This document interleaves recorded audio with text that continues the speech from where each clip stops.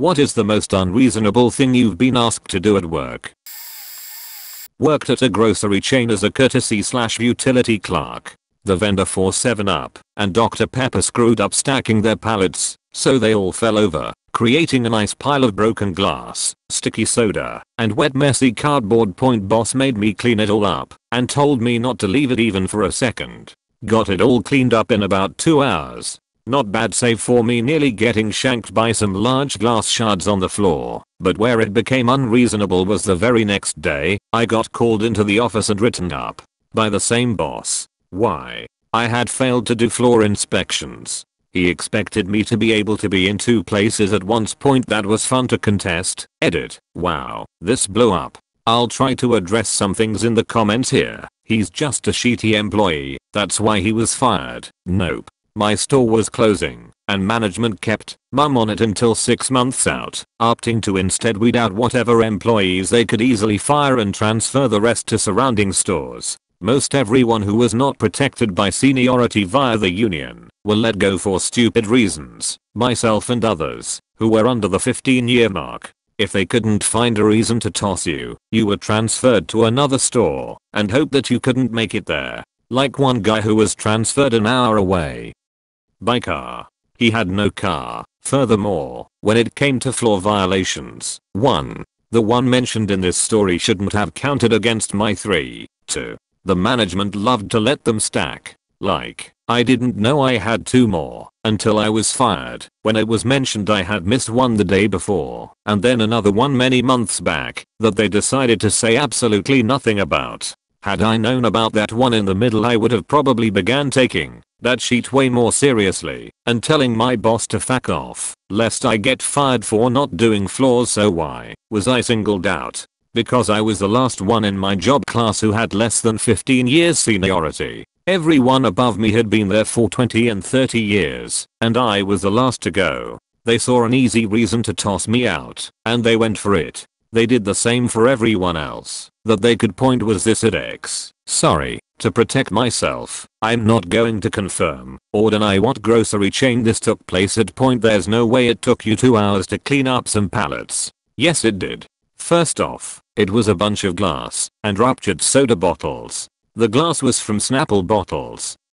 Second, it was about 4 pallets full of this stuff, stacked on top of each other. When that sheet falls, it tends to go everywhere. This stuff wasn't even constrained by ties or anything. It flew everywhere. Something I didn't mention, didn't think I'd have to, is that I had to cut off all the UPCs I could from the destroyed packaging and document how many of each item we lost. I also had to clean up the vile mix of HFCS laden water and tea from the ground, and that sheet is very sticky. It also got everywhere, almost flooding part of the back room. Part of it also seeped into the meat department, and of course, that had to be cleaned.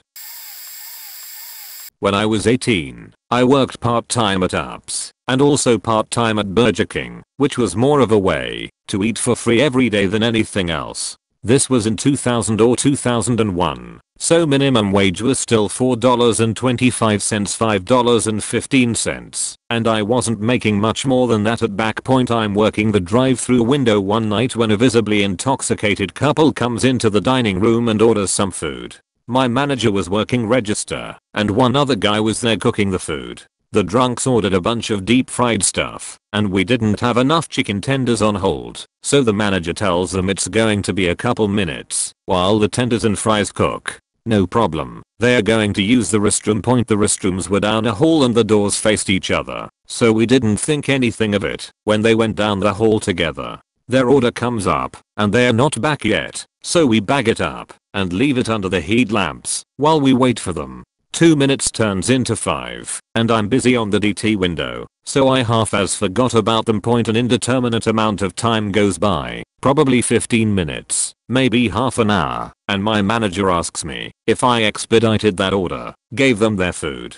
I tell her no, they never came back for their food after going to the bathroom. She goes into the women's room, doesn't see anyone, then opens the door to the men's room. I heard her dry heave from my station at the window, a good 20 feet, 6 meters, away. She came around the wall that separated the dining area from the work area, and it looked like she'd seen a ghost or a dead body. I asked her what was wrong, and she just shook her head, telling me that she would take over DT window because I had to clean the bathroom. Point I geared up, elbow length gloves, goggles, dust mask, and slickers, not knowing what kind of hell was unleashed in that stall. Nothing, and I mean nothing, could have prepared me for what I saw in there. It looked like they huked up a colostomy bag full of mostly liquid sheet and semi-chunky vomit to a paint sprayer and blasted every single surface in there with the sheet puke. The stall was caked, the door handle had sheet smeared on it, there was vomit in the sink, next to the sink, in the trash can, next to the trash can, just faking everywhere I looked there was sheet, puke, or both. Point I didn't even make it three steps into the room before my gag reflex reminded me that it existed. My eyes were watering, my stomach was doing somersaults, and I was choking back my own barrage of puke when it hit me. Hey, fuck this. Nope. Not a faking chance. I choked out through gasps of air. Not a faking chance in hell I'm cleaning that up. Call hazmat. Half joking, not thinking my manager would actually expect me to clean that up. Boy, was I ever wrong. Optical delusions. If that bathroom isn't clean by the end of your shift then don't bother coming Bay she didn't get to finish the sentence. I'd already thrown my hat and shirt on the floor. Sorry, Joel, but you don't pay me nearly enough for this sheet. I can find another sheety minimum wage job tomorrow. Good luck with that debacle in there. And just like the phantom sheet pukers, I was gone point at it. I quickly looked at this to see the minimum wage in 2000. Federal minimum was $5.15. Ohio's minimum was $4.25. Federal trumps state, so I was probably making $5.15 slash HR or a little more. I wouldn't have cleaned that sheet pockle piece up for $51.50 slash HR, so the point is moot. Thanks to the dozen or so of you who caught it. We used to have to destroy hundreds and hundreds of books at my job and we weren't allowed to do anything with them, but put them in the recycling bin. This is called stripping a book. Strip because this process involves tearing off the front cover to be sent back to the publisher as proof of destruction, and then the actual book discarded point I felt like my heart was being ripped out when I had to strip my favorite books and throw them away. At one point my staff recommendation was The Hunger Games not long after it came out, and at the height of its popularity I had to strip 300 copies of it because my assistant manager decided we had too many copies and she was sick of looking at the boxes in the back room. In the back room. The storage room. Where overstock is supposed to be. And this is a book that we literally could not stop selling it was so popular. The biggest burn of it all, when our computer system saw we had suddenly lost 300 copies from the store, it ordered us 500 more. Which I warned the assistant manager would happen, but she said it wouldn't throws chairs. They used to allow employees to take stripped books, but that ended after I'd only been with the company a couple years. Whenever we had to strip hundreds of copies of children's books I'd get so upset since there are so many schools slash children who'd love to have those books. Edit. People keep asking why the books weren't donated. The reason is that after a book is stripped and processed out the book is once again the property of the publisher. For the publishers, it's much easier and more cost effective to destroy the books than have them returned to them. As for why publishers won't let the bookstores donate the books, well, you'd have to ask them. Read, sales, and bookstores, mine at least, can't sneakily donate the books instead of recycling them, because that would be fraud and theft, which could get the bookstore sued, or their relationship with the publisher ended. While this sucks, no matter how you look at it, it's actually not uncommon. It's very possible that it had some sort of safety recall on it that they were trying to keep under wraps, but it happens to regular product as well. Point I've worked at three different retail chains and it's more prominent at the larger corporations. At one of my jobs, we regularly get items that are penny items. They ring up for $0 and 1 cent on clearance, and while you can ring one up for a customer slash sell it, as soon as you are able you must remove the product from the shelf and destroy it slash throw it away. You cannot knowingly sell the product unless it is brought to you without your guidance, and you cannot buy the product point it has something to do with taxes. If they feel that the space the product is taking up is worth more than the product, they can write it off on their taxes as a loss. Pretty faked up point of course, if someone buys it first, good for them. I saw a woman walk out of our store with two buggies slash carts full of Marvel product, lunch boxes, mugs, cups, posters, for $1.39. She made it her job to find the penny items, buy them all, and then donate them to charity. She even gave one to the daughter of one of the workers, who couldn't buy it for herself. Edits. Did you know that there are YouTube videos that chronicle the sale slash clearance prices on items? There's one lady who keeps track of every good deal she can find and posts photos, prices, and information on where the clearance is kept, bins, shelf, bags, etc. Every time an item goes on mega clearance, a mass corporate email goes out notifying the general managers. If you have managers that aren't great with keeping up with those emails, or that make an executive decision that it can wait, then people see the YouTube video and buy it all. Before you lift a finger the recall thing was wishful thinking. I admit point. Since I've been called out on bashing a tax system I don't fully comprehend, I'll admit I don't know the ins outs of how this helps the business. I understand that it is used as a way to lower the overall amount of money the company sends off in taxes each year ad. that is how it was explained to me by my boss. Marking down product to nothing doesn't really bother me. However when a perfectly good product is thrown away or destroyed rather than donated or given away simply because it wasn't worth it, that's bullshit. The fact that anyone can save slash make more money destroying non-perishable functional product than they could make by donating it is faked up. When I worked security at a hospital, I was walking to a parking garage to let someone out. On the way there was a set of bathrooms before the bridge I needed to get to. The supervisor of my team called me on the radio and told me to go into the women's restroom and find out who was in there. Me being a guy, I was obviously a little concerned with this order and said I would wait outside. He then begins badgering me, again over a radio, saying just do what I tell you to do, and go in there, and figure out who that girl is. Look tell that nurse to go in there. A nurse happened to be walking past me to go to the garage, as her shift was over again. No, even if there's someone that is not supposed to be here in that bathroom, I'm not sending an off the clock nurse, even an on the clock nurse, to figure out who someone is for me. So I wait for a minute or two, and out walks this girl, that is like 13 years old. Then around the corner, comes a guy that looks like he is around my age, that was waiting for her. He probably heard this whole radio exchange. They are here at 3am, because a family member has been in critical condition for the past few days and she just needed to use the faking bathroom. What happened was, my supervisor was watching where I was going on the cameras, and saw I was going towards where this bathroom was, saw her, then tried to get me to do the above point later. Something that couldn't be turned into a pedophilia charge occurred involving someone falling on the sidewalk near the hospital and him, and I happened to be free and went over in front of another guest, and some EMTs he asks me to go into the security office and get something, and this asshole has the nerve to say, or are you too scared to follow a simple order? Well, if you want to be this unprofessional, sure we can have this out I'm thinking. I explain to him, again, that I'm not walking in on some girl in a bathroom, when I can simply just wait for her to come out and not look like a creep point god I hated the supervisors there. They were all those stereotypical Warnablio security that we all find annoying as sheet.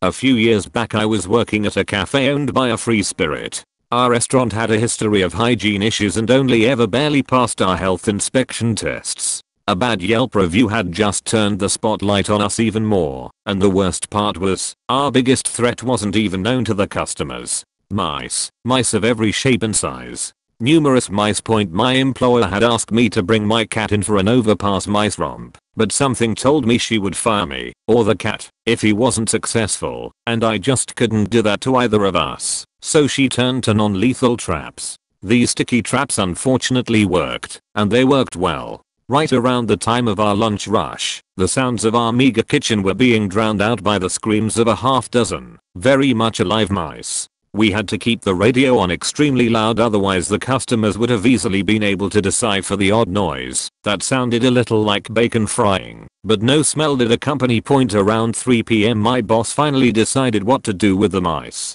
I told her about what my family did to moles growing up.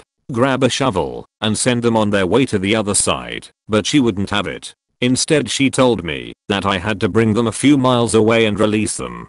She gave me directions to a graveyard where she was sure no one would be. She gave me a bonus of the efforts, and with how broke I was in college, I couldn't possibly say no point so there I am, driving to a graveyard with 6 or 7 mice screaming their heads off on the floor of my backseat. I, the insane bastard I am, telling them all that they would be alright and believing it. Maybe only because I had just read Morse, did I feel very uneasy in what my mission was as I pulled into a small road that winded through some trees. I began going over my checklist. Knife, spatula, get the mice free, run. That is all I had to do. Like most seemingly straightforward plans, mine was doomed from the start point the mice were freaking the fuck out. I couldn't cut around the mice because they were twisting and the stickiness wouldn't cut into squares along their feet like I had thought. They were also stuck far worse than I had imagined. Their faces, their bellies, they had pissed themselves and all of it was making my lunch break very disheartening. I did my best. I felt like the opera meme. You get a spatula, you get the knife, you, well I don't know what the fuck to do with you. The mice ended up breaking their own legs most hobbled away with large pieces of sticky traps still on them. Others weren't so lucky. For the ones that were too trapped in the sticky, I decided to don the cloak of death and become his willing tool. Driving my car with the music on full volume do makes a think, so I didn't have to. I carefully crushed the helpless couple of mice that were left by the others without an ounce of hope. I drove off without throwing away the trap or looking back. Part of me wanted to at least give them a somewhat honorable send off. However I felt that they were in the right place for that. And after all that sort of thing has to go through the right channels and paperwork and the gravekeepers would know much more about their profession than I did point flash forward one week later. More mice. Literally, many, many more, all on sticky paper. This time I did the only reasonable and humane thing I could think to do. I looked up what dissolves sticky traps Within 5 minutes using a corn oil based solution, the mice were running free, headed right towards our competitor's kitchen door. And that ladies and gentlemen is not only how I got into the business of sabotage, but also the story of my most unreasonable request I've been asked to do at work. Not me but in a book I have called in your own words. Basically it was an article in a British newspaper every Sunday that got stopped and all the articles collaborated into a book. Anyway the story is quite long. A fair amount of time ago boy scouts used to do bob a job to earn some money for themselves and to get a badge for helping the community. Then they would give a job done sticker to the person they helped so they wouldn't keep getting pestered. Well I was doing this job for my badge and went into a local co-op he brought me into a back room. It was large and cavernous and not very well lit. Full of boxes, sacks, and smells as you can imagine a store would have. However there in a clearing on the floor was a cat and some kittens. The store owner said to me something I never wanted to hear now for your bob. I want you to take this sack and bucket of water, get the kittens and drown them. We need the cat to keep the mice down but this is too many. I'll leave you to it with that he turned on his heel and strode back out onto the shop floor. I hesitated but felt committed to do the task. To this day the movement of those small animals in that sack still unsettle me. I told no one what I did at the co-op that day. It still haunts me whenever I see a sticker saying job done in a window for the Boy Scouts by the way I have paraphrased this. It is a lot better in the book. I worked as an assistant general manager at a small radio station for almost 10 years. I was very passionate about my job and loved working for my boss, the general manager. In my last year there, the general manager quit she was an excellent boss with an amazing work ethic and was extremely knowledgeable about the radio business, so it was a real shame to lose her. I considered quitting myself, but decided to stay on because of how much I loved the station slash my job. Big mistake point the problems started when it took 4 months for the position to be filled.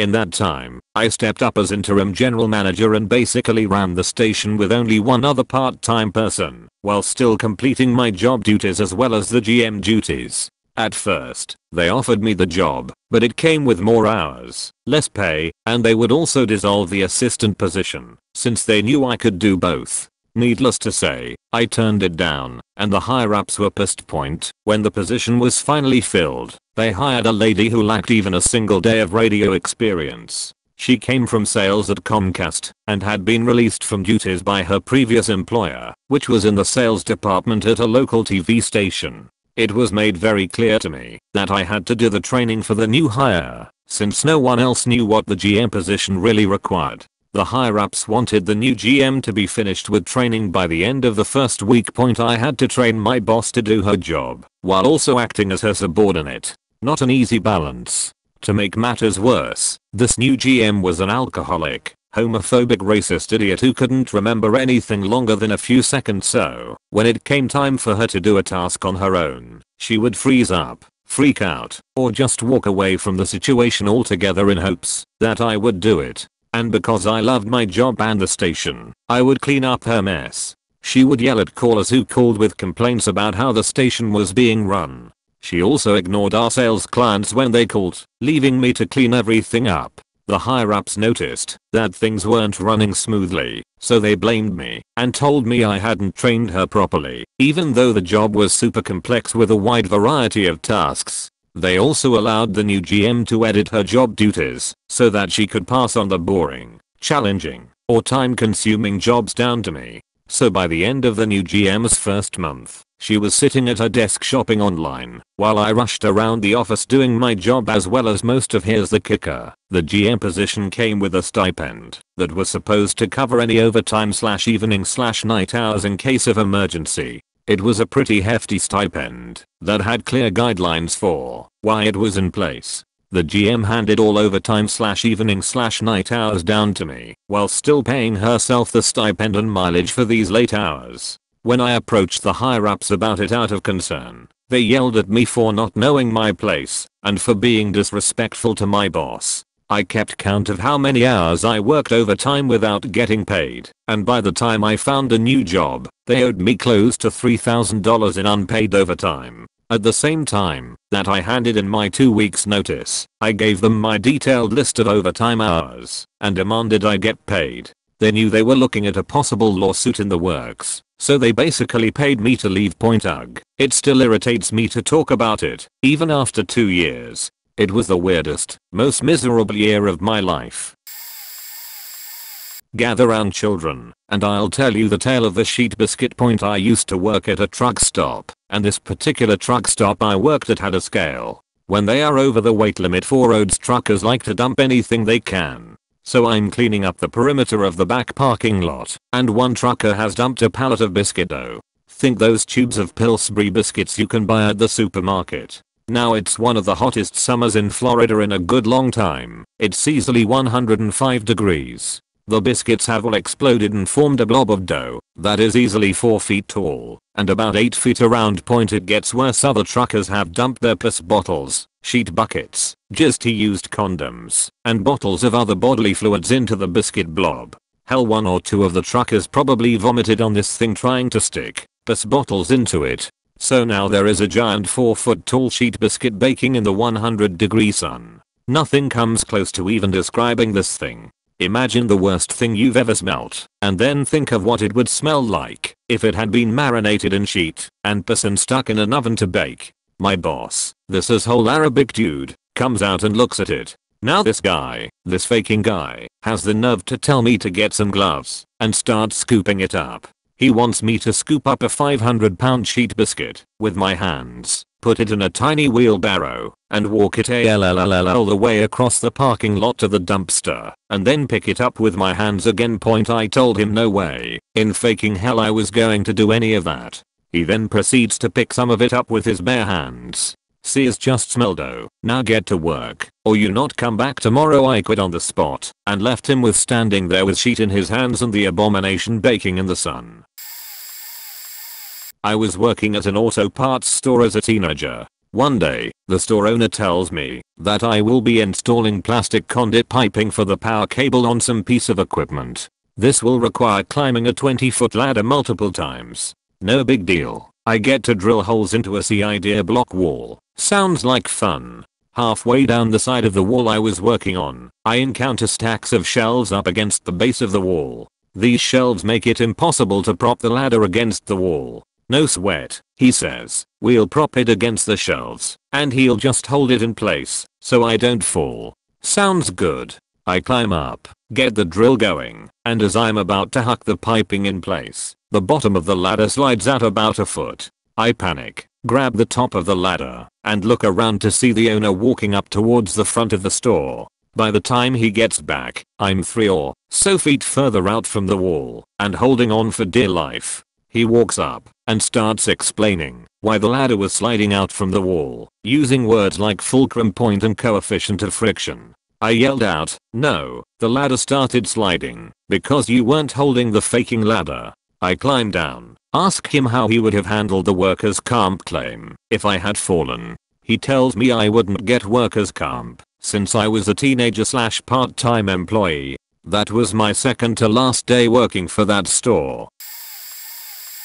I've got a bunch. This'll occurred when I worked at a machine shop. Boss demanded I work a 23.5 hour day then return to work at 6am the following morning. That's a one half hour to drive home and sleep and drive back to return to work on heavy machinery. Point forced to wash boss's classic car collection on a regular basis. Forced to pull weds out of the cracks in huge parking lot. No tools, just my hands 8 hour shift. The next day I was told to do the same thing, but to scrape the dirt out of the cracks this time point forced to scrape decades of grime and tar off the shop floor 3 inch thick. After 10 hours I had cleaned 6 square feet.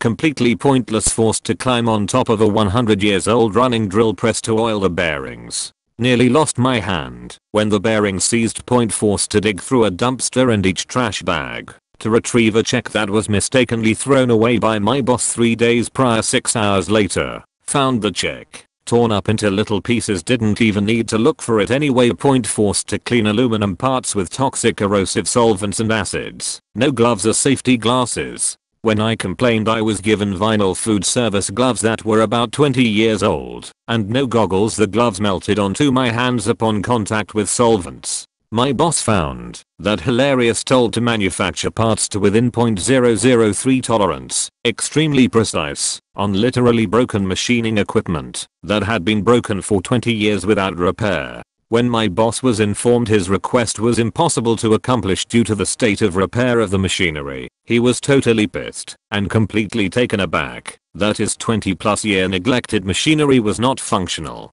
the staff was accused of breaking the equipment to avoid work and sent home for 3 days until the boss relented and paid to fix the equipment he neglected for 20 years. Even the repair guy was disgusted and told my boss the machine was destroyed by neglect. Point told to take my lunch break, paid, working at my machining station, filthy cutting coolant and metal shavings thrown everywhere, not to mention heavy machinery all around me. If I wanted to eat lunch in a sanitary and safe place I was told to clock out and go home for the day. Point forced to piss in the shop bathroom sink. For months, all guys at this shop, because the toilet got clogged and boss refused to call a plumber. The office bathroom was off limits to all shop staff.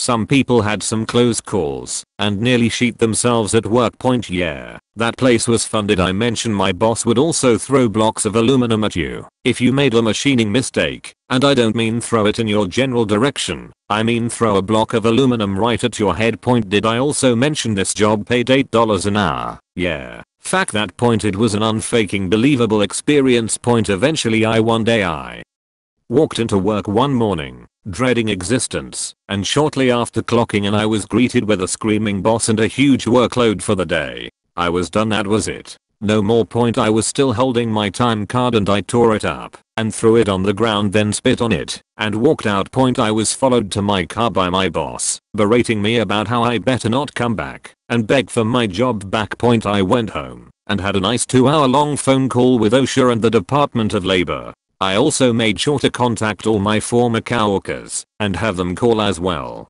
I also called the BBB and reported them as being an extremely unscrupulous business and shipping refurbished manifolds as brand new. This is fraud. I considered contacting the customers and informing them of the fraud, but I just wanted to forget about the entire thing at that point. Point my old boss was righteously faked in the AS by OSHA and the Department of Labor and prosecuted for wage theft. Point as far as I know the shop was shut down last year and the property is for sale. I don't know why though point I swear, if I ever run into my old boss randomly on the street I'm going to bludgeon him to death with the nearest blunt object to work with the most negative, passive-aggressive person on the planet for a boss. She hated her job and life, and had an office just outside where our desks were. My other coworker and I would talk about how bad she was. Then one day he left. She never replaced him, knowing I would be swamped under the all the work. I worked like that for a few months, stressed, unhappy she would barely help, instead go in her office and talk on the phone and I knew at times was talking shit about me with whomever. She started going home early, so when it got late and everyone left I would go into her office and read her emails. Yes, she was too stupid to password protect her computer. Nothing groundbreaking in the emails, but a few about how she disliked me to another person, and then I found a few where she badmouthed the head boss who worked downstairs. I made a plan to leave that job a few weeks later. But what I did was also plan for a massive exit. Our work needed to get entered for a Friday cutoff. It was 100% necessary to be entered by Friday 4pm. Starting that week's Monday, I kept all the documents to be entered hidden. I didn't enter one thing the whole week. During the week, I started forwarding her emails where she badmouthed the boss to my email. I then deleted the sent email. On Friday, she went to a late lunch at 1pm. I then composed an email saying goodbye to everyone and that I could no longer work with this horrible person. I then copied the emails below what I wrote to prove how nasty she was. I then took all the saved up papers to be entered, a huge stack, and put them on her chair while she was at lunch. On it, I left a sticky note that just read payback as a beach. Sent the email and walked out. Never felt better.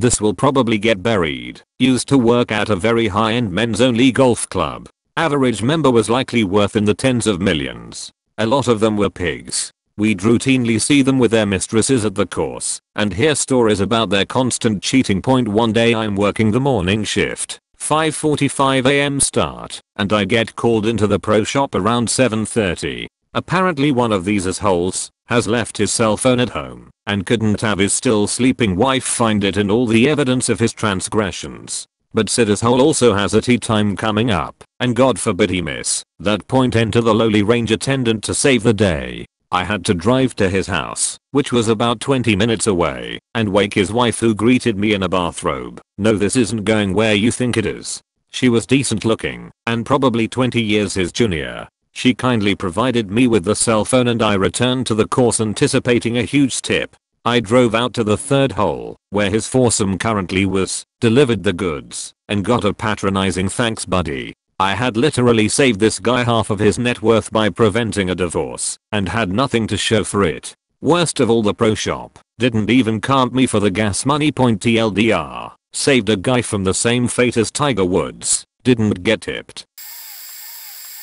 There are just too many pointers the night manager of a fast food place near campus. Our store closed at 3am. We had exactly one half hour to clean and close. If we were going to go over that one half hour, the manager wanted me to call him at 3.30am to tell him why, so he could approve our staying on the clock to finish cleaning. Otherwise, we could clock out and then finish cleaning. I only had to call him once before he changed the policy point same place as above. Money was disappearing. The manager decided to assign us cash registers. This would have been great, except when it go busy, he expected us to let others use our register. I told him that was fine, but once someone else touched the register, I was no longer responsible for the amount of money in it. He said I was. I said I wasn't. I wasn't. Turns out a fairly new employee had gotten the combo to the safe and was taking money directly from their point same place, same manager. Stop taking gifts from customers. I had exactly two customers that, for some reason, took a liking to me. One was a 4 year old girl accompanied by her mother. One day, they came in, and the little girl gave me a dime store necklace. It probably didn't cost more than a dollar, but they bought it just for me. Another customer was an older guy who I actually thought was homeless, but he would bring me ice cream from the store next door every once in a while. I told my manager there was no way I was going to turn down token gifts from appreciative customers and that, unless he thought I was exchanging food for dime store gifts from toddlers or ice cream from homeless guys, I would continue to accept these signs of customer appreciation and he should be glad the customers thought I was doing a good enough job to express their appreciation, because he sure as hell didn't express any to me. Point 4. I worked at a school for emotionally disturbed children. There were 5 dorms, read old houses, on campus, each housing about 10 adolescent children who were either mentally challenged, emotionally disturbed, or, sometimes, just normal kids. All these kids had been taken from their parents by the state and were essentially warehoused at this type of residential treatment center. They were all on copious amounts of medications which were doled out in little cups and then distributed by a nurse who walked to the dorms from the main building. The kids would like up and the nurse would hand each kid the little cup with their meds. As often as not, the kid would say these aren't my meds. The nurse would look at the cup take it back, and then give them the right cup of meds we got a new nurse who decided it wasn't safe for her to walk to each dorm at 8pm at night to give the kids their last dose of meds for the day, so management decided the minimum wage child care workers could pass out meds. After bringing up the prior medication mistakes made by the nurses passing out meds for the 100th time, I refused to pass out meds.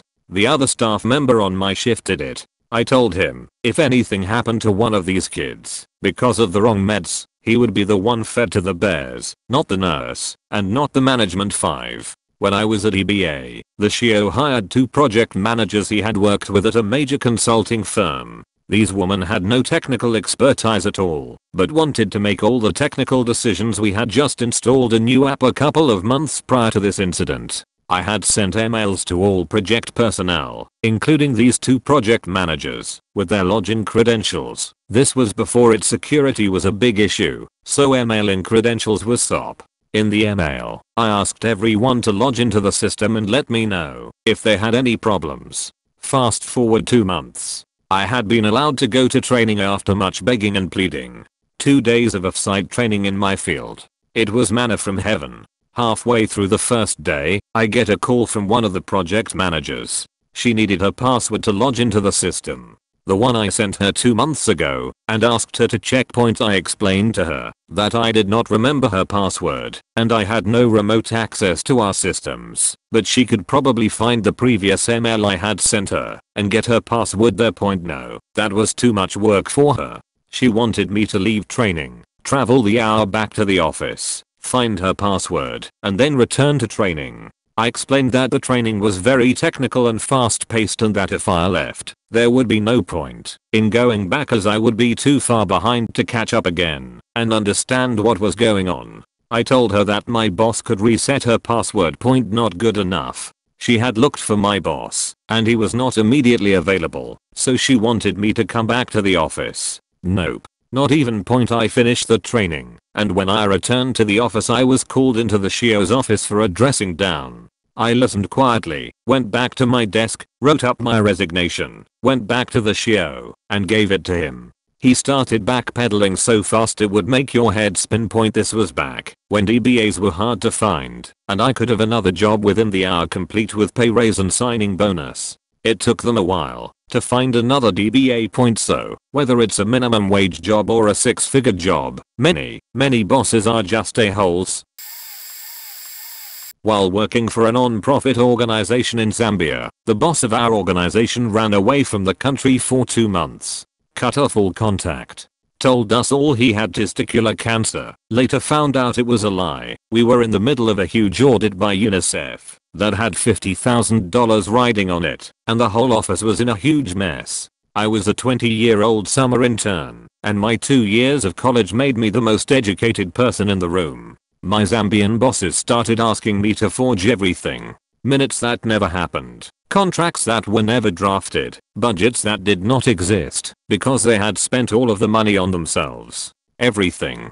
The justification? You're from America, you know how to do these things. When I refused, they all flipped out. I told them it was illegal, and they emphasized that everyone does this. They were sort of correct in that sense. Almost all the organizations I knew they were taking money and fudging the numbers. But I was not about to shake down UNICEF point regardless. I stopped showing up. The staff rebelled because they hadn't been paid in 6 months, and I went into my own pocket to finish up my time there. The boss eventually returned. Everyone came back, and UNICEF approved their audit. Because why the hell not, right? TLDR non-profits waste your money in the developing world.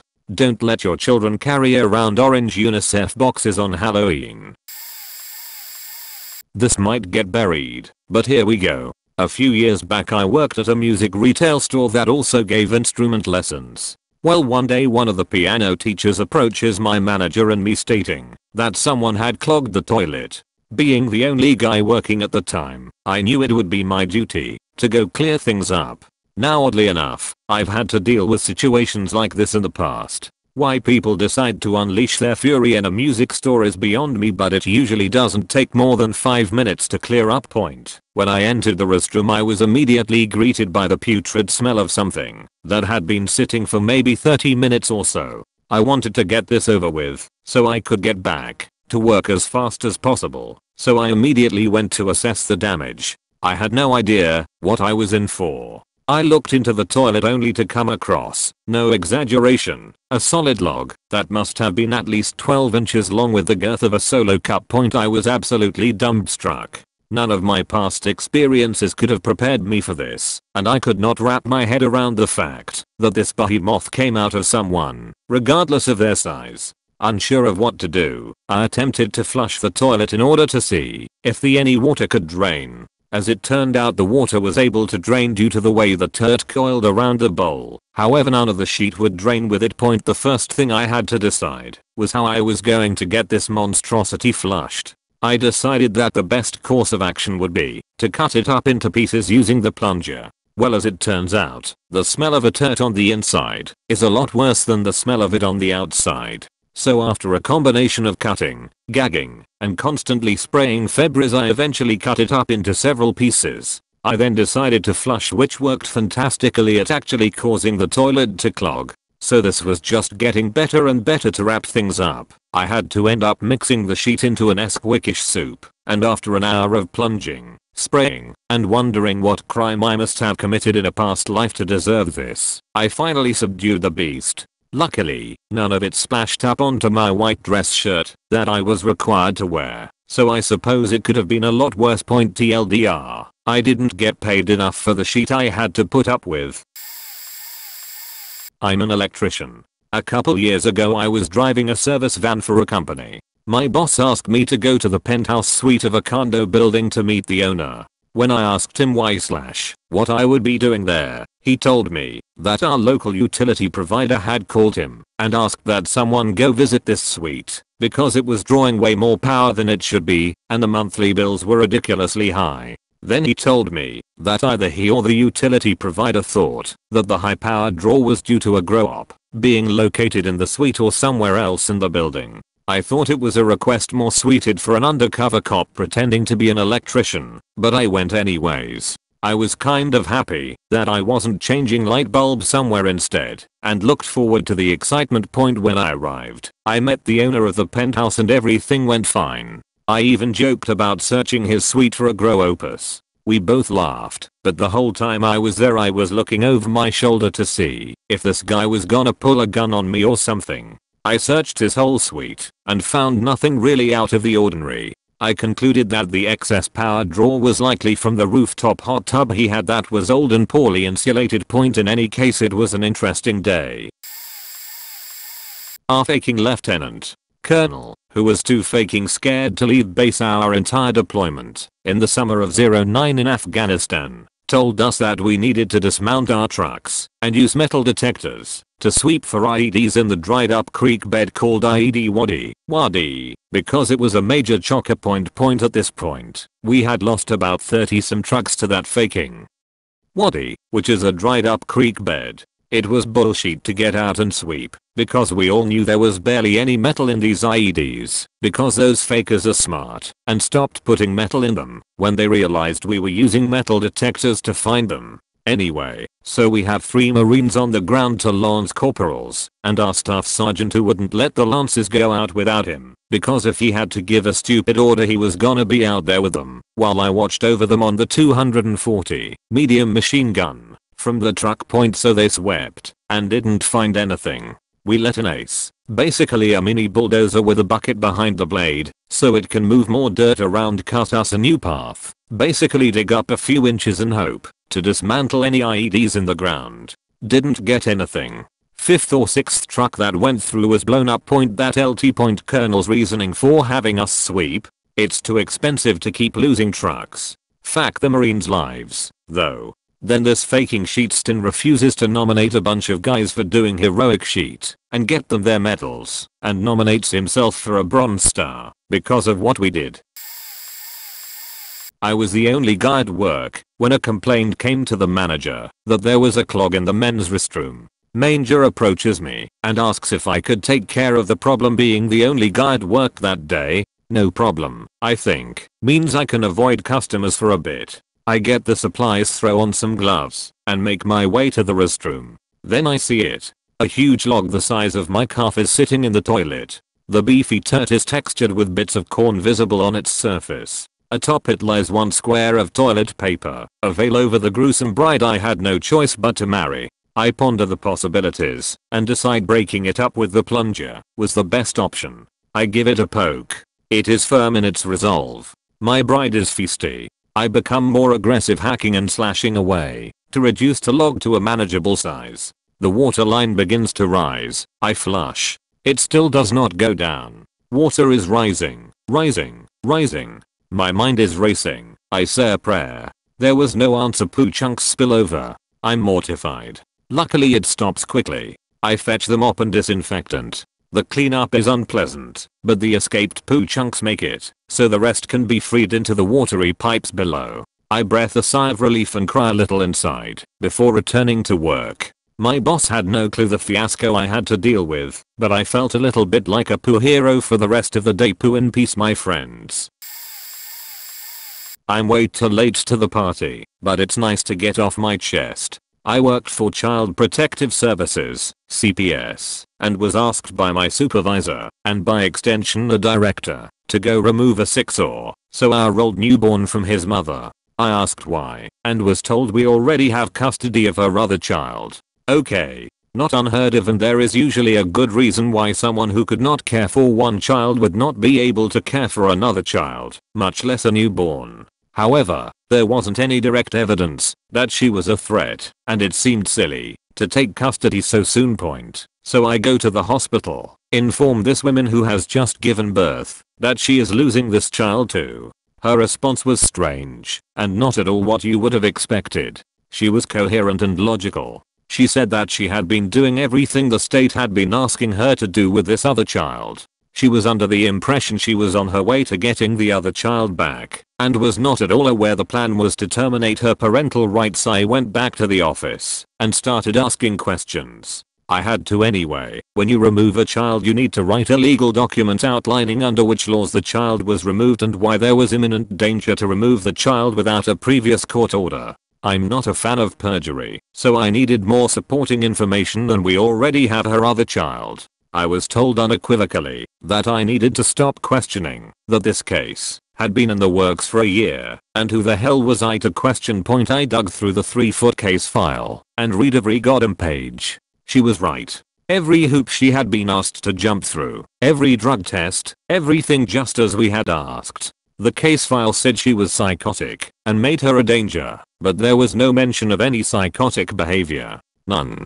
I went back to the original complaint she was arrested for appearing psychotic, but the hospital determined that she had been acting that way because she was high on something. Okay. It was worth removing the kid in the first place, but she got clean. She did everything she asked, and was not psychotic.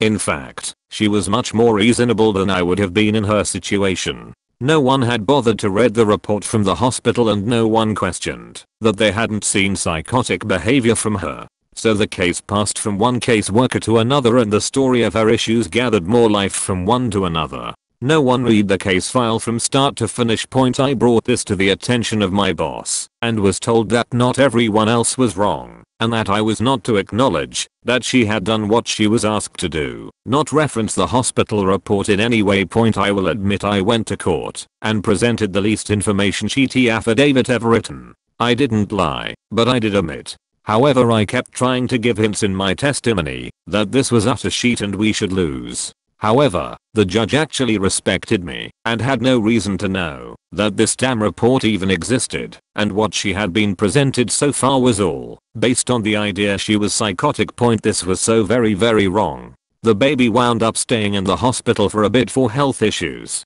I made it so she could visit as much as she wanted because she was supervised by the nurses I fought to undo everything that had been done, that I helped to do. By the time the baby was being discharged from the hospital, the baby had been returned to her custody and the goal was no longer termination of parental rights for her other child. Point Myers had a giant target on it because of my insubordination, but you know what fact them. I had no problem removing when a child was unsafe. But I would be damned that I would be party to tearing someone's family apart for no reason. Point TLDR. Fuck you former CPS supervisor and director. Best wishes to mom and her kiddos, who had way more strength and ability to be reasonable than most people could accomplish.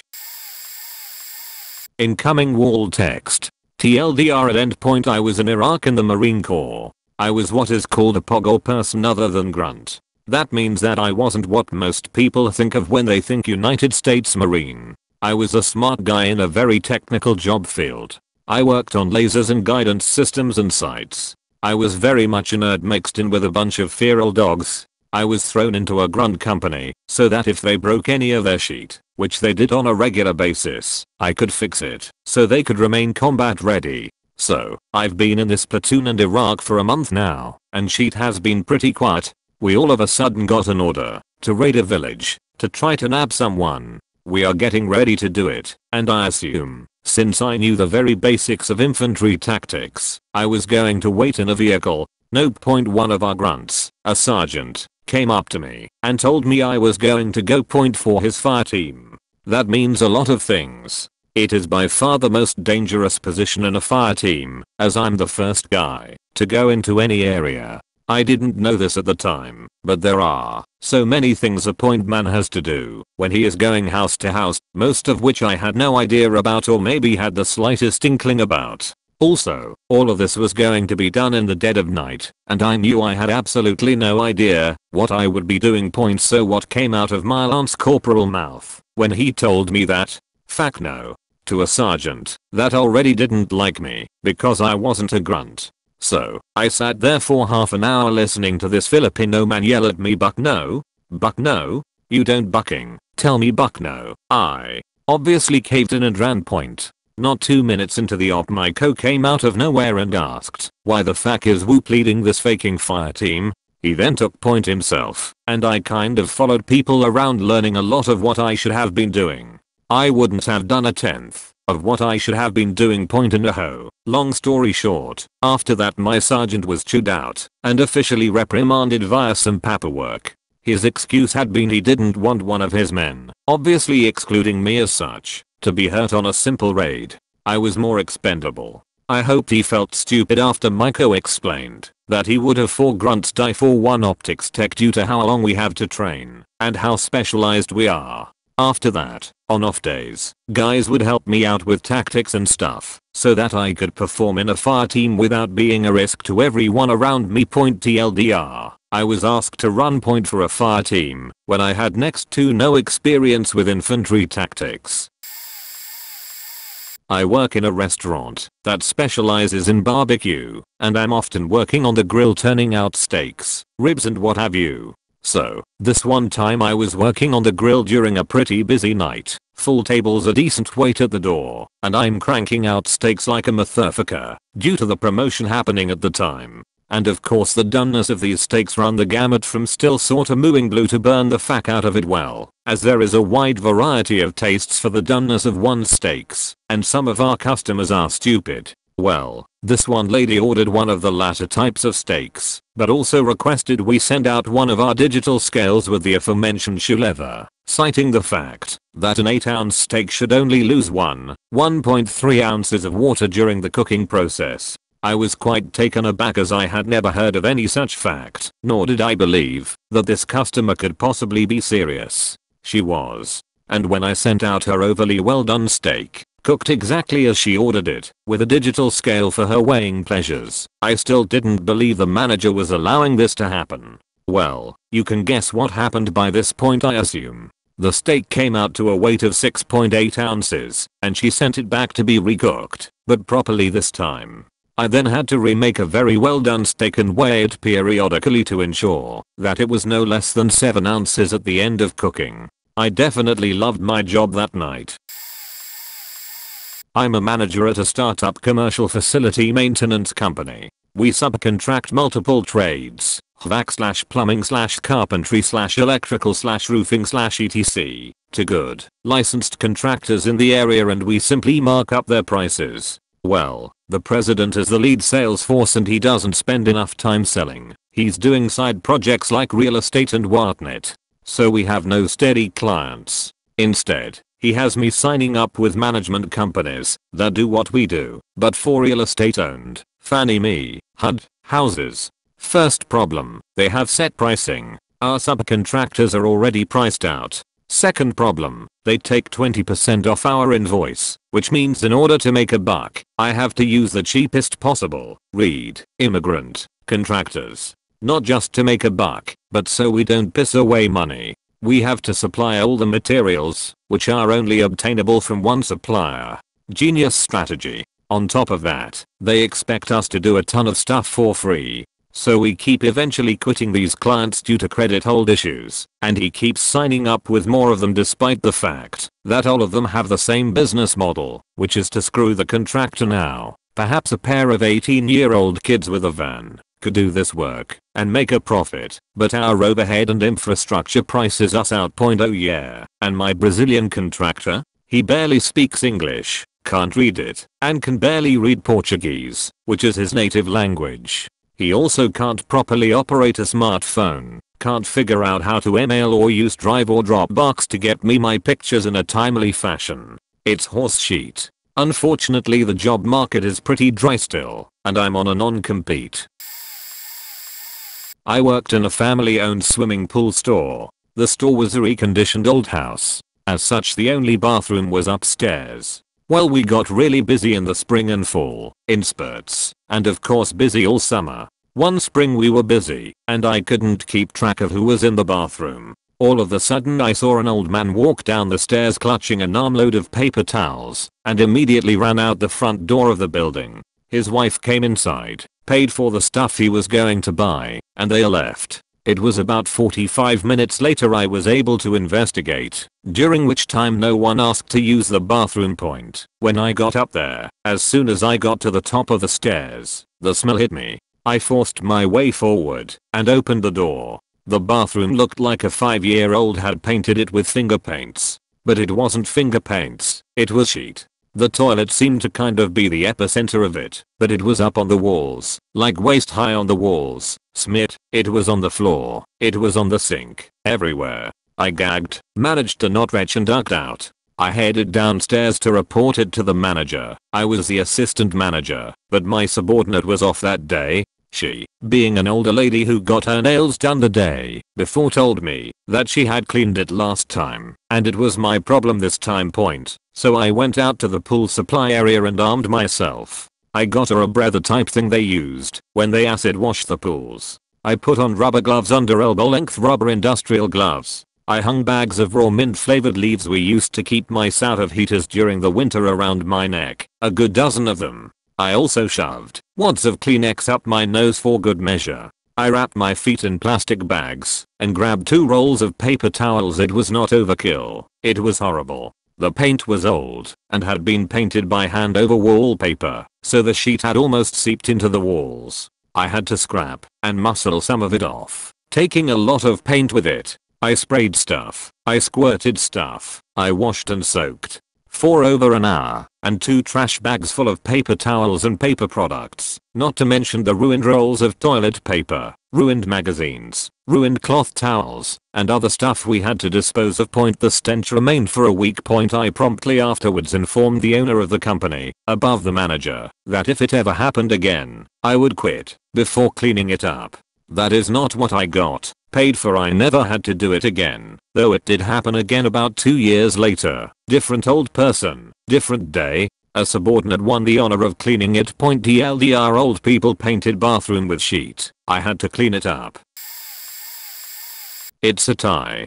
Two stories, same job. One, had to come in on a weekend to do warehouse inventory. Not unreasonable, just a massive hassle, because it has to be done on the weekend, and sometimes takes all weekend. Point the problem was that when inventory went well, instead of letting people go home they asked a friend slash co-worker, and I to drive to Alabama, tear out carpet that has been ruined when the basement of our boss's house flooded, then shop vac, mop, etc. Until the area was dry. Point we got back, so late that everyone doing inventory had gone home, and the gate surrounding the warehouse had been closed and locked, with our cars inside. Point it should be pointed out that this particular job didn't do things like overtime pay. Point 2. The owner of the warehouse decided to make some money by collecting these things called cores from a nearby plant, factory, and having us stop our normal jobs.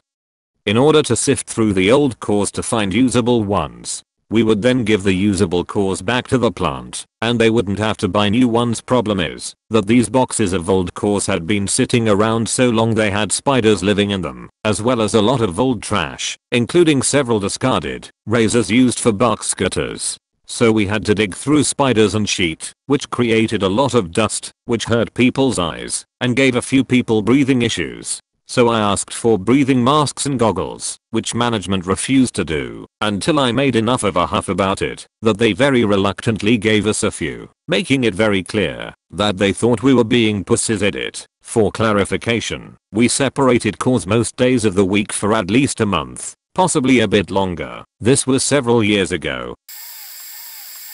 I bartended in a hotel in college. We were 3 star, but the biggest and best located place in our small city, so we used to get most of the commuter traffic. A lot of guys who weren't anyone remotely important, but liked to act like they were when they finally got the chance to get paid to travel somewhere. Point one night I was cleaning some glasses off a table near the TV when a guy sitting at the table stopped me and asked me if he could get some cigarettes.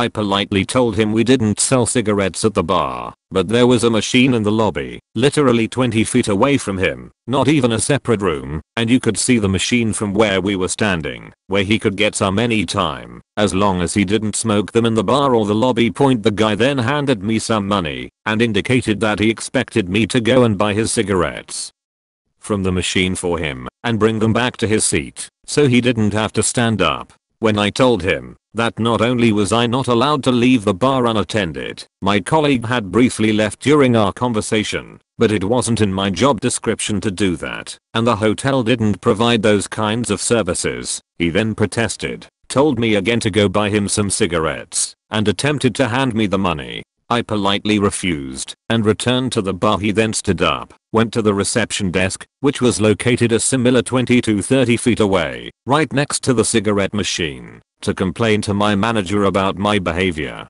My manager told him he would have to buy his cigarettes himself, and so he decided, rather than to walk the additional 5 to 10 feet to his right, to simply return to the bar, eyeball me for the rest of the night looking shifty, and never actually buy any cigarettes from the machine point I couldn't work out whether he was drunk or just a huge asshole, but it was incredibly demeaning in a strange way to have. Someone tried to pay me to walk across a room and put money in a machine for them because they couldn't be bothered to leave their seat. Very glad I got out of that job.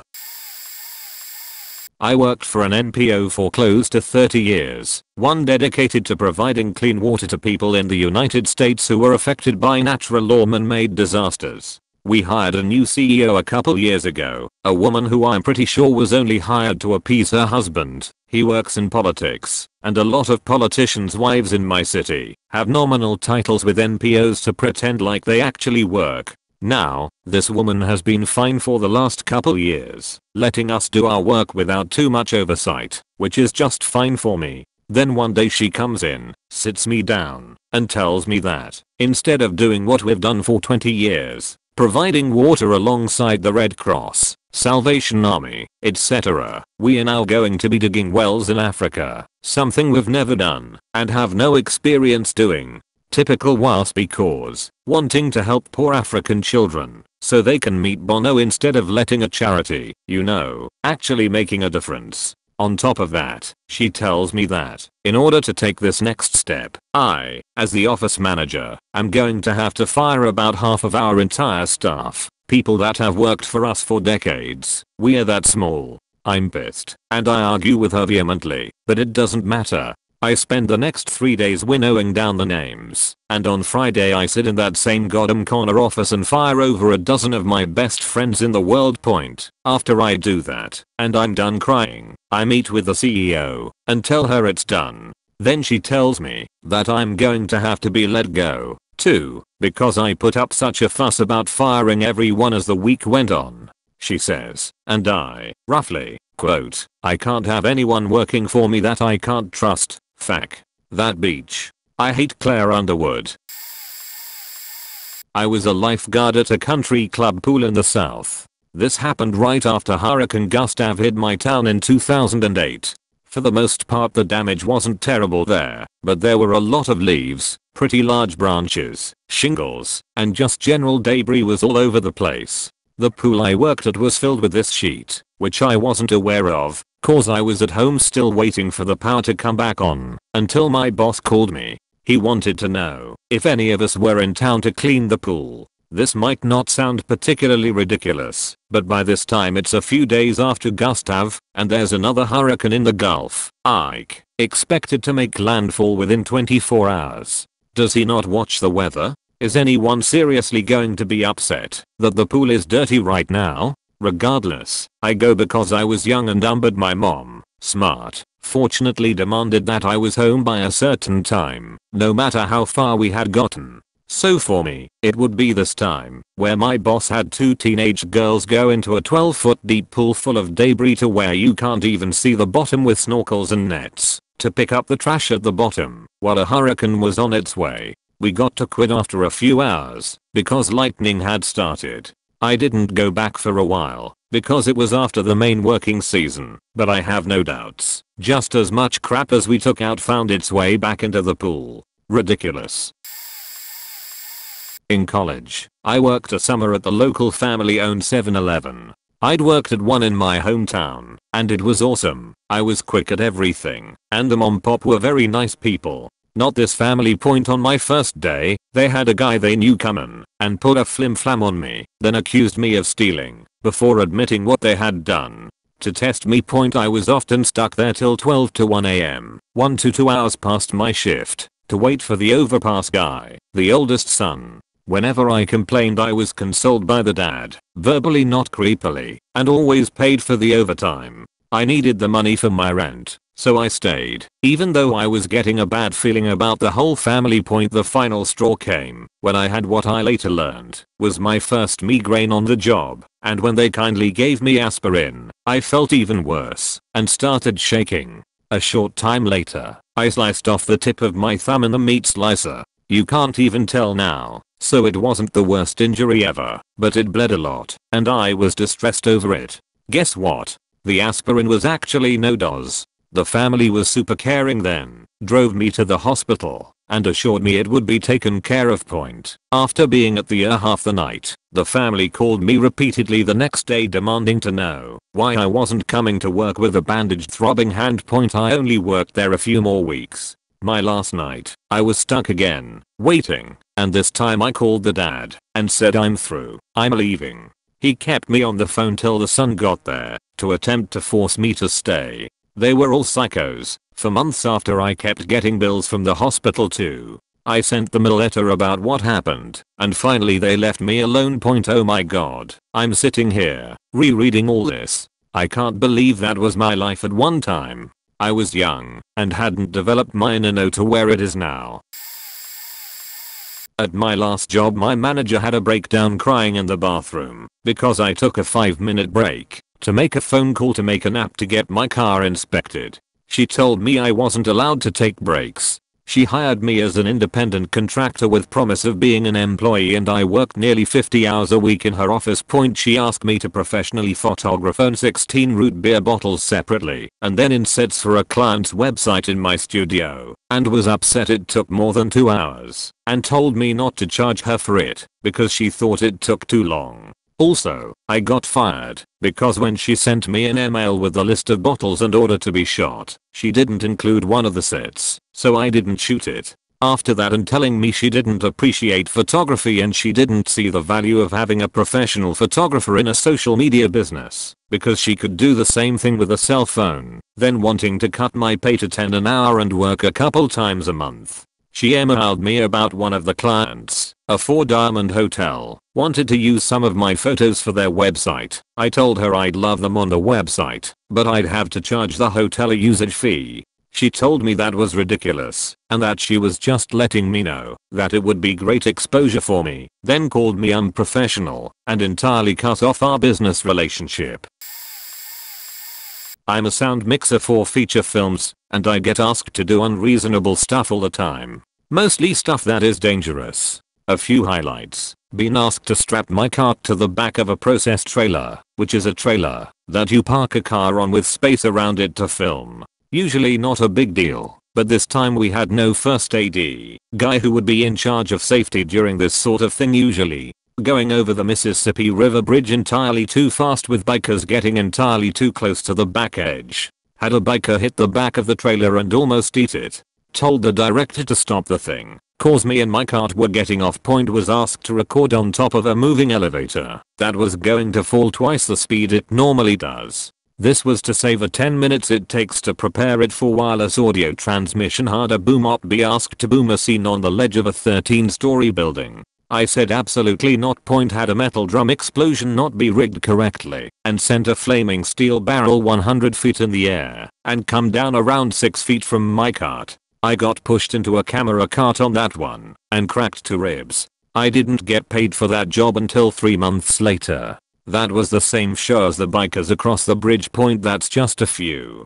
I don't know if you guys heard about the camera op who was recently killed on set, but from where I'm sitting I'm shocked it doesn't happen more often.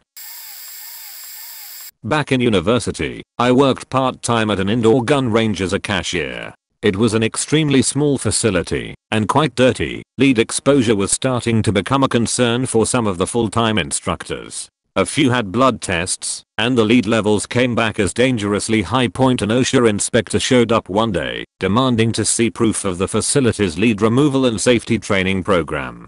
The facility didn't have one, so the owner lied to the inspector and somehow convinced him to come back in a week. After the inspector left, the owner turned to me and demanded that I write up the required paperwork. I was working on my biology degree at the time and was familiar with some of the material he needed. He said he'd pay me an extra $50 if I did it at home. I refused. It was clearly illegal. He threatened me, stating everyone would lose their job if I didn't do it. Point a few days later, the owner came in with a folder of papers he clearly printed off the internet and a training form regarding lead exposure. He had everyone sign and backdated to the day they were hired under threat of being fired. He also hired a contractor that is one of his neighbors with a shovel to handle the lead removal, meaning the business was not held responsible for providing any safety equipment. He cackled for months about getting around the dirty government regulations. A year or so later, I was let go when the owner married, and his new wife took my job. The very next week, the range burned down in a fire, sparked from the excess gunpowder and lead buildup. I'm still not sure if it was karma or a ploy to get insurance money.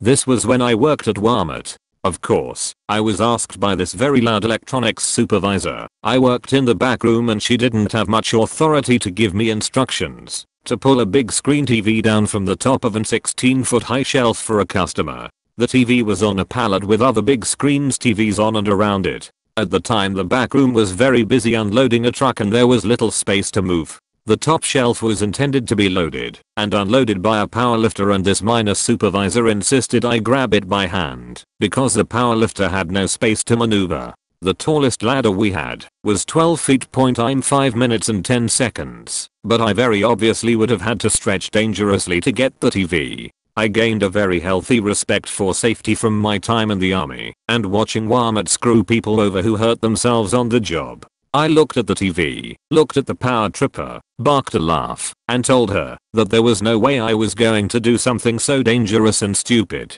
She was used to most associates jumping at her word because she was very aggressive and tried to tell me that I had to anti-do it for the customer. I just calmly told her no and pointed out that what she was asking me to do something unsafe and thus illegal. Point her own haranguing, shrewish screeches were drawing attention after a minute or so of this so I just had to raise my voice a bit and repeat that this was illegal, unsafe, and unnecessary and that OSHA might have a few words to say about this as well. I turned around and continued with my job. She left but came back a few moments later and bullied someone else to do it. Luckily, no one was hurt, but the guy who went up was pretty scared. I made sure he knew that, if he got hurt, that Walmart would not care past the point of the barest legal culpability, and that a fall like that would likely have paralyzed him. Point the plus side is, that she never tried to give me stupidly dangerous or dangerously stupid instructions again. I worked on a maintenance team back in high school. Overall I did learn a lot. We changed light bulbs and busted ballasts, painted, set up air conditioners for the dorms, on the second floor, from the outside of the window using a forklift, mowed grass, steep hills were done by attaching a rope to the mower and wiring the handle down so you could lower it down the hill then pull it back up. Treated water, the school had its own small treatment plant. Sold oranges, installed insulation in an attic, made your budgers black, and buried bodies of rabid animals. Guess I didn't bury it deep enough, because the next day something had dug it up, and I have a few really unreasonable requests which, in hindsight, were really dumb to do. But I was a kid, and didn't realize that the law was on my side. Point this specific examples comes to mind. One of the buildings on campus had large wooden pillars that were pretty old. My boss had noticed that they were getting sort of rotten, so he decided that we needed to replace them. This was a long process because we had to do a few things. Put a placer holder beam in by lifting it with a jack point cut off the portion of the pillar that was rotten about 3 feet from the bottom. Sand off the paint and repaint the beam.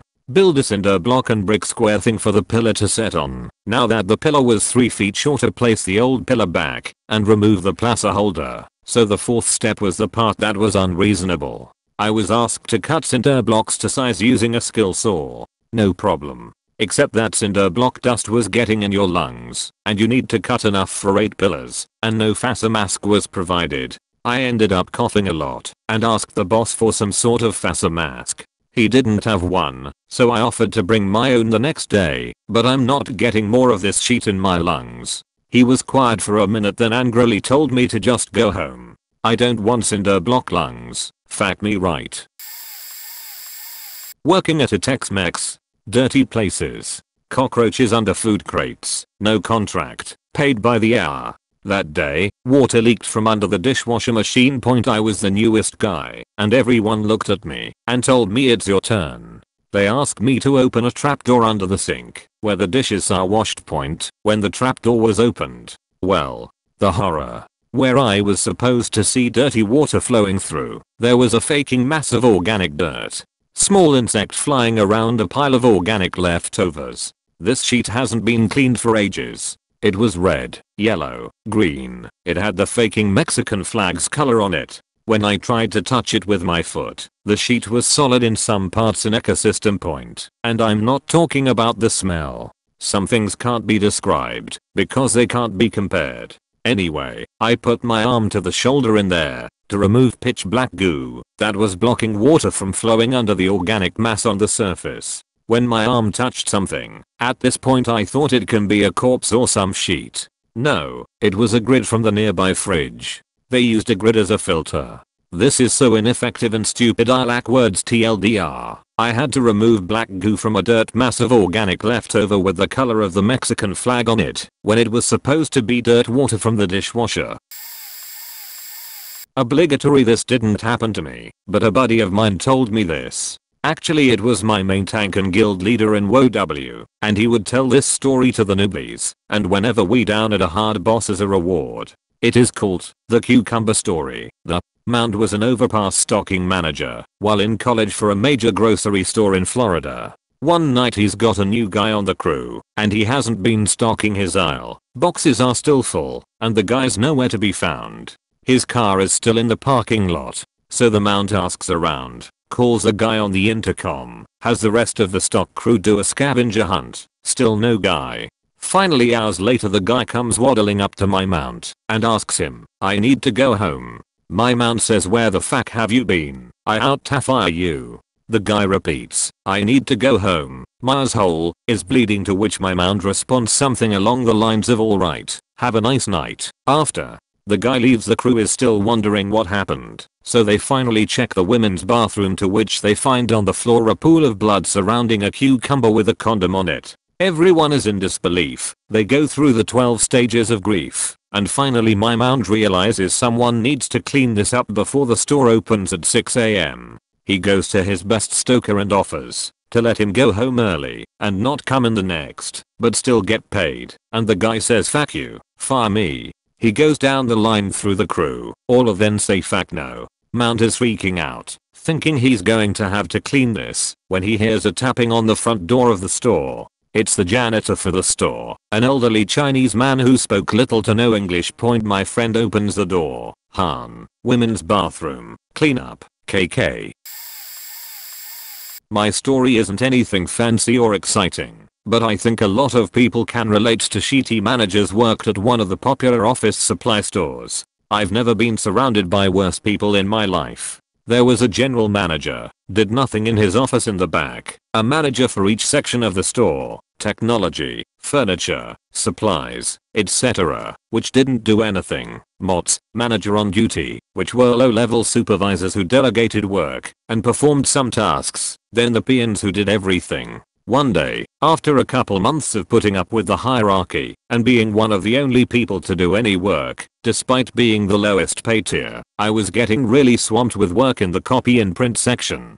Got to a point where I had 4 to 5 big jobs lined up that needed to get done, and there were 3 new customers lined up waiting to consult about new projects. One of the customers was trying to ship something out through our shipping service. Because I was backed up with customers, I had to make her wait. One of the managers on duty walked over, obviously with nothing to do, and sat at the nearby computer to check her email, or whatever. I asked if she could help the customer with shipping point what she said was the final straw for me. You need to learn how to multitask. She walked away shortly after. The customer even said did she just refuse to help me? I was finished at that point and just said yeah, I'm sorry, I don't know what to tell ya. I Went out for lunch one day and didn't go back in. I did go in to grab my check. Boy was that awkward. In the early 90s I was the network telecom admin for a medium-sized private company that made tons of money but had very little intellectual property. The owners became increasingly paranoid about their salespeople leaving and taking all of their contacts with them. Initially, I was asked to do a fair amount of forensic type work, and I was successful in proving that a couple people were stealing from the company. Then it escalated to the point that the owners wanted me to enable them to eavesdrop on the emails and phone calls of the employees. That was where I drew the line, because at that time it was illegal. A couple weeks later I had a vacation, and upon returning I did what I would normally do, check the logs on the phone system and network.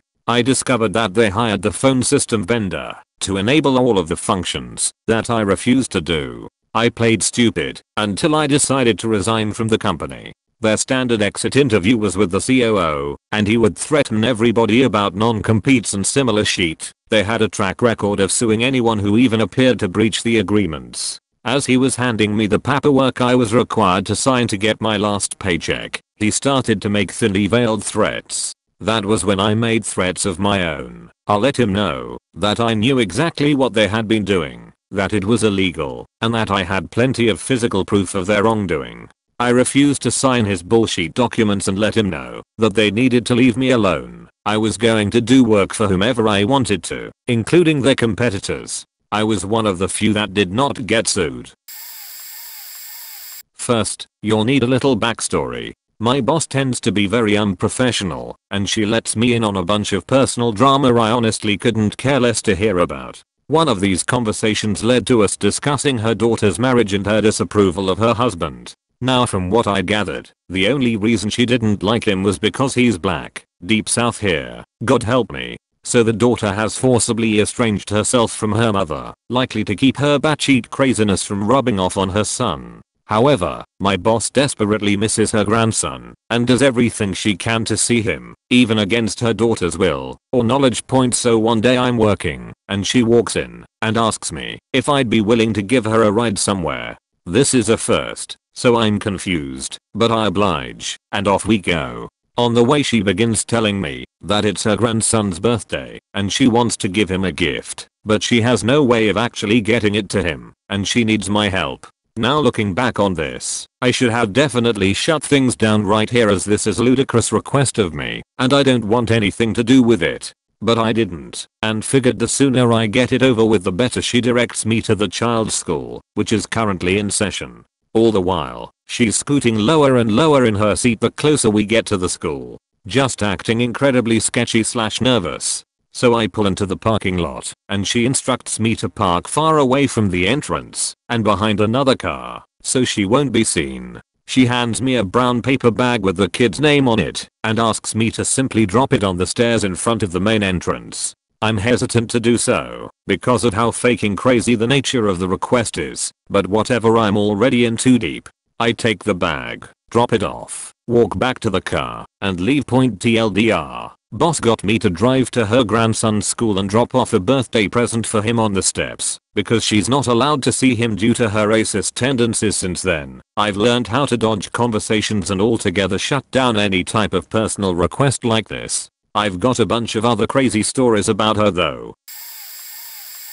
I used to work at a small indoor amusement park, like Chuck E. Cheese, but not it was a Sunday, and the night shift was from 4.30 to 9 company policy was that, if an employee worked at least 5 hours, they get a break meaning that Sunday night workers never got a break, because it was only a 4 and 1 half hour shift, whatever not a big deal however this. One particular Sunday, we hadn't gotten the building cleared out until about 9.20 the end of every night consisted of each employee cleaning their station, and then a group of all the employees would check each station one by one. Not having started the group check until about 9.25, I brought it up to the supervisor overwatching us that we will be working past the 5 hour mark and then should be able to go home with an extra 30 minutes on our hour stub. Paid 30 minute break. I wasn't too serious being that the supervisor and myself were friends but that didn't stop him from coming up with a solution all 13 of us were to clock out in less than 2 minutes and be back at the first station ready to work. I laughed my ass off in his face he looked at me like he was serious. I could barely handle all the facts I didn't give I punched out grabbed my coat and was on my way out he threatened me with my job and I laughed again while walking out. The job was practically slave labor anyway. When he brought up my insubordination to a real manager, he got suspended for a month for making the others work without pay I never heard another word of it. I used to work at a place where the boss was a literal psychopath. He would spend one afternoon running around the office treating it like a playground. The next he would fire someone for being on Facebook during their lunch hour. One day he asked me to serenade the overweight black girl in the office because I was a good white boy and I could raise her out of the ghetto. I would do these horrible raps to take the attention off of her, and afterwards I would go to her and tell her that I was only doing it to try and defuse him, and asked if it bothered her. She smiled and said it was okay. From then on I would usually redirect his psychopathy towards me instead of her he would frequently screw with interviewees. One time he made me go into the boardroom, where the interview was being held with a tray and two Perriers on it. I was to place the trays on the table, pour them, and then pretend to take their order. not too bad, until he refused to hire the girl, because she was fat point he also used to call me gay and a virgin, which if you spend some time on the internets, doesn't bother you at all. But then he realized my weakness was confidence in my work, so he squeezed that until I wanted to quit, but I didn't I kept going cause I knew I was better than him as a person. Well he saw I wasn't going to break, so he fired one day before my 3 months I opened a human rights claim against him for all the abusive things he would do to us, but unfortunately when you try to fight a bullshitter in a bullshit fight, you're going to lose. He basically just turned around in his rebuttal and said that I had been the one to do all the things I had accused of, this is about where I realized I was wasting my time so in my response I offered to withdraw my claims. If they withdrew this, if you don't deny the accusations the tribunal assumes they're true. Moral of the story, if you work for an asshole, quit and find something else. It will only end with you being miserable. I'm a special ed teacher in Los Angeles, not LAUSD. My credential is early childhood special education, which is pre-K and infant slash toddler the district was putting kindergarteners and first graders in my class. I was a new teacher, so I figured it was just part of the deal. After two years of teaching, the principal called me into the office and said, hey, you have kindergarteners and first graders in your class, did you know your credential doesn't cover that? End result, the parents of those kids got letters sent home that their teacher, me, was not highly qualified under No Child Left Behind, and if they wanted their kids moved to another class they could request it. If they didn't mind, they signed a waiver and the kids could stay. Since I have a great rapport with the families I work with, they didn't mind.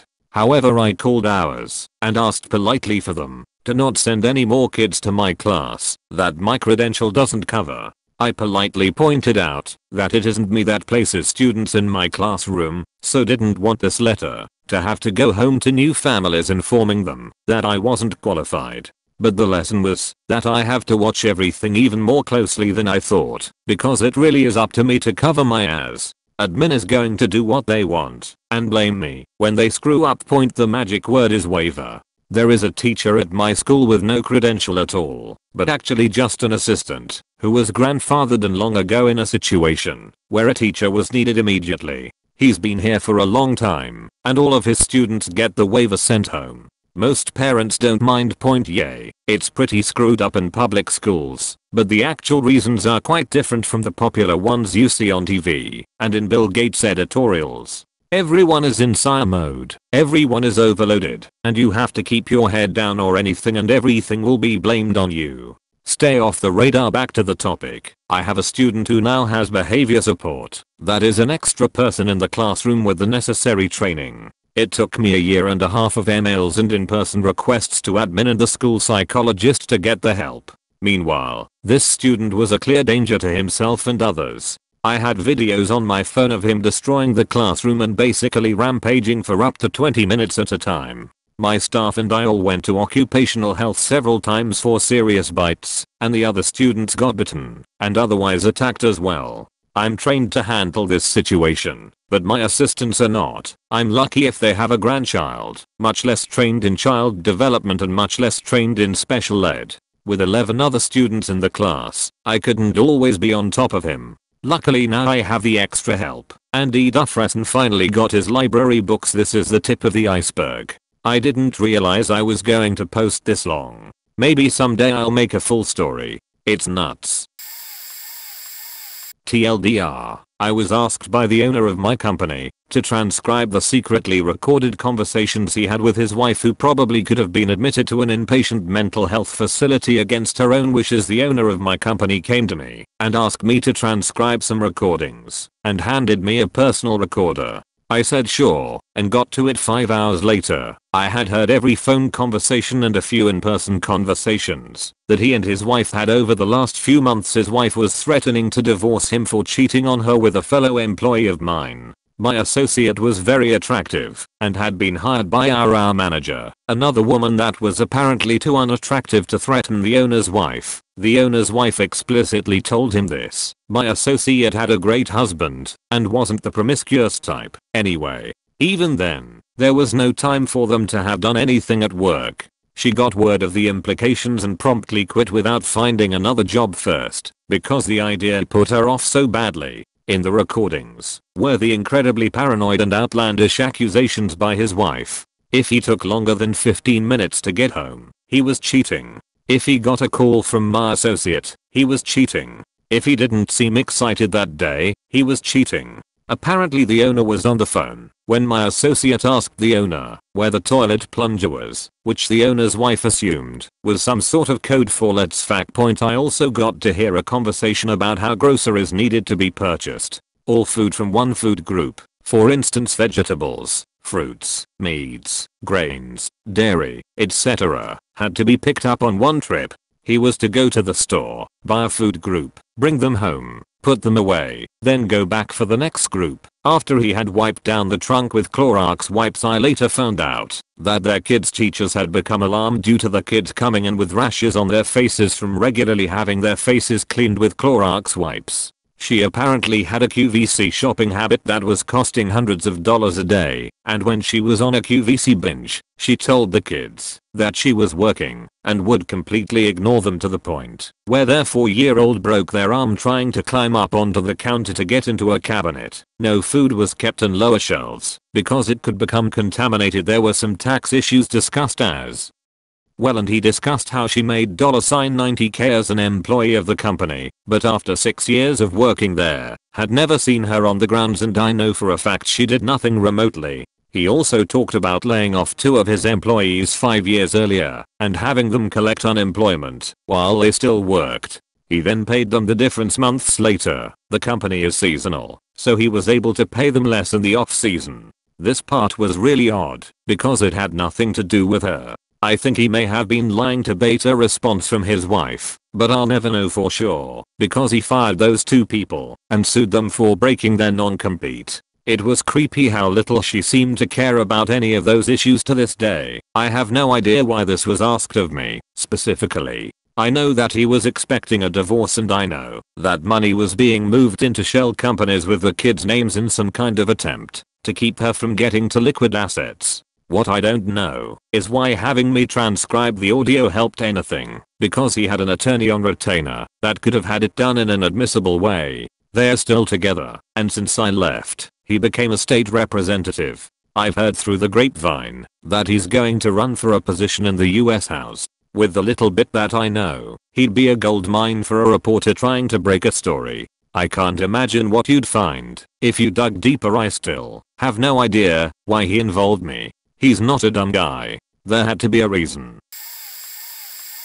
I worked in retail, and one day a manager who I had refused to go out with was working with me. Much to my despair, he made me day a living hell. We had just had our floors waxed the night before, and he had noticed that some wax had sprayed up on the very bottom of the aisles, usually hidden by shelves and no one effing notices that part, unless they are a psycho. He decided that it was now my job for the day to somehow get that wax off of every aisle in the entire store. I had to, in height business hours, mind you, get on my hands and knees and scrape all the wax off the bottom of every aisle. I came to find that it was not just a collection of last night's wax job but all the wax jobs that have occurred in the entire existence of the store. I had to scrub with steel wool, noni pads, the snicker of teenage boys and the concerned stares of senior citizens for an entire 10 hour shift. Every time this boss passed by me, he made a comment about how comfortable I look on my knees, and how being that low to the ground fits me. My hands were bloody at the end of the day. It was the worst day of my working life. He laughed at me constantly and said it was my head manager who was feeding him these tasks, which is a load of BS. I should have reported him. Whatever. He had a hand in getting me fired a few months later. Best thing that ever happened to me. Point DL. Doctor manager had me on my knees all day. Hands bloodied. Okay, so I used to be a manager at Kohl's. I dealt with a lot of pretty shitty people, but could always manage to get them to leave relatively happy. So much so that there were repeat problem customers that the other managers would send my way because I was the only one who could deal with them. Point I had just one customer I could absolutely not make happy. Point. So it's a day like any other day. Relatively busy, understaffed, I haven't clocked in yet and I hear the paging system from the home department, which is where a customer pushes a button to request help in that area. It goes off until an associate resets it. Well, I hear it go off twice, then stop. So whatever I clock in and almost immediately hear the home dept pager go off again, just a few times, then it's reset. Okay, still no big deal. Obviously just a lot of customers over there. It's being reset, so it's being taken care of, right. I start my walk around the store and I get to the home department. This woman rushes up to me demanding that I assist her because everyone is ignoring her. She says she's pushed the assistance request button multiple times and no one will help her. I apologize and ask what she needs help with, and she says she wants the manager. I tell her that I'm the manager on duty and she just scoffs and tells me, you're not the manager. I know the manager and her name is woman's name who quit months ago. I explain that there are several managers, that that woman no longer works here, and I'm the only manager in the building, and she has my undivided attention. Finally she very angrily stomps over to a coffee pot on display and says, that's what I want. I scan the barcode on the display to see how many we have in stock, and it says 1. The display of faking course point I, still smiling, explain that the display is the only one left, but that I can see it to her for 15% off, the standard reduction for displays. She is absolutely fuming, like I just told her she was a moron or something. I say, okay, well let me see if I can order one. Give me just a moment. I check our online website, and wouldn't you know it, this coffee pot has been discontinued. I explain this to her, and say I can sell her the display for 20% off, and she flips her lid. We had these small buggies and she straight up picks it up and throws it across the aisle and knocks it over I found it easier to think of bad customers like children who were having a tantrum so I just ignored her bad behavior and go over the information with her again. I explain that this coffee pot is no longer made by the company and we only have the display in stock. I tell her, if there is another coffee pot she likes, I can price match, or discount discounted 20%, if it is already lower than the display one. I even offered to help her compare coffee pots, so we could find one similar to the one she originally wanted. Point at this point the woman starts to storm away, kicking her fallen buggy along the way. Then suddenly she turns abruptly, runs over to me, and screams what is your name? I start to tell her, and she very angrily reaches for my lanyard and tries to rip it off me, finally just twisting it around until she sees my name tag. Then she screams at me, I hope you've enjoyed having a job, because you're not going to when I get done and stomps out of the store point the whole time I had kept my cool. So after just standing there for a few minutes, flabbergasted and speechless, I made my way back to the stockroom, let the doors close behind me, and just cried. Then I collected myself and wrote out a report and submitted it to my manager, the store manager head honcho manager, who submitted it to corporate. Clearly I had done nothing wrong, so this way, when the crazy lady called in they would already know my side of the story. Point oh, and I wanted to know why she thought she was being ignored, so I did some research. There are a lot of cameras in the store. She was pushing the help button, then immediately walking back deep into the aisles, where no one could see her. Every time someone would come, reset the button, walk around a bit, and then leave, because there was apparently no one who needed help. Point TLDR, a woman forgot to take her meds, and wanted me to pull a new coffee machine out of my ass. My boss asked me to take a cardboard box out to the dumpster. This dumpster was used by two nearby restaurants. Its foul stench permeated the air from upwards of 15 feet away. Stains of an indescribable nature were crusted onto the sides and ground around it, and a cloud of flies stood guard over its contents, like gargoyles on a rooftop. I was instructed not to let our garbage cans touch the walls of it when taking out the trash, lest the smell linger in the container from that brief contact. I pitched the box into the thing from a reasonably close distance, and returned to work. Several minutes later, my boss realized that she was missing a small statue she is an older lady and her son, who also works there, suggests that the statue might have been in the box I threw away. He asked me to go get it from the dumpster.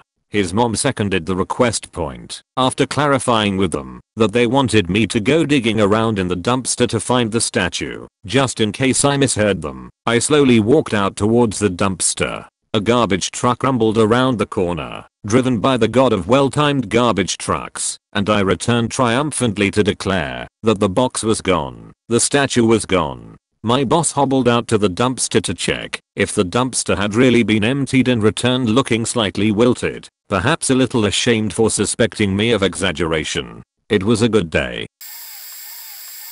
Yes I'll take unethical business stories for $500 Alex. So I worked at this retardedly popular bowling alley for a while. Super eclectic clientele. I was hired to work front desk and that evolved into running everything that isn't the bar or kitchen for $8 slash HR. This included, but was not limited to, the following. Being told to fire other employees due to management faking up their schedules. The girl I primarily worked with was out for 5 days for Christmas. Saw the request she made personally Management scheduled her for a day she was in Texas. I was told to call her and fire her for not showing up on her vacation day point being called a worthless bussy for refusing to fire my co-workers. By two managers being publicly berated by your drunken manager when you won't sell a lane at 1.59am. The lanes have already been waxed and closed. That's not happening and our policy was no lane sales after midnight being asked to sit in on interviews with new hires because they wanted my input on where the new girl was on a scale of 1 to 10 point having my fiancé, now my wife, being told by the manager that she was far too attractive to be with me and then proceeding to lay it on thick. That was a good one point the final straw was being told in the owner's wonderful shouting voice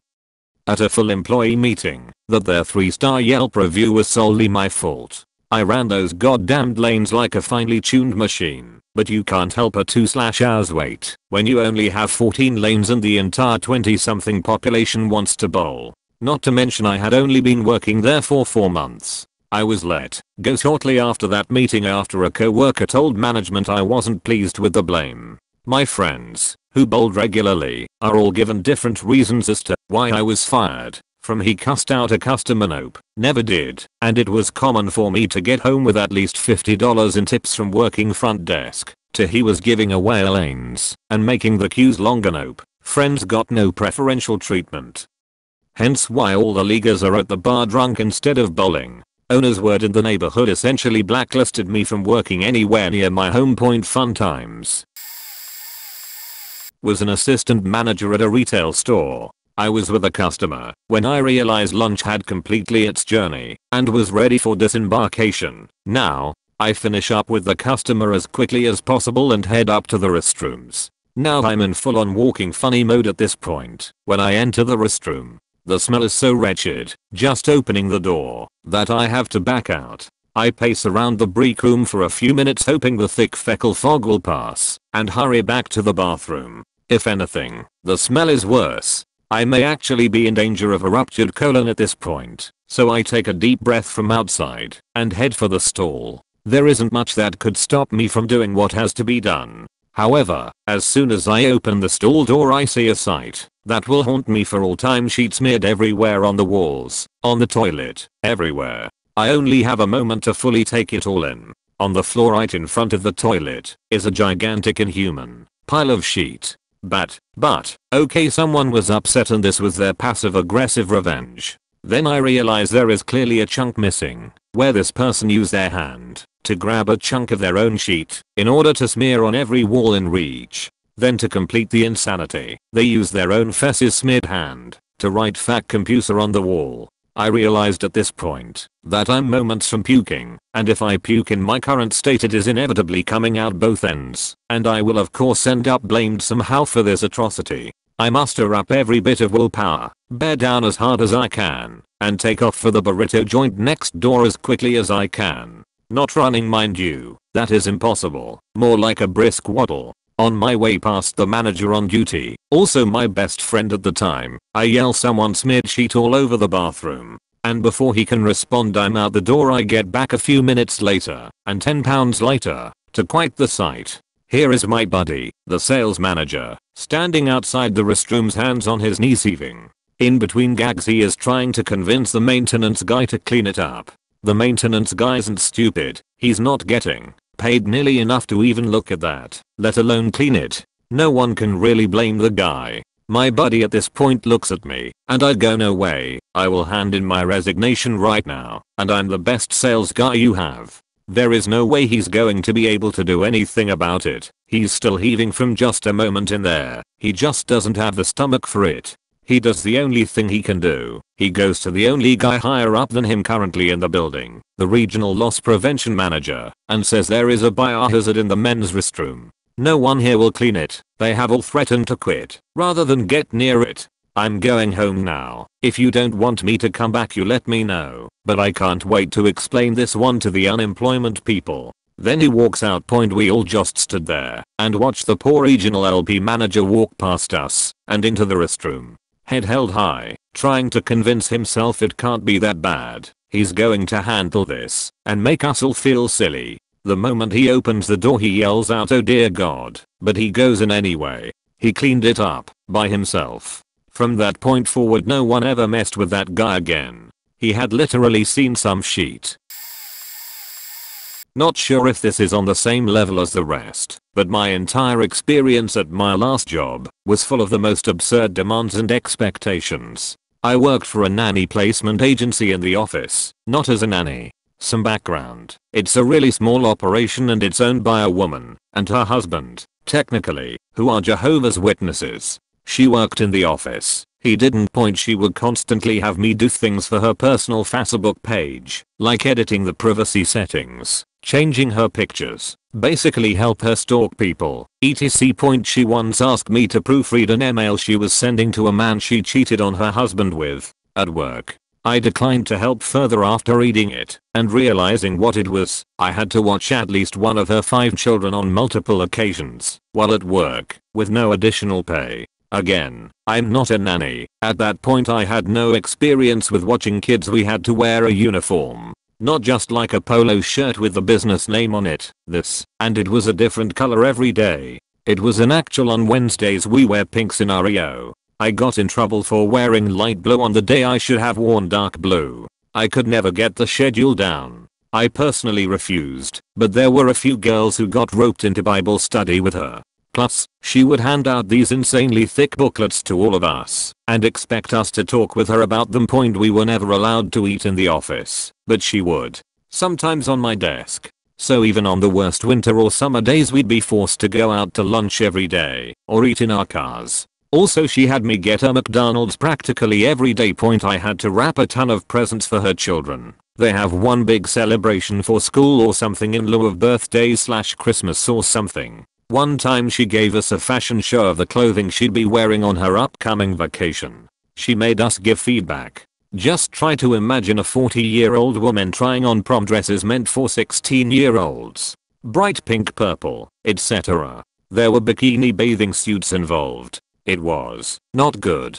This all happened during office hours and I wasn't allowed to answer the phone during the whole ordeal point that's all I can really remember that relates to this, but it was awful. That entire business is a reality show producer's wet dream.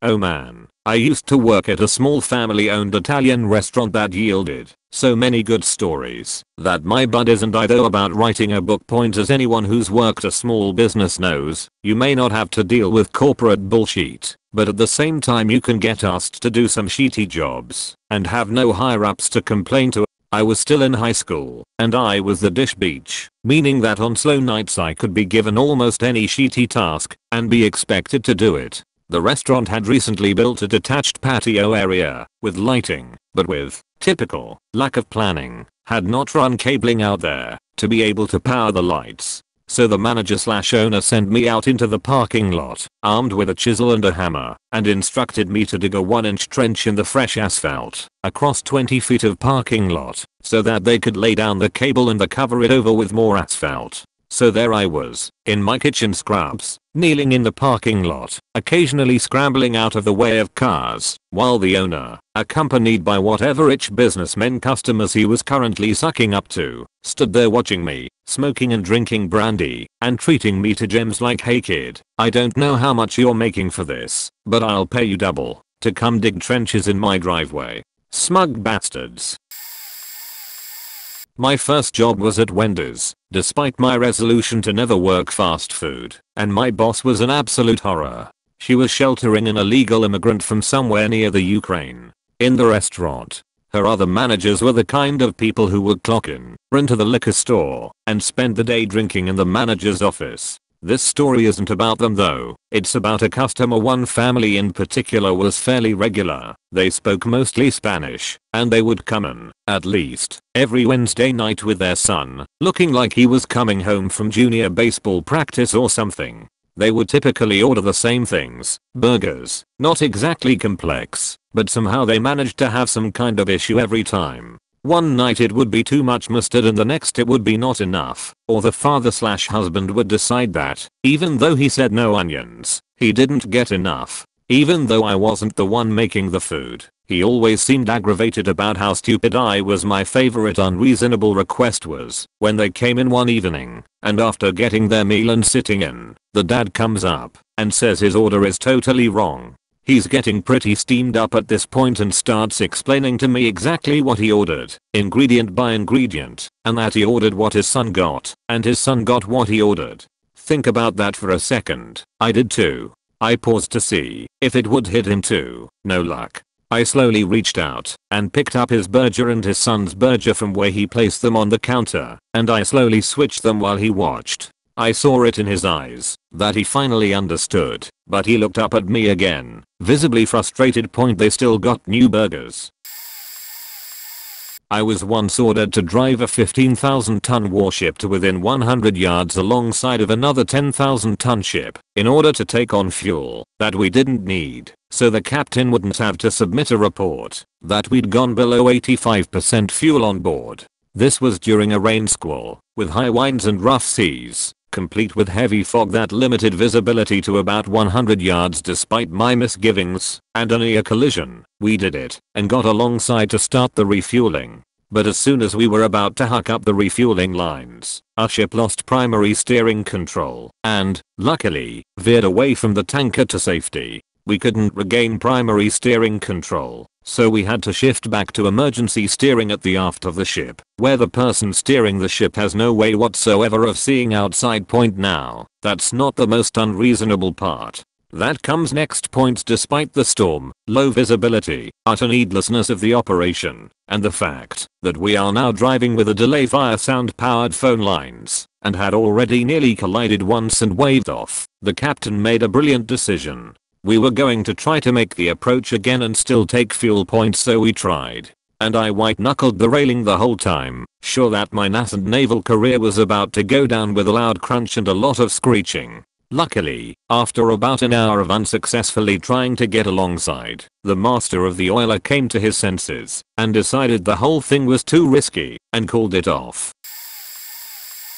Used to work at an electronics store in the cell phone department. One guy came in wanting a new iPhone, of course, so I asked him what kind of plan he'd like to put it on etc etc. He goes on to tell me that he wants as much data as he can get, unlimited talk plus text, long distance, all the good stuff. Then he goes on to tell me he doesn't want to pay any more than $20 a month. I tell him he's going to be looking at at least $80 bucks a month for everything he wanted, and the best he can hope for at the $20 level is maybe unlimited text and 500 megabytes. So he flies off the handle proceeding to tell me that I don't know who the fuck he is, and that he's been a loyal customer for however long. I'd never seen this guy in the store before in my life, and how he was in tight with Frank the CEO. I call bullshit.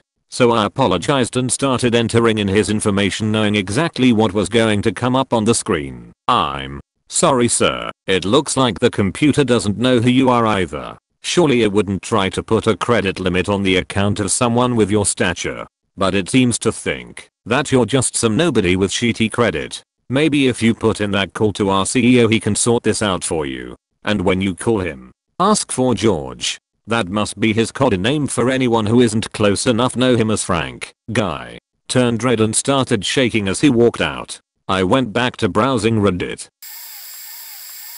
I work for a recruiting firm. Point my manager recently acquired this new client that he really wants to impress. Now, we normally only recruit for full-time permanent positions, but this client wanted contractors, which would be something new for us. That's all well and good, except we've had to build a network of contractors from scratch. We have been lucky enough thus far to find some good people for them. Point is a problem. It seems as if every new order we receive from this client has less information attached to it. For example, I may be aware that I'm looking for, say, a senior project manager with 10 years of relevant experience in mining projects and a PN in Saskatchewan. I have no idea what project it's for, what the shift rotation is, specifically how long the contract will be, or really anything. Unfortunately it is not our client's fault, their client who isn't providing any information to them to relate to us. In essence, our client can't tell us what we need to know to sell this position point here's the other problem. My boss wants to impress them so much that he's had us pretty much drop everything else and focus on that. We haven't been able to make many placements elsewhere lately as a result point I suggested to my boss today that we spend less time on the orders given to us from this particular client because he's had us focus about 75% of our time on that lately and we are spinning our wheels. I didn't say let's stop recruiting for them. I just asked him if he could either request some more information from them, which he did, and got none, or that we could possibly reevaluate our priorities. He got angry at me for potentially threatening the relationship between the client and our company for suggesting this. So, yes, Spent the rest of the afternoon calling people to see if they'd be interested in an opportunity I couldn't describe, sounding like a moron. Don't get me wrong, I like my boss as a person. I don't like him as a manager, though, if that makes sense. I realize he's run the business for 8 years now, but a good manager should be open to hearing feedback from his employees, particularly if an employee is trying to draw his attention to something that may potentially hurt the company. Point TLDR. Boss wants to impress client. I need to pull magic contractors out of Myers edit. Words. About 20 years ago, a guy who donated a massive amount of money to the library where I now work asked the curator, boss figure, to look over a definitive history of railroading in the US that he wrote. The old curator accepted, but not because the donor was good at writing, had a unique perspective on the industry, or was even competently knowledgeable. The old curator accepted, because he knew he could get the donor to give more no strings attached money to the library if he said yes. Fast forward to present minus 6 months. The current curator of my library was going through all the stuff the old curator had on his to-do list when he was fired for being a general scumbag. On that list was Sort's book.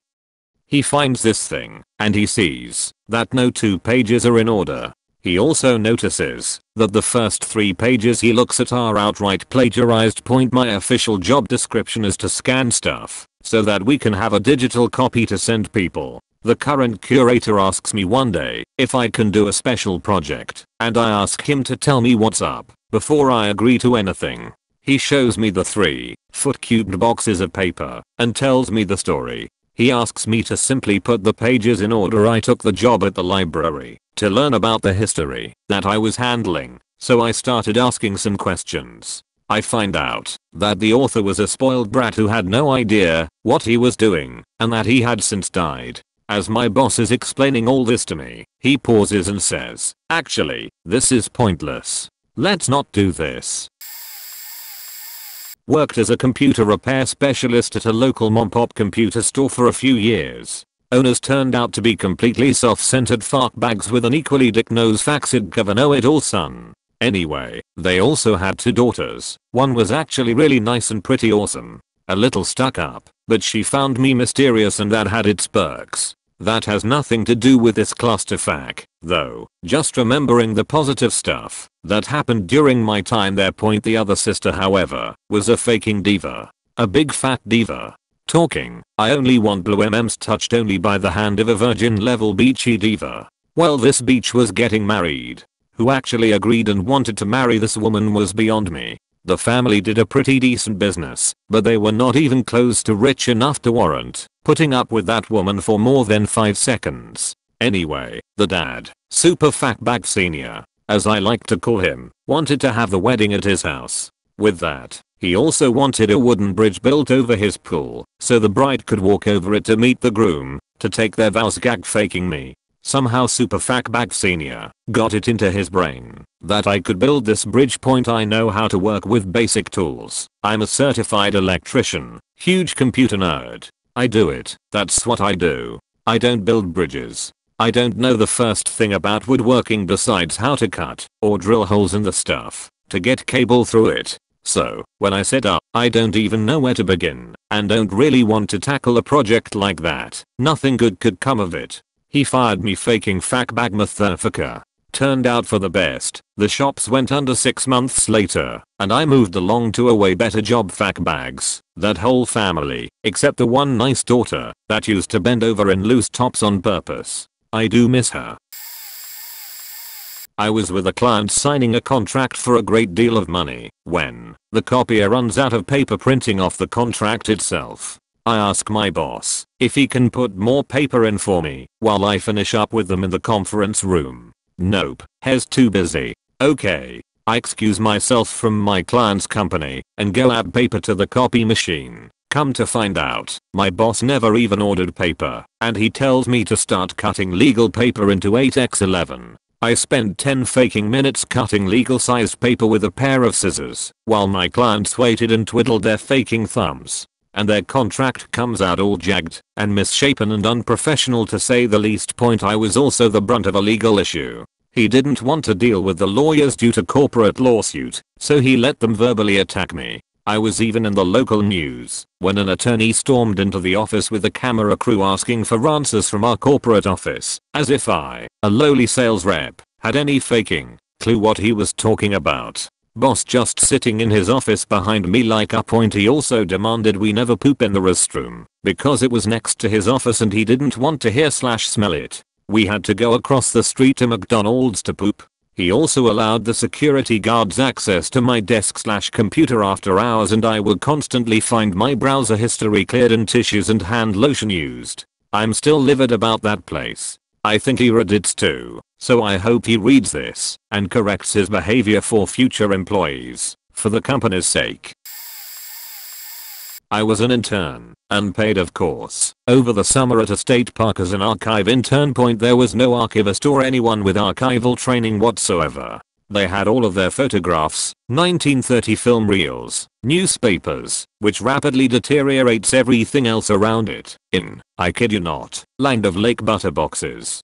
In a room that was in a humid basement, which also held surveying equipment constantly being used and covered in dirt. Point I tried my best, via restricted government internet access, to find archiving information, things I was hoping to be taught by the archivist that didn't exist, and organized and exacto knifed photographs from the 1920s 1950s that had been glued into scrapbooks made of construction paper. They had very limited archiving materials and wouldn't spend money on very basic material. $12 film cases, sleeves to keep the newspapers from deteriorating etc. The film upset me the most. Almost none of the reels had proper or standard cases, and they were all at second or third level of deterioration. I tried to talk to my boss about driving them to a film slash archiving museum upstate but nothing came of it, even though I had access to state vans and working for free. I assume they are still rotting away in cardboard butter boxes, but the unreasonable part of this was that I was told to throw out doubles of photographs.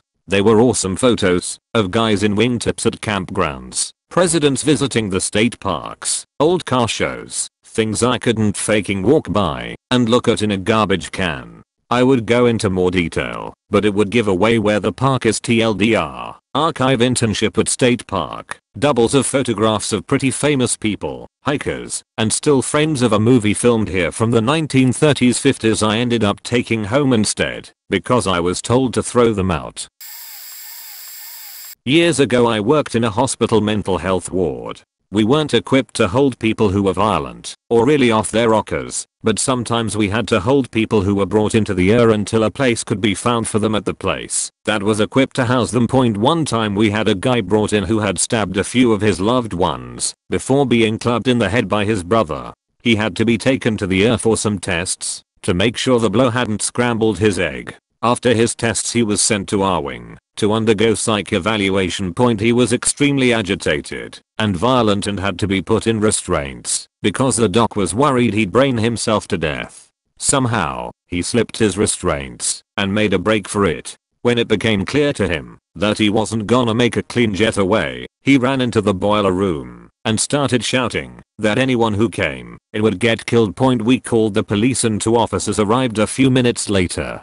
They took a little while to assess the situation before turning to me and saying, we are not going in there. We don't know the layout, at which point my boss volunteered me, presumably because of how masterfully I manhandled a mop, to ignore the death threats and go into the dark boiler room to wrestle the extremely agitated guy who was at least 4 inches taller and 60 pound heavier than me to the ground, so the police would be safe. Point I handed him my ID badge and went home to look for another job. This is going to get way buried, but, retail here, I'm a sales associate at a furniture store. Customer comes in, his wife likes this bench we have, and must have it. We have like 3 benches company wide, only one left in store and that would be our display and they are all on clearance, because most of them were scratched during shipping. I told him to look at it carefully, because it's our last one. He then glances at, tells me it's fine and pays for it. When I'm about to load it into his car his wife notices a bit of a scratch behind the arm and complains to her husband. He then demands a brand new bench, after I explain that we don't have any left, and the rest are displays at other locations throughout the province he proceeds to tell me that I have to have all the benches inspected and have the best one delivered to his house for free because of the massive inconvenience this has caused him and his family.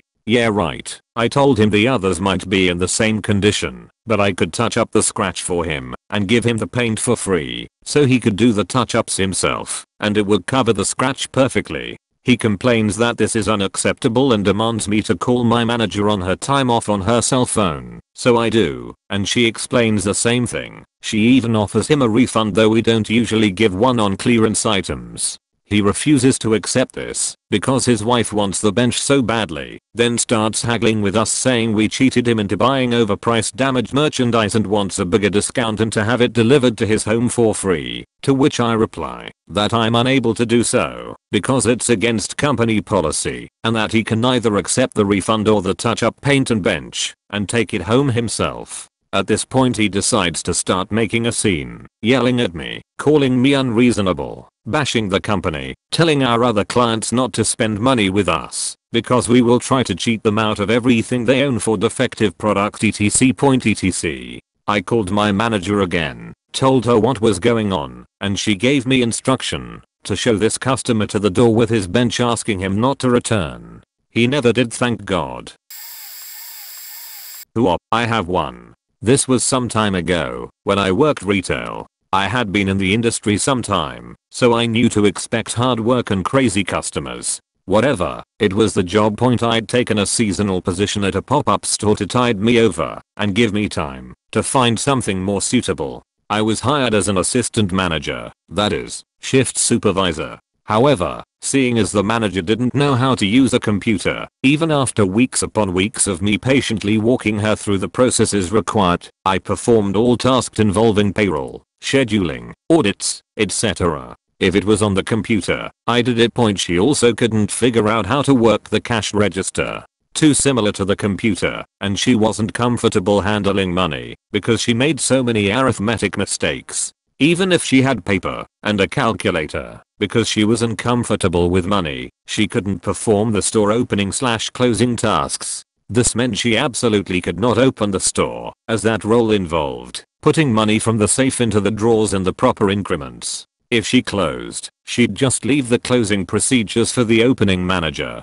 That was me. We were required to plug the closing and opening register numbers into the company software, so every closing record noted that it had been performed by me, not the closing manager. The morning after it was to done according to company policy point she also couldn't manage the phone. After huking her into the district conference calls a few times, she had me take over those responsibilities as well. Point. If there was no one around to ring up a sale for her, she sometimes just let customers leave with the merchandise without paying for it. She got very angry when I explained this was theft and corporate might be concerned when they discovered thousands of dollars had walked out the door to top it off. She started accusing me of thinking she was stupid, which, to be fair, I did. But it was also pretty clear she had some sort of learning disability, and she was my boss, and she was my elder, and it was a short term job, so I had no reason to be disrespectful like that.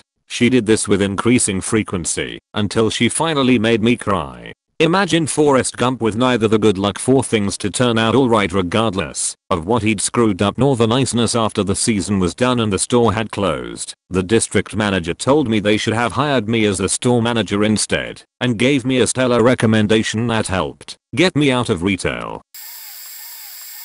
I worked as a concierge in a Sheraton, but I was employed by a different company that ran the concierge desk. This guy calls down from his room one day obviously upset about his flights being delayed, and having just then got to his room. He says I have to be a half an hour from here in an hour and I need to mail this package. Do you have any mailing boxes and stamps I can have? Have, not purchase. I tell him to hold on, and I will call the front desk as that is a question for them. They tell me no they don't have any, but the post office is only a couple blocks away, and he can take care of it all there. I explained this to him, and he freaked out about how the hotel should have boxes. I explained that I did not work for the hotel directly, and if he wanted to take it up with them, I could transfer him to the front desk. He then said, can you send someone out to get them? I reiterated that no, I don't even work for the hotel. If you want to talk to them you can. He then tries to bribe me with an expensive silver nickel. So finally I put him on hold and called my dad who was off work and said look this crazy guy's on the phone. I know we have one of those boxes he wants at home can you bring me one? Dad is unavailable to do so. So I told the guy I'm sorry, but there is absolutely nothing I can do. He is annoyed and hangs up. About an hour later he comes downstairs and is much nicer and thanks me for my help and goes on his way. The next day my coworker gives me an envelope and says some old guy left this for you. Lo and behold it was a silver nickel worth about $85 according to Google. How about cleaning up hundreds of gallons of spilled shampoo with a mop bucket? Yeah, the asshole supervisor at my summer warehouse job enjoyed making our lives hell for no good reason that we could fathom. So we avoided him whenever possible. Point one day we needed to stack pallets of gallon shampoo bottles, four to a box. We obviously weren't smart enough to use the forklift, so he was doing it himself. Point now we were smart enough to notice that some of the bottles had leaked, meaning the boxes were wet and unstable. He decided to stack them 4 pallets high to save floor space we told him that wasn't a good idea, but he damn well knew better than us puny minimum wage peons, so he proceeded. We stood a safe distance away and waited for the show point sure enough, as he set the fourth pallet on top and pulled away, the entire stack buckled, then came crashing down, spilling hundreds of gallons of shampoo everywhere. As the shampoo slowly spread across the smooth concrete floor, he screamed to no one in particular. We knew enough to stay out of direct eyesight. Quick, Get some mops, mops, and buckets of water to clean up shampoo. Really, we all just melted away and found other, far away places to work. Point he spent most of that afternoon attempting to mop up shampoo as the bubbles just got higher and higher. Eventually, I had some sympathy and came over with a large floor squeegee. It still took the remainder of the shift to clean it all up, and that section of warehouse floor remained slippery for the rest of the summer. That was fun, whenever the forklifts got over into that area. And his whole boss never bothered me again. I worked at this shitty music store when I was a teenager run by a weirdo who also sold Swiffers and Macs out of it and other random stuff he bought discount rates when it went on sale. In a ho, one day in the middle of a stormy December day he decides to tell me to go hang Christmas lights outside on the front of the building. So alright sure whatever, it's snowy and cheaty out, but it's still Christmas time. But then he hands me a hammer and nails, points me to this rickety as ladder, and tells me that I need to hammer a bunch of nails into the concrete on the front of the building above the windows to hang the lights on with a hammer. Not big nails or nothing either, just regular little guys that was the worst shift of anything I've ever worked. I tried that for 3 hours. I think if I was lucky I got one nail in that promptly fell out. Most of the time I was just trying to stay upright on the ladder thinking about what the hell I was doing here point. When I eventually quit a week or two later I asked for my pay and he gave me a kick pedal as payment, which wasn't a bad deal. It was sort of why I was there anyways. But then he mentions that I'm going to have to work another 9 hours to pay it off. Took me like 2 weeks of listening to why he should have to pay me to eventually just get cash off the guy for my time there. When I was in high school I worked at a grocery store for about 3 years as a cashier. About a year into the job we got a new manager, and who ended up being a huge beach. At my store they hire people specifically to push carts back in and clean up around the store. These people are not cashiers. Pushing carts and cleaning was not in my job description when hired, and I probably wouldn't have taken the job if it had been point anyway. A few days after she started she wanted me to help do carts. It was the middle of winter, slightly above freezing, and it was raining. I didn't bring a jacket to work because they wouldn't give me a locker to keep my things in, but she didn't care and sent me out there anyway in thin yoga pants and a short sleeve shirt. The guy who was supposed to be doing carts was sitting inside drinking hot chocolate while I was out in the freezing rain doing his job. I was too much of a pushover to argue with her about it, and I ended up staying out there until someone else realized where I was and yelled at her for sending me out in the first place. Literally not even a week later someone had explosive sheet all over the men's room. It was on the ceiling, on the floor, in the sink, everywhere. Honestly, it was probably done on purpose, because I don't know how else it could have been so bad. Instead of having one of the guys who were supposed to clean up that kind of thing, she came up to my register, turned my light off, and told me to do it. Point she had me doing all kinds of dumb things. Luckily she only stayed at our store for about 2 months, before getting sent elsewhere. This will take a little explaining, but it's pretty crazy point so imagine walking out onto an Olympic sized pool that had a tarp on top of it that you could walk on. Said tarp was made to walk on, so you could erect an inflatable dome over the pool. But this time unfortunately it rained before we could erect the dome so there was freezing water on top of the walking tarp. So it was like standing on a, guessing, 2 million gallon water bed with frozen water on top of it. So when you stood on it the water would pool up around your chest. So you had 10 feet of pool water under you, separated by a thin membrane and another 5 feet of freezing rainwater pulled around, while you walked on this unstable membrane with power tools in your hand, and tried to pull together these other sections of tarp that would be erected into the dome. It was terrifyingly unsafe, but we were not given a choice point unfortunately. I don't have a pic of the setup but below is a pic the finished dome to give you an idea of what I'm talking about. So just imagine a tarp over the top of this pool affixed to the edges with 40 guys on top of it. Like walking on a 100 yard waterbed that's 15 feet deep.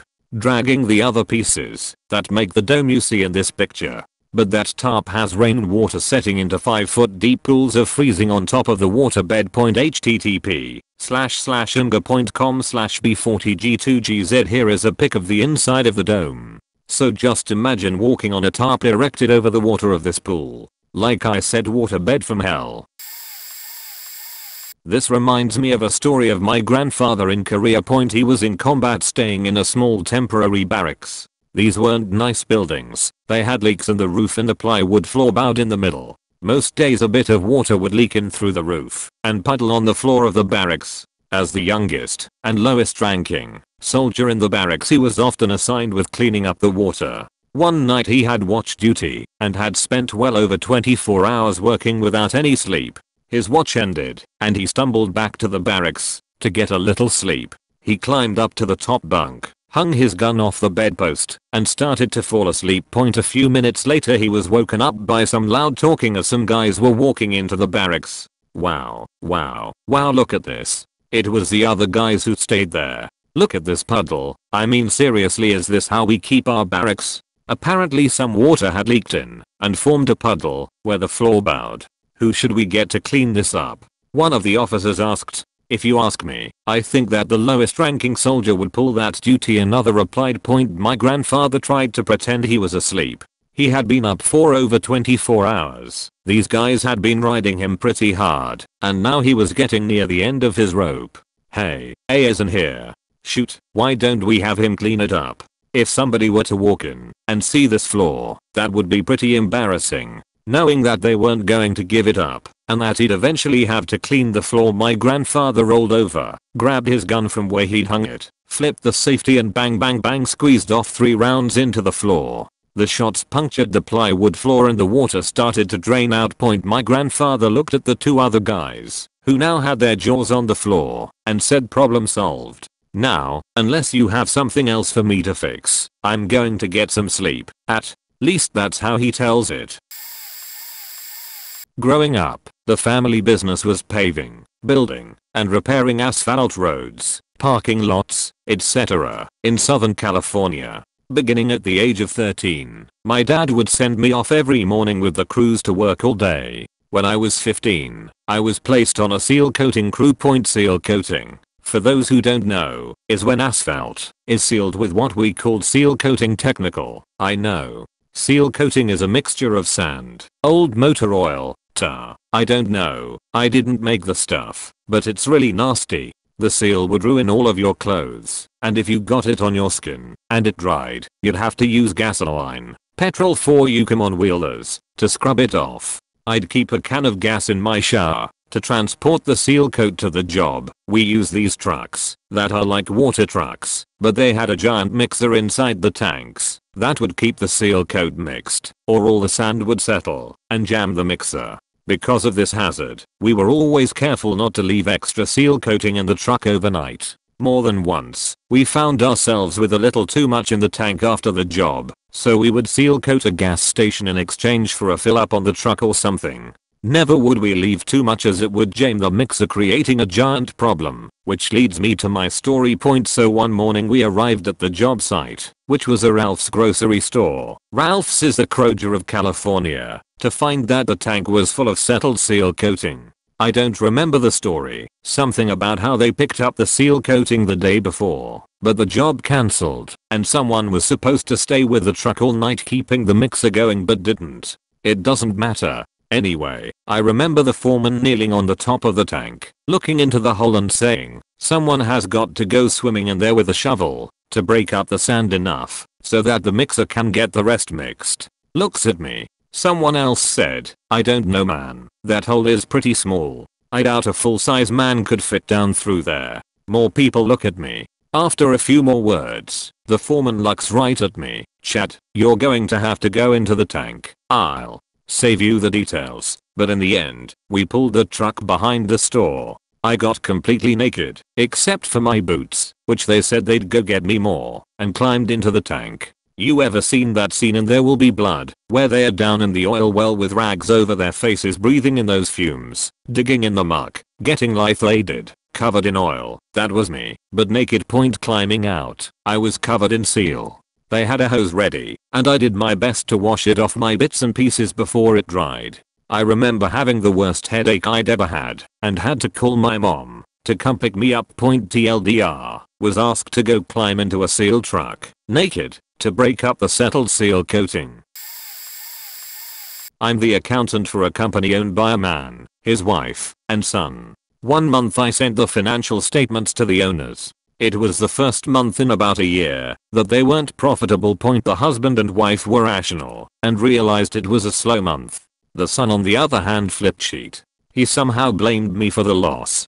Keep in mind we have a sales team, marketing team, and all the other normal departments that bring in revenue and find more ways to make money. All the other departments have large amounts of expenses and the managers get them approved by the owners throughout the month. My department doesn't spend a dime and doesn't even see the full picture of revenue and expenses until the end of the month. Point I tried explaining this to the disgruntled donor, but he wouldn't budge. He sent an email saying it was my responsibility to fix this. I replied by saying there's no point in paying an entire accounting department if you're not going to accept the information we provide. I went on to say that he's creating a environment for fraud to take place and that I worked too hard for my CPA to lose it because he would rather me sugarcoat the numbers than tell him the truth. Point seeing I was very close to resigning, the other owners stepped in and diffused the situation.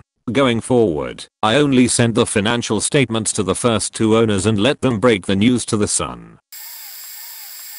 Both examples are professional positions, different companies though point I was asked to let them fail I was assigned to a multi-team project as one of the subject matter experts. My boss felt he was losing his kingdom, and so he told me, in not so many words, to help him sabotage the project. The idea being, that when it failed he could take it over. This was early in my career needless to say I wasn't about to let myself get a reputation as a saboteur. That did not go over well with the boss.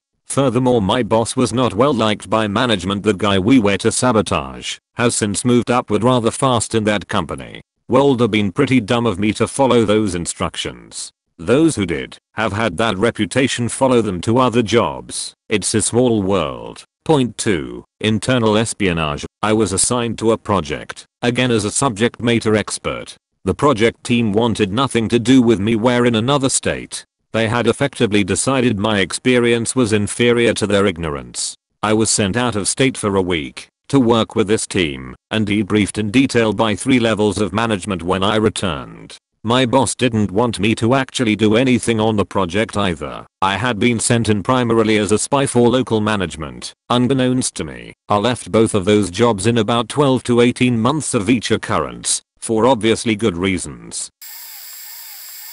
Working construction on a slow day, my foreman said he would let me go early if I drove him to and from the local casino.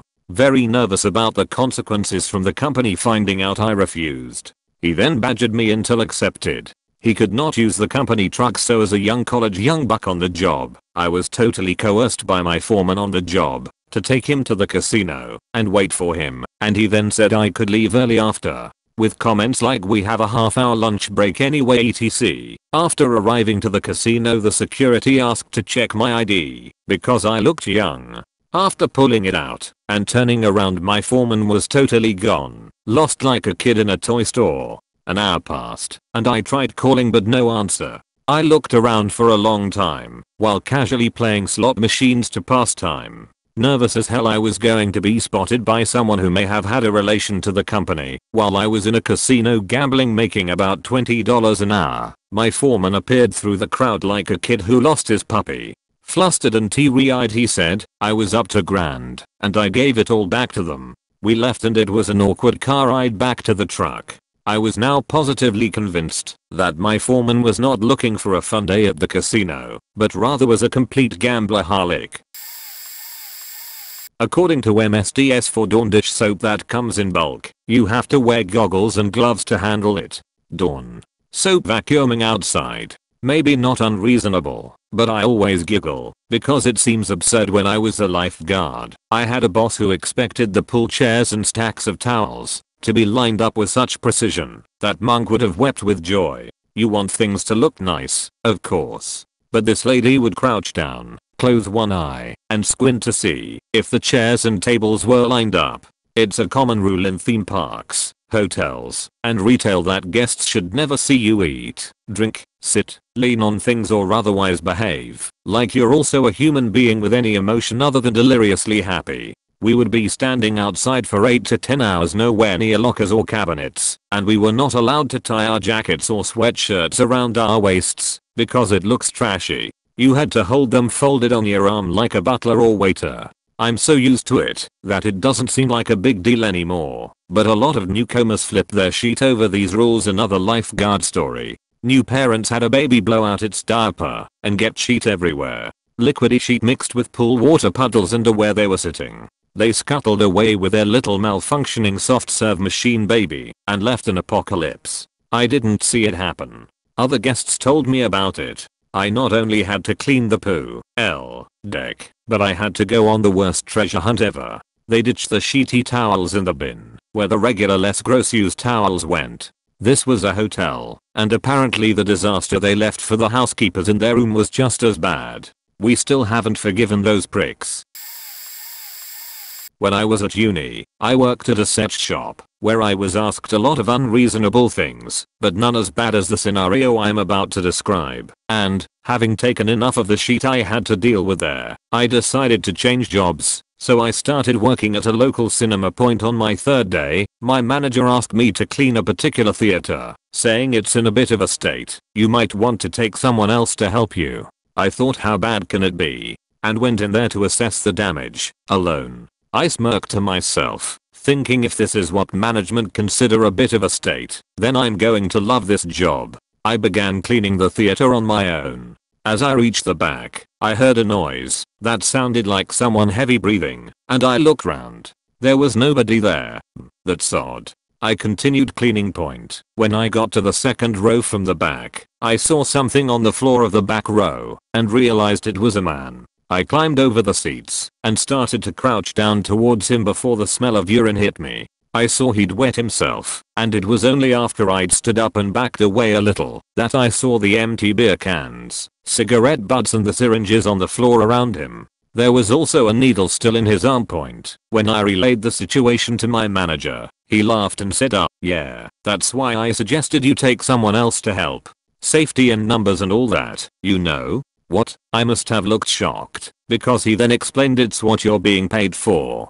He'd expected the job to take two people, so that one person could hold the junkie and the other could pull the needle out of his arm. Apparently, this was in case the guy came to and got aggressive while the needle was being pulled out. No, seriously. The manager casually explained that there were rubber gloves and a sharp spoon in the cleaning cupboard for occasions like these. When I realized this was not a one-off, and that this was business as usual for him, I got angry. I felt the blood rush to my cheeks and I also had that prickling in the sinuses feeling you get just before you cry. Damn. I hate anger tears. So I hurriedly muttered something about not putting my health in danger for the sake of a shitty job, handed him the cleaning supplies, and told him that I quit. I managed to make it to the staff toilets before my tears began to fall. Small victory, hooray. I went outside and called my old boss to sweetly ask him if I could, pretty please, have my old job back. The next day, I resumed working at the set shop. Ah, that was a good job. The second time round point TLDR, I worked in a cinema where my boss expected me and another member of staff to hold down an unconscious, urine-soaked junkie and pull the needle from his arm. So I quit point edited to add my TLDR as I hadn't realized it was so long when I was typing it. I used to work at a Burger King, and one shift there was only three of us me in the kitchen, someone who was running drive through slash front cash and a lazy manager. Out of nowhere we got hit hard, and people were a lot of orders were coming from both drive through and up front point it was just me and my friend on doing all the work, because the manager felt like having a break right then and there, and I was stuck by myself to make 30 orders. At first I was doing the orders in the order they showed on my screen, but then the manager came in and yelled at me because of the poor drive-through time. He asked me to make all the drive-through orders first, before the out front orders. So I started to do that, and then I realized how many orders there were, and I could hear people complaining at this point I had asked for help from the manager a few times, but he just kept saying he was on break. People started asking for their money back eventually I finished the rest of the orders, but some of them still had to be tossed because more customers were angry that they waited 15 to 20 minutes for their food. The manager blamed me for everything too. I almost quit on the spot when he wouldn't help me. I told the store manager about it the next time I worked with her, and my friend did as well. Eventually we both quit because of the same guy who had yet to be fired. One of the shift managers had problems with him and was accepting notes about how we wanted him fired because he was assistant manager and that still didn't work so I quit. It also sucked that the customers weren't more understanding considering I was clearly the only one in the kitchen, but it still was fairly understandable. I probably would have been pissed too. Oh man, a lot point I worked as a team leader for a team of counselors for a boys home the kids here were aged 6 to 14 and had a variety of different diagnoses and histories, but most featured some degree of PTSD due to trauma and neglect. It was usually a fun job, and I had a good relationship with the kids, but sometimes things got really shitty. Figuratively and literally. The absolute worst story I have comes from working with this huge, aggressive 14 year old. Didn't contradict myself. He was supposed to have aged out of our program 6 months prior to this event. He was having a terrible night and was confined to his room. It was around 8.30 pm when we started to hear him banging on his closet door a little background on the rooms. These rooms were designed with security and safety in mind. The walls were covered with a plastic laminate that was extremely durable, and both the bedroom and closet doors were steel fire doors. Their only window was double paned Lexan. These rooms were secured. Their closets were kept locked to protect their personal belongings from other kids, and to limit their access to stuff when they blew out in a rage point so anyway, this kid managed to somehow break the handle off his closet door, and had recovered his personal folding razor brand scooter. I had one of my staff holding his door shut, the bedroom doors did not lock, for obvious reasons, by wrapping a sheet around the door handle, and then around his own body, as something of a rope. This kid was now secured in his room, but armed with what amounted to a 4 pound chunk of aluminum, and completely incoherent with rage point. So I'm on the phone with my supervisor, because at this point I'm going to cover everyone's ass, and make sure that everything I do, I do by the book. I'm already thinking of this event in terms of the future court testimony I'm going to have to provide point now. My own take on this thing is to let this kid rage out in his room He's not a self-harmer, and I have an otherwise good relationship with him. I'm willing to let him destroy every article of personal property he owns, and then once his prefrontal cortex starts to reassert itself, we'll have a nice, calm conversation and put this whole thing behind us nope, says my clinical supervisor from the comfort of her own living room. He's got a weapon, you need to secure him point secure him. See if you can guess what that means now this kid is, for a 14 year old, huge, he was probably about 160, 170 lbs. I, myself, am reasonably huge. Doing the math here, I'm a grown-as man with grown-as man muscles. He's a faking pissed off teenager who is enraged and terrified, armed with something that could very easily kill me or a member of my team, and he doesn't, in the moment at least, give a fuck who gets hurt. I have no doubt that he'd feel profound regret if he did any lasting damage, but again, prefrontal cortex point, so she tells me to send my team in and take him down. My team consists of a guy much smaller than myself and a woman in her 50s. Fact that I said, you're going to get someone on my team killed, I'll do it myself. Point what followed was nothing resembling a clinical intervention. It was a faking brawl Somehow I managed to get the kid on the floor and remove his weapon before anyone was injured, but it was terrifying and pointless this kind of thing didn't happen often, but I have some other similar stories. Institutional mental health treatment is a sad and scary place, and I don't miss it. The fact that the leadership occasionally made such bad calls as this one, which only resulted in re-traumatization of our kiddo and put us all at risk, still really bothers me to this day. To be fair to my supervisor, she was operating from a different set of expectations and parameters than I was, but I remain confident to this day that I could have resolved that one without violence. Point edit. Formatting for readability. Not me but my mother is having to deal with some BS this week. We are having a ton of money troubles, and her old cowhawkers, who were custodians and got laid off before their contract was up, are getting together to discuss a lawsuit against the school. Now, this meeting that's happening on the first is what decides. If you get a part in it, you show up, you get to sue. You don't, you're out of luck point. So my mother put in the day off about 2 months ago. No prob, said her boss. And then rules started changing in those 2 months. They couldn't have their phones on them while working, even when turned off. They had to sign a contract stating that they can't post to Facebook about anything that might have to do with the supermarket they work at. They can no longer go see the schedule themselves, and the boss hands out little papers telling them what times they are working every week point. And so she comes into my room. I'm a live and college student. Last night with her schedule and she's pissed. She had asked for that day off two months ago, and the bastards scheduled her for it. Point she's talking to the boss today, but I don't doubt that she'll walk out soon. As she says, I was looking for a job when I got this one, TLDR. Job boss won't give her a day off that she asked for two months in advance, to which they said she could have it. They also have ridiculously strict rules for a minimum wage job.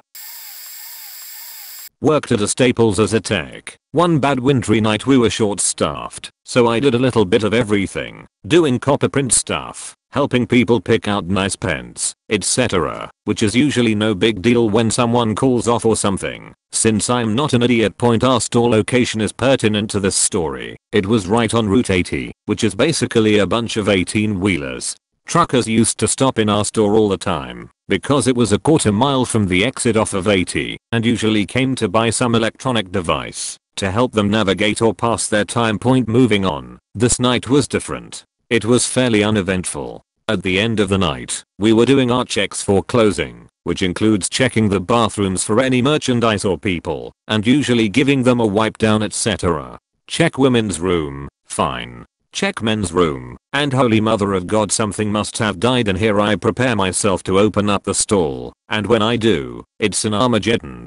It looked like someone slaughtered a full grown bull, a package of green food coloring, and a case of chocolate syrup. While they were at it, there was literally sheet everywhere, except in the toilet bowl. It was like a sheet monster made a final try to escape before he was successfully flushed. Point my manager at this point is walking by the restroom on the way back to his office and notices my scream of horror and the smell. He then says this has definitely got to be cleaned up. We exchange looks, and realizing that we are the only two people here, I knew what that meant. Point the look I gave him back must have said it all, because he just let out a deep sigh and said I'll help you. The night my manager spent 45 minutes with me cleaning up the poop fest 2k8 was probably the time when I realized I had a really great manager. I liked him up until that point, but after that, I honestly had the utmost respect for him point to this day. He is still by far the best superior I've ever had in any position point TLDR. Work in a store, sheet everywhere, manager is GGG and helps me clean up. I'm rather late, but this story is too ridiculous not to post. My previous job was a dishwashing at a chain restaurant. I know it would be stupid, but it was work. Anyway, we had run out of soap for the third time within the 3 or 4 months that the restaurant was open. Which in itself is really dumb, but the sheet that happens after is far worse. I tell my coworker that there isn't any soap for the machine in the closet and to start filling the compartment sinks. While I start moving dishes closer to where the sinks are one of the managers comes and asks what are you guys doing, and I tell her, but my voice indicates more that I mean to say, are you stupid point. After about 5 to 10 minutes the general manager comes over and asks the same stupid question, but this time goes to check if we are actually out of soap, apparently under the impression that we'd rather wash by hand than use a machine. But instead comes back with disinfectant he tells us to use it and puts it in the machine. However, it doesn't completely fit. For those wondering the soap and disinfectant are solid and in a bottle. The machine or holder has water rush up at the solid solution to create the proper mixture of chemical and water. So firstly we are told to use the wrong thing to wash the dishes people are eating off of. Secondly the thing isn't even properly secured. I show him this second part, but he isn't alarmed by it and goes back to his office. My buddy and I just look at each other, laugh, and start to use the machine. Now it get beyond stupid. I start to get a real bad chemical smell. So I stop the machine to ask my buddy if he smells it, and sure enough he does. I go to tell the GM and his reply oh, it's BO clean it's fine. Apparently he understood the look of bafflement on my face, because he repeated himself, and added we use it to clean the tables. My coworker and I said fuck that we are washing by hand, only to have him stop every few minutes letting us know the machine would be faster and we should use that instead. Super late to this thread, but on the off chance anybody reads this at all I figure it's worth sharing point at my old job, the one that basically reaffirmed that I should go get my advanced degree rather than just tough it out in an office setting I hated. I had a supervisor who had been demoted on several different occasions. It got to the point that she was actually my equal on projects, but because she had 40 some years with the company she assumed she was my boss. So anyway, after training on this new division of my job for about a month or so, I quickly learned that the way my supervisor was insisting I do things was flagrantly breaking company policies. And this was in engineering, so our policies were actually, you know, important. Now, I want to interject here and say this lady was extremely kind to me and treated me exceptionally well until it came to listening to my ideas on how to improve how we do things. Then she would brush me off instantly, and that was that. I didn't know enough to know how to fix things, because this is how we've always done them here before computers. Ugh point so flash forward to my having been working with her for 4 months or so, and I've put in my 2 weeks notice, because I got accepted to graduate school out of state. My supervisor is in deep sheet with her boss for not having completed a job aid book. Since she was the lead on this project, the job aid book had to be completed by her but you know, she had just too much to do, and simply couldn't find time to do it, so she handed the project down to me. But I got it with the following stipulation. Don't let anybody see you working on it. Maybe take it home with you? We worked on billable hours, so anything I took home I wouldn't be paid for. I need it done by Friday. Basically just sum up every aspect of what we do, and then I'll review it, and turn it into my boss. Oh, also, I'll be telling her I wrote it, so, I did it. But I did it very poorly and only gave it to her the day before I left. So she had to basically rewrite the whole thing anyway. Too much here refers to spending an hour at the start of every day doing her hair in the bathroom, followed by about 3 hours of personal phone calls, made from her desk, and 2 hour lunches, so she could shop for new clothes. My first job in high school was at a local grocery store in the southern Appalachia area. We had a lot of regulars, most of whom lived further out of town. My manager, a skeezy 40 something going through a midlife crisis liked to help out the regulars, which I had no problem with. Until one day, in the middle of my shift, one of the regulars had car trouble. Point he was an older man, probably a few years older than my manager. After ringing up his groceries, my manager pulls me aside and tells me I'm going to give this man a lift home. Being a 16 year old girl, I blanched and said it would probably be better if my manager drove him insisting he lived only a few minutes away. He then grabbed my purse from the office we kept them in and told the man to start loading his groceries in my car I uncomfortably proceeded to drive this man home. A few minutes down the road we turned down a more rural road, followed by another and another. 20 minutes later I'm convinced this is a trap and that I'm going to get killed. We eventually get to his house. I stay in the car and make him unload his own groceries and book it out of their point. Why I agreed to do it in the first place I have no idea. I can only assume it was my naivety and thought that if a manager told you to do something you had to. Thankfully I grew out of that quickly after this incident. Point edit. Broke up text block.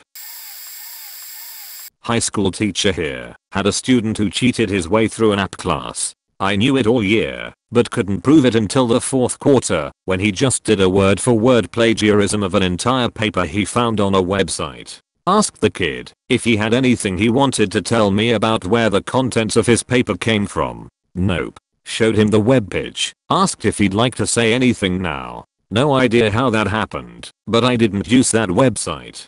Called the parents and told them I caught him cheating. He's getting a zero on the paper. No response from them point his grade dropped to a D for the semester, but he passed the year and graduation was over. I was at school finishing up final grades for the other classes and packing up for the summer when my principal comes in and says we have a problem with X's grade. I'd left a note for him about the cheating, so he knew what had happened. X's parents just called, and because his app grade was so low, he lost his very big scholarship for next year. We need to do something. They are pissed. I was initially confused about what the heck I was supposed to do, then realized he was telling me to change the kid's grade up to letter grades. I refused, said this is the grade he earned, and I will not be a part of this he went in, overrode the grade himself, and gave the kid an A. When I got home that afternoon I found out that the exact same conversation had taken place down the hall with my roommate, also a teacher, who'd had X, and he was getting a D in her class. My search for a new job started that afternoon.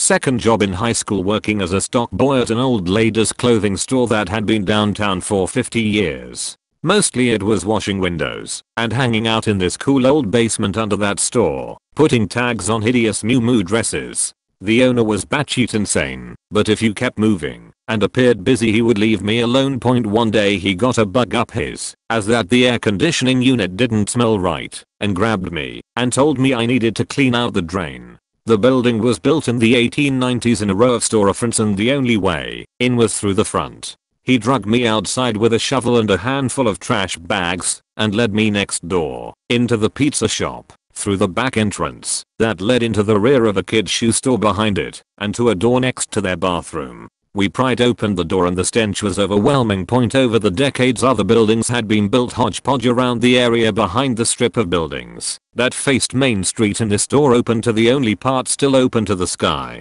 It was 3 feet wide and ran about 10 feet along part of the back of our store point at one corner was a small pipe running down the wall draining the condensation from our rack unit in the third floor. He proceeded to tell me that the pipe must be clogged and I thought well no sheet. You can't even see the bottom of the pipe where it opened to the dirt the entire 3x10 area was at least 18 inches deep in pigeon sheet. All kept moist from the act drain and whatever rain made it down in this shaft point my job that day was to shovel all this sheet into trash bags. Then I had to carry every full bag through the pizza place past everyone trying to eat, out onto Main Street, and back into our store, and down to the basement, where we had a lift to the street through the sidewalk. It would sit there for a few days until the garbage guy showed up a few days later I dug out that hellhole for 8 hours. As I dug through it all I found dozens of rotting pigeons, I must have thrown up on that muck at least 10 times to the point where there was nothing left to puke. The pizza place was pissed and screamed at my boss, but he was this ancient old hunchback bastard who suddenly pretended to not know English and screamed back at them in Yiddish with spit flying everywhere until they just walked away. I had nightmares about pigeons for weeks and couldn't even look at pizza for two years because the smell had been associated with the stench of the island of living sheet. I used to work at an animal hospital at home before I left for vet school. I was a kennel attendant and did duties such as feeding, cleaning kennels, bathing, bringing dogs up from boarding, going home, bringing them back, assisting vets in giving vaccinations slash nail trim slash x-rays. I was a peon, but when compared to the lazy beach receptionists, I was equal. They are all rude, gossipy ignorant, beaches, they will go out of their way to put you down while still asking for more help without helping you. This one time there was a small pile of cat food bags. She started to ask me to carry them for her and then stops herself halfway and goes oh wait NVM hey Alex.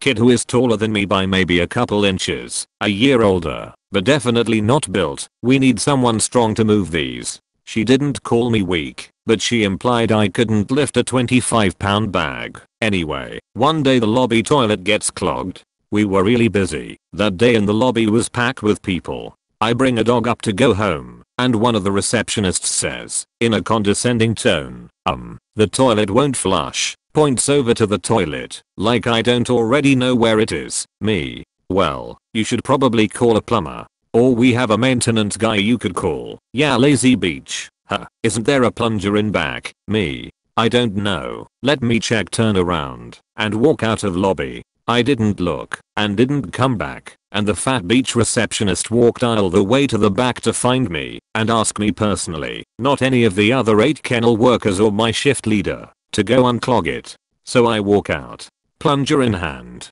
and the 20 plus people in the lobby are staring at me Someone in there clogged it, and they know it, and they know I'm the guy who now has to go dislodge their fesses. I did the deed, and walked out. For some reason, it felt so degrading. Point TLDR unclogging a huge sheet from a toilet at an animal hospital. Just experienced this yesterday. It's not objectively 100% unreasonable, but I found a significant personal conflict in it point basically. One of my bosses wanted me to overhaul a website for a relative of his business associate, for free. He's had me do this before. They like doing favors for this guy and his family, because he does favors back, by connecting our company with potential new customers. It's worth noting that we are not a web development company. I only have self-taught web dev experience, and my official position is not as a web dev, and I'm certainly not paid like one. I'm hourly and receive a fraction of what a true web dev would get, and no payment on a per project basis. Anyway, so he wants me to do another site for his buddy. My boss explains that, if I do this, he will probably receive in return an all expenses paid vacation down to Florida for golfing. It's business related because he will be golfing with potential new customers. Strikes me as only tangentially related to my job, but whatever, I agree. Then I see the website. It is a website for a Republican political action committee, actively seeking donations and endorsing a candidate because of his agenda to defund Planned Parenthood and overturn Roe v. Wade. I happen to be very strongly pro-choice point I refuse to do it. This was yesterday, and he hasn't brought it back up. Wonder what will happen. TLDR boss asks me to do a personal business favor, so he can get a free vacation, and it happens to involve working on an ultra-conservative, pro-life PAC's donation site, running directly contrary to my political views.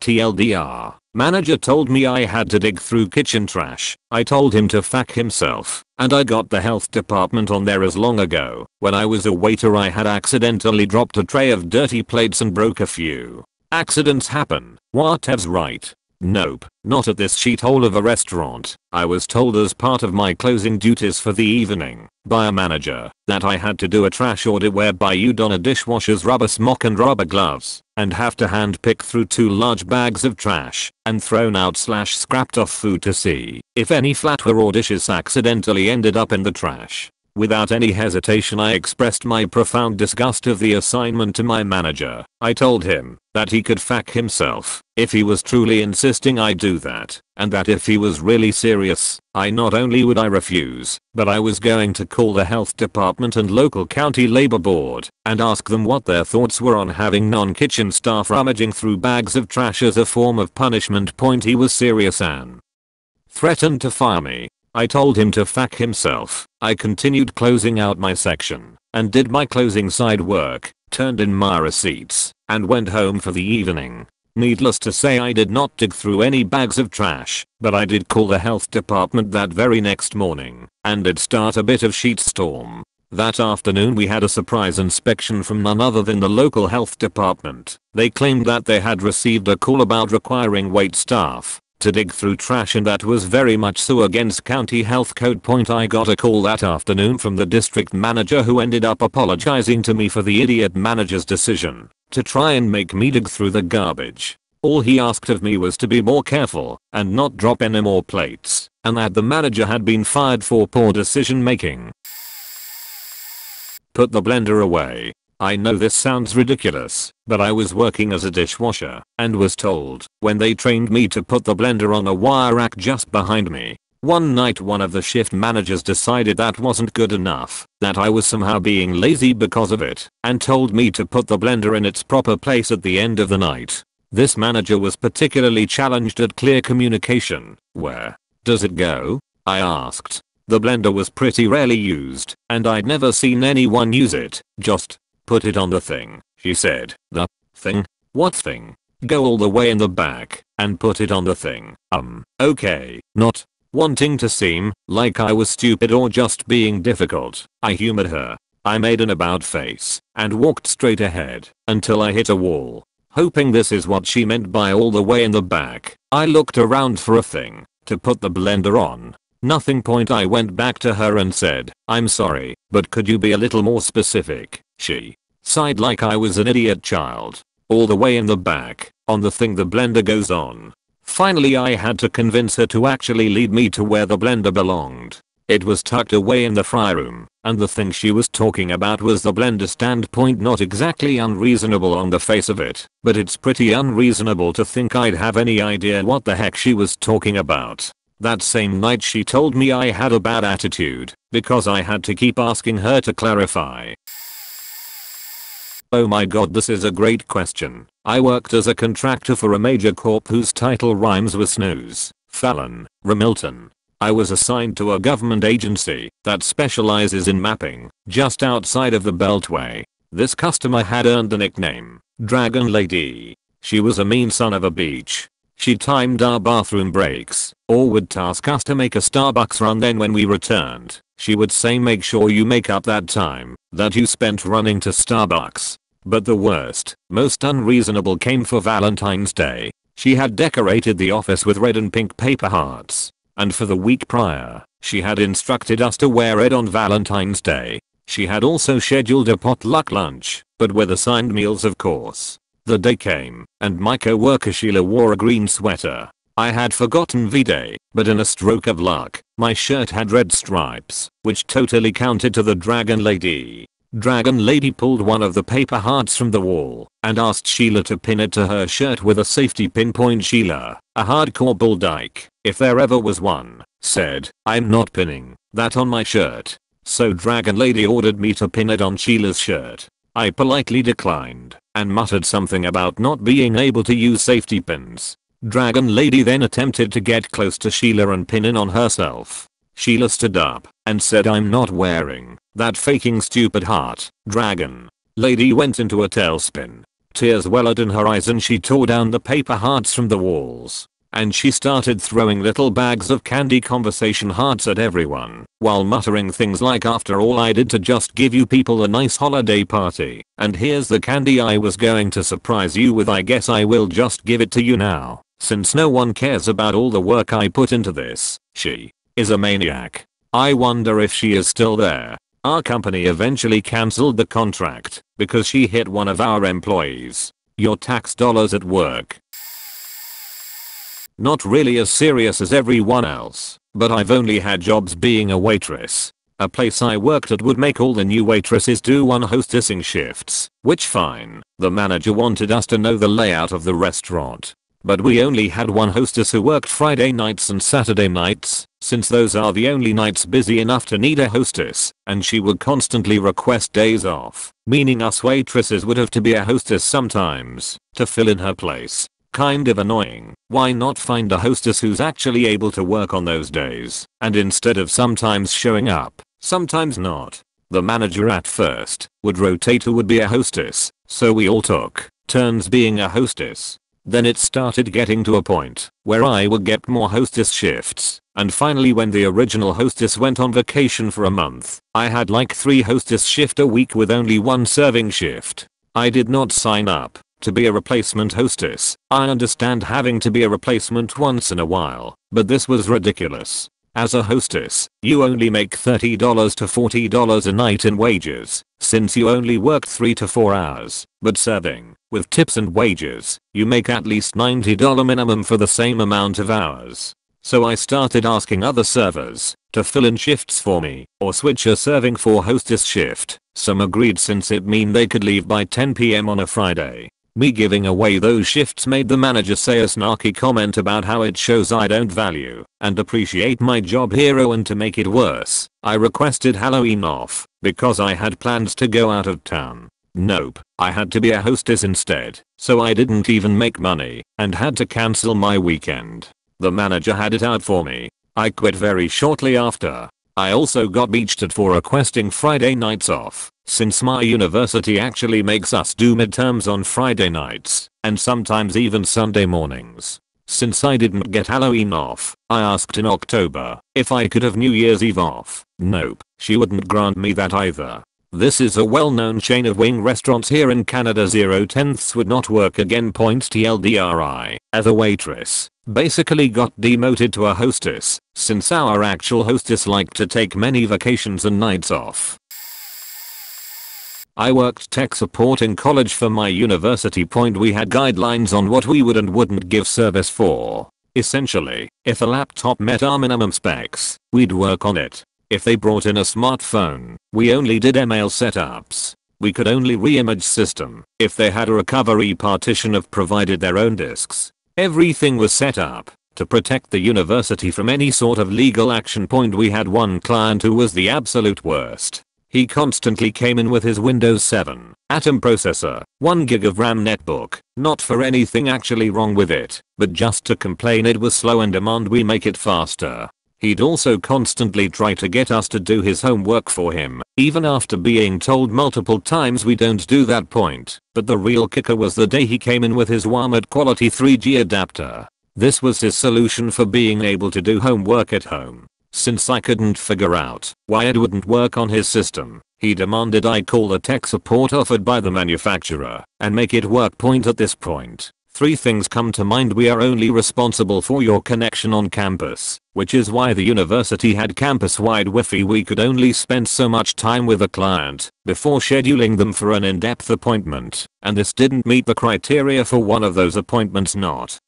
My faking problem. This is where the manager would usually help us turn the client away. But the manager on that day They instructed me to do as the client asked point, so the next hour and a half of my day was trying to work through the problem over the phone with a dude reading from a sheet of steps, offering no help whatsoever. And at the end of it, my client was still irate and ungrateful.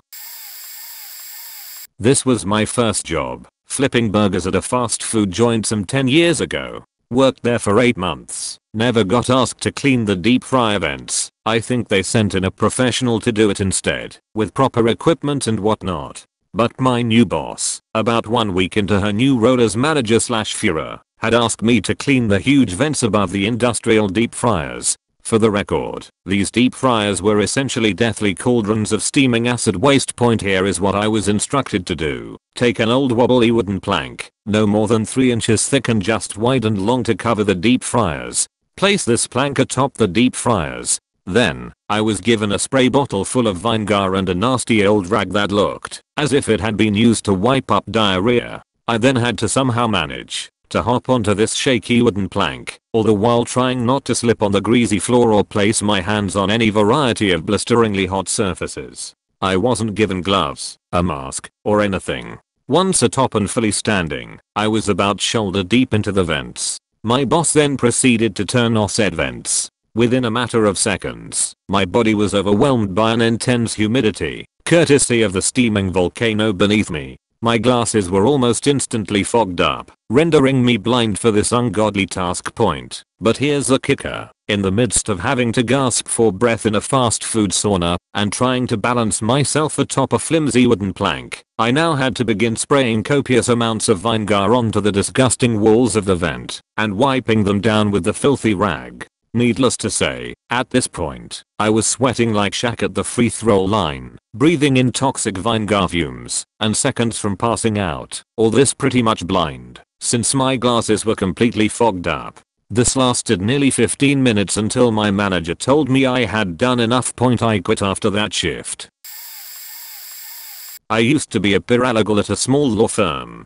The head of the firm was smart, but in a really crazy, disheveled, and unorthodox way to say the least. I can think of a lot of ridiculous things I did while working there, but I'll go with one of the funnier ones. One Sunday afternoon I get a call from him, which wasn't all that strange, but I knew he was in on the other side of the country and had trial the next morning, so it was a little ominous. Hey can you get my car from the airport and drive it to court tomorrow morning? I'm changed my schedule and now I'm taking a red eye into a different airport. I didn't have his keys, but that wasn't a problem, because he ties the spare key with some wire to the bottom of his car. So the next morning, I went to the airport, crawled underneath his car, got the key, and start to drive to the exit of the parking lot. But he had at least a dozen of those tickets you get when you enter a parking lot.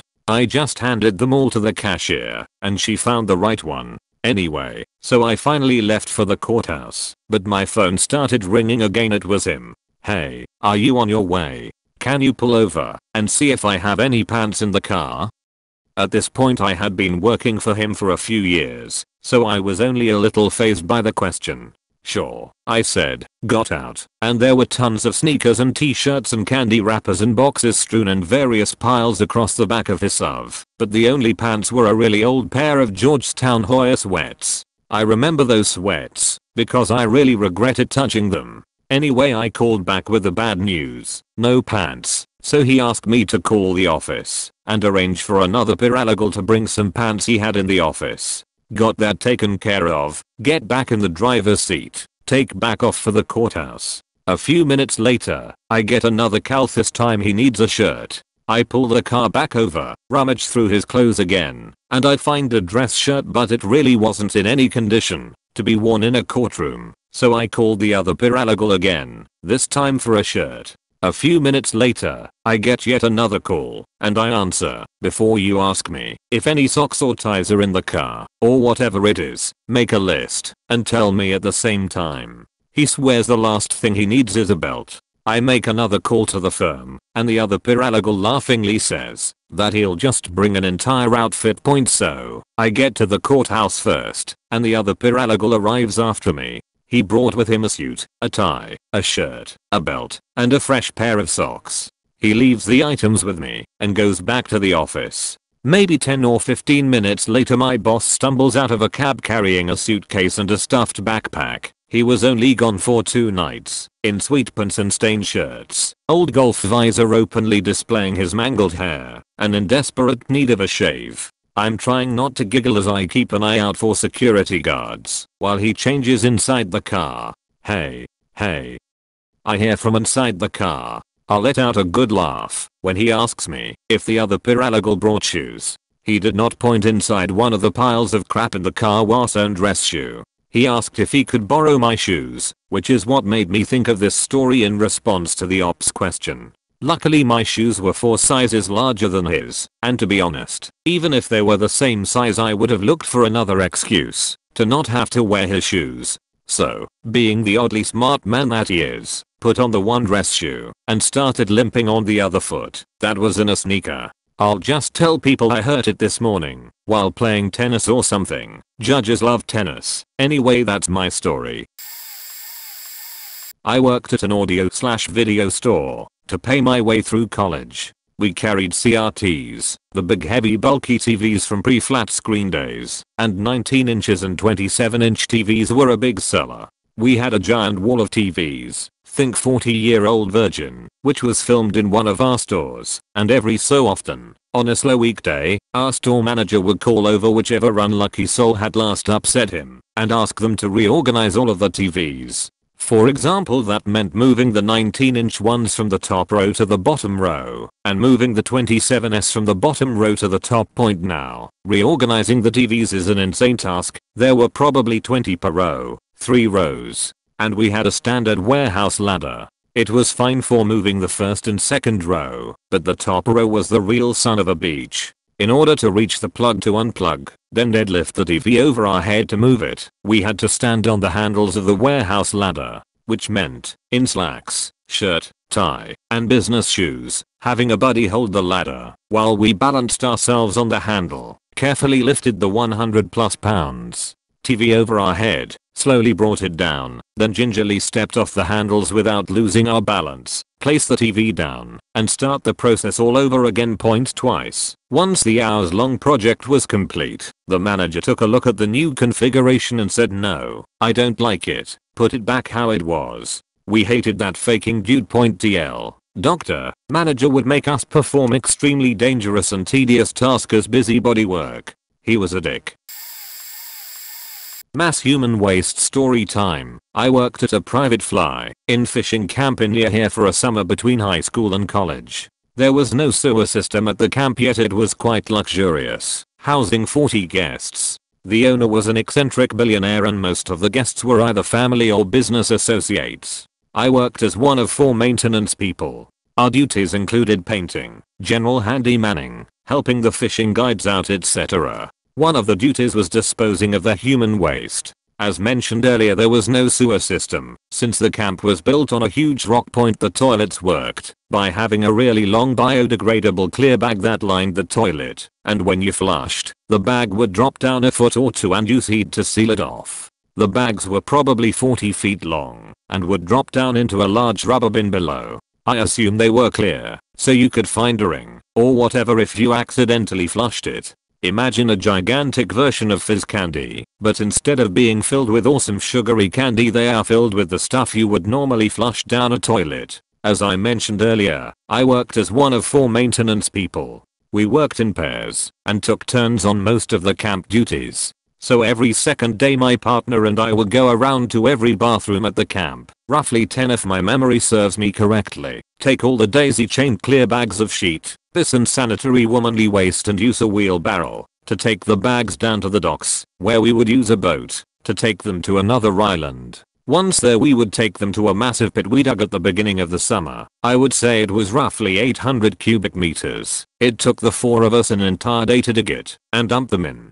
Every few days we would bury the bags that had accumulated and start over. So the bags were transferred from the bins to the wheelbarrow to the bins in the boat, back to the wheelbarrow, and to the pit. Four transfers total point I worked there for 4 months and we probably averaged 30 guests slash staff at a time. We handled roughly 3600 man slash days of human waste. Say 5 bathroom visits per person per day and you have 18,000 back pocket things. Each bag was transferred 4 times. I would say the average bag transfer resulted in a ruptured bag 1-2% of the time. A manager ordered me to sit silently at an empty desk all day, during which time I was not permitted to say anything to anyone under any circumstances. I was not permitted to put anything on the desk or to hand anyone a note, to respond to anything anyone said in any way, and I was required to keep my hands on the desk at all times I had been the head systems administrator at the company, and they hired a new boss for me. He saw me as a threat, and wanted me to quit, so he did that to me. He didn't inform anyone else. So all day long people kept coming to me with problems, and all I could do was give them pleading looks, because the desk in question was in plain view of the new boss's desk. And of course, it was utterly insanity inducing to have to sit for 8 hours without being able to do, or say or read anything point I made it through 2 days. I really needed the money or I would have quit. The third morning I walked in, and before sitting down placed a letter on my boss's desk that said, more or less, I seem to have no duties, and this doesn't seem to be a productive use of my time or an efficient use of the money the company is paying me. I respectfully request that you please give me some work to do. 15 minutes later I was fired for gross insubordination for writing the letter. I was so emotionally exhausted from that job that I basically spent the next week in bed and then found a better job more or less immediately. Alas, I'm 6 hours late to the party. This is probably going to get buried, but I have two examples. A little backstory. I worked as a maintenance man for 6 years at two mobile home parks that my boss owned. However, you have to realize that maintenance man is a pretty general term, and while I was there I did landscaping, paved the streets, plumbing and sewer work, plowing slash salting, masonry, demolishing slash bringing in new homes, and I got use heavy equipment slash machinery, jackhammer Kubota excavator and tractor. Now on with the story. My boss was a major cheapskate and tried to reuse everything. Most of our tools he got were from tenants sheds after they died. So there was this big deck, probably 15 foot x 7, on front of this mobile home that was getting taken out. My boss wanted to move it to another house, and for some reason we couldn't use the excavator. The only other option we had was to use the 22 year old Ford tractor with a front bucket and backhoe, so we wrapped a couple chains around the deck and the front bucket. However, the weight was not balanced, and no matter how we chained it slash moved the bucket a corner would start to drag on the ground. So what's the best thing my boss thinks of? Hey Led Zeppelin. Go stand on the deck to even out the weight while I drive up the hill. Unfortunately, I was young, and it was my first job, so I just did what I was told, and didn't realize how stupid slash dangerous it was until later this happened a few years later. I think I was 21, and I had been studying I slash O psych for a while, so I knew about work safety, OSHA and all that stuff. The years had not been kind to my boss, multiple lawsuits from tenants, fear of the end of the world, slowly becoming senile and crazy, while suckling on the teats of Glenn Beck and Rush Limbaugh. Anyway, I come back to work for the summer after college and I noticed at least 25 gallon buckets stacked outside of the shop. I ask my coworker, and he tells me that a septic tank overflowed, and he and my boss scooped up the excess and put it in those buckets, 0.3 months before. So the buckets sat there until the end of the summer, fermenting into an ice sheet beer with a hint of tampons and disposable wipes, until my boss had the great idea to say hey Zeppelin, go to that empty lot we have, dig a hole with the backhoe, and empty those buckets into the hole. Notice I said empty the buckets, not dump the buckets in the hole, but open them up and pour them out by hand. We had no safety equipment to be handling waste, unless you count rubber gloves. So I took my time digging the hole hoping to waste enough time so I could go home, but my boss came to the site and delivered the buckets to me. The first bucket I open, sheet sprays on my arm and I get pissed. I kicked the bucket into the hole, cleaned up, and immediately contacted OSHA. OSHA came in a couple weeks later and made him change tons of illegal and unsafe work conditions, while my boss had no idea why someone would ever report him. Point TLDR boss asked me to stand on a deck to balance the weight while it was being moved, and, years later, asked me to empty 5 gallon buckets of sheet brew into a hole. I used to work at a local burger joint. Good food, Crazy boss.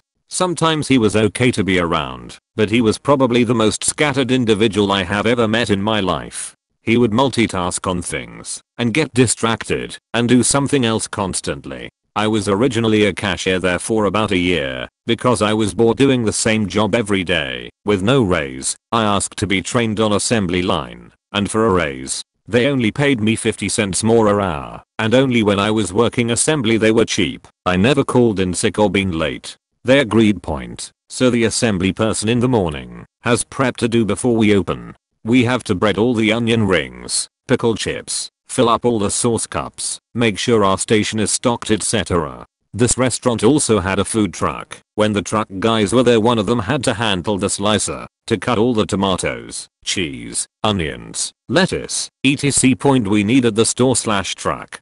But when the truck guys were not there, it is the assembly person's job. Point first morning I had to work without the truck guys. My crazy hard to get a attention of manager is working there. Great. So I have no clue how to use this thing. It says right there on the label that every employee has to be properly trained before using this equipment. So I ask my manager to teach me. He keeps saying in a minute. After I do this. So I did everything else I had to get done in the meantime. It is almost an hour before opening and the asshole still has not showed me sheet. So one of the Mexicans who didn't speak very good English showed me, and he was a fry guy, so he didn't really know either. If I had got hurt on that slicer it would be a damn lawsuit. I heard other employees have got hurt using it after I left that job. It is really dangerous if you don't know what you are doing.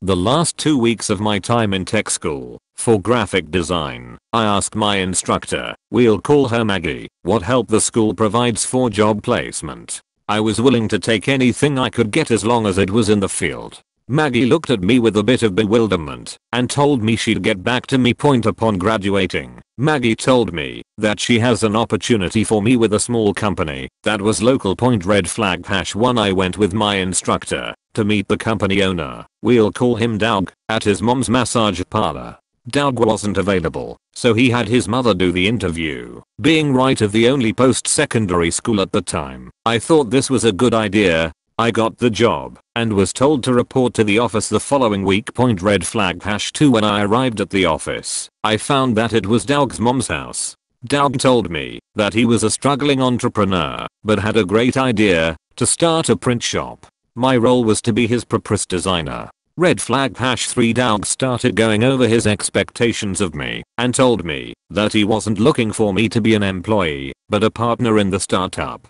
We would share the profits and rent out a small office in the back of his buddy's up store. For those of you that are still following, this means that he wasn't obligated to pay me. At this point I figured, ah, what the hell. I've got nothing better to do today. Let's see where this goes. Red. Flag hash 4 I design a few really tacky posters and business cards. Based on some instructions from Doug as a test of my abilities. I found out at the end of the day that these tests were being emailed to his friends for free as a way for him to get future business. I later found out that Doug was a close friend of Maggie's when he slipped up and mentioned it to me. Point I never went back after that day. Thank god I didn't sign anything. Point TLDR. My tech school instructor proudly walked me into a job for her friend without pay. He tested my skills by having me design free stationery for his friends. I walked away after day 1.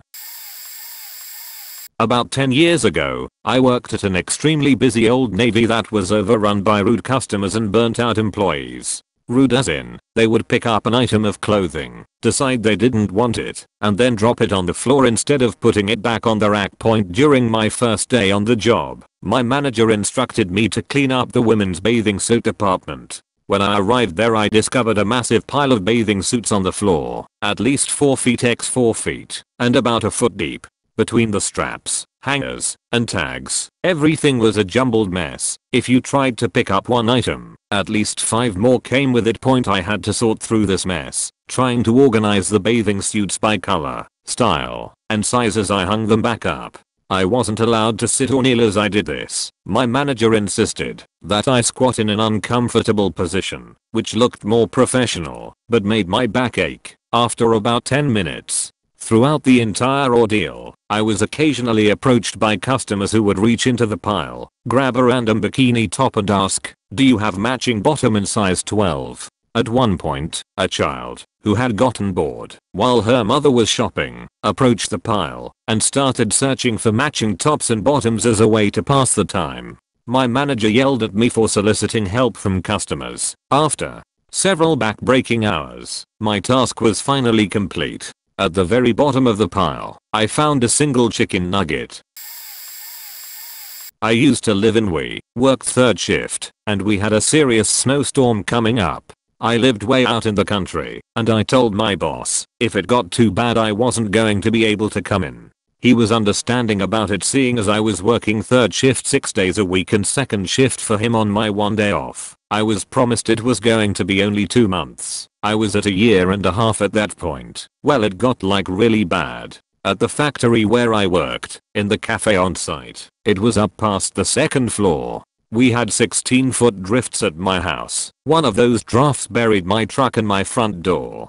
Plus back where I lived plows wouldn't get to the main road let alone my back road for about 2 days. It took a day and a half for them to plow the road by the factory point however, my boss calls less than 3 hours after it stops snowing, bright and early, and not anywhere near my shift. You need to come into work and open the cafe for me. I'm snowed in. I told him, I currently was trying to find out what drift I parked my truck under yesterday, and most of the roads by me were under 2 to 3 feet of snow. His response to that was, if the cafe is not open by the time I get there, you are fired. Because everyone else that he called told him no, I get to be this person. Great. I'll let him know what he could do with that job. The proceeded to find my truck, unbury it, borrow neighbor's plow attachment, and make lots of money plowing driveways for the next couple weeks TLDR. Big blizzard. Can't leave house. Boss tells me to get to work or be fired. Half a story about my experience, and half about a poor old cleaning lady. Point TLDR. Bartender always overserved people, and I had to clean up the mess.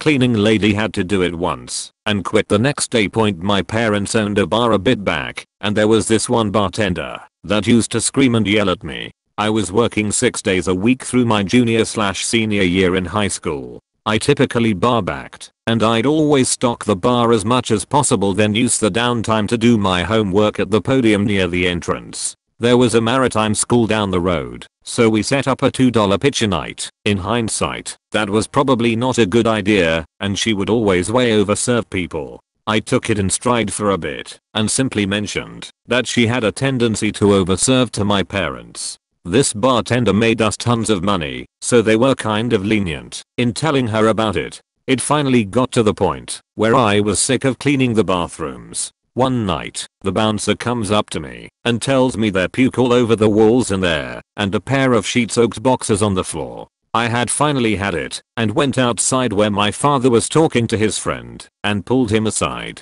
I told him there was no way I'm cleaning the bathroom for the umpteenth time and he said I'll talk to her about it. Just let the morning cleaning lady take care of it. I agreed. Point the next morning, my dad gets a call from the cleaning lady the puke had dried to the walls, and she had to use a spatula to scrape it off. Needless to say, she said there were no way she would ever do that again, and gave her resignation point the bartender was much better about how much she served from there on out. My very first job was at a Target store and I began work as a cashier. After I realized cashiering was not for me, I saw that the guys who brought the shopping carts and always seemed to be having a fun time. I asked what they did, and it seemed equally easy, so I decided to ask if I could move to that position and be a cart attendant. After a few weeks of pushing carts around I realized that there was a ranking system that regimented how much respect one was allowed. The cart attendant was the least respected employee. Still, I got to pal around and felt a bit like an underdog until they decided only one cart attendant working at a time was allowed. Still I did my job without hesitation. One day there was a team meeting before the store opened, and one of the team leaders was explaining how we needed to give more effort and someone made a wise crack about the cart attendants. After the comment was made the team leader explained that even cart attendants work hard. I was in a what the fuck moment as this was normally a guy I felt respected everyone. After the meeting he asked me to come with him, so I did. He guided me into the women's restroom to show me that a piece of sheet was lying on the floor and asked me to pick it up. I told him I didn't have any gloves and it wasn't my turn to clean the restroom. This guy, again whom I respected, picked up the piece of sheet with his bare hand and said see even the team leaders help out. If I can do it so can you. At that point I decided that retail wasn't for me. Well this one doesn't fall under the vomit, sheet, and rotten meat categories, but it's the one thing that I think I've been asked to do for work that I found unreasonable, but also sad point I do quite a bit of work in the wills, trusts, and estates arena. Usually, this simply means crafting clever documents and properly orienting someone's assets and affairs to reflect their wishes after they've passed away. It isn't glamorous, but it is something I do, so whatever, I feel good when the day is done. Point however, a months back, an emergency hit the office. A woman had come in who just found out that she had an atrociously aggressive form of cancer. Worried that some unscrupulous relatives would inherit her belongings rather than those she cared for most, she engaged my firm to plan her estate. Point whelp. Later that night she slipped into a coma I'm not sure if she was put into it chemically or what, but she was left unconscious. This event forced us to toss everything aside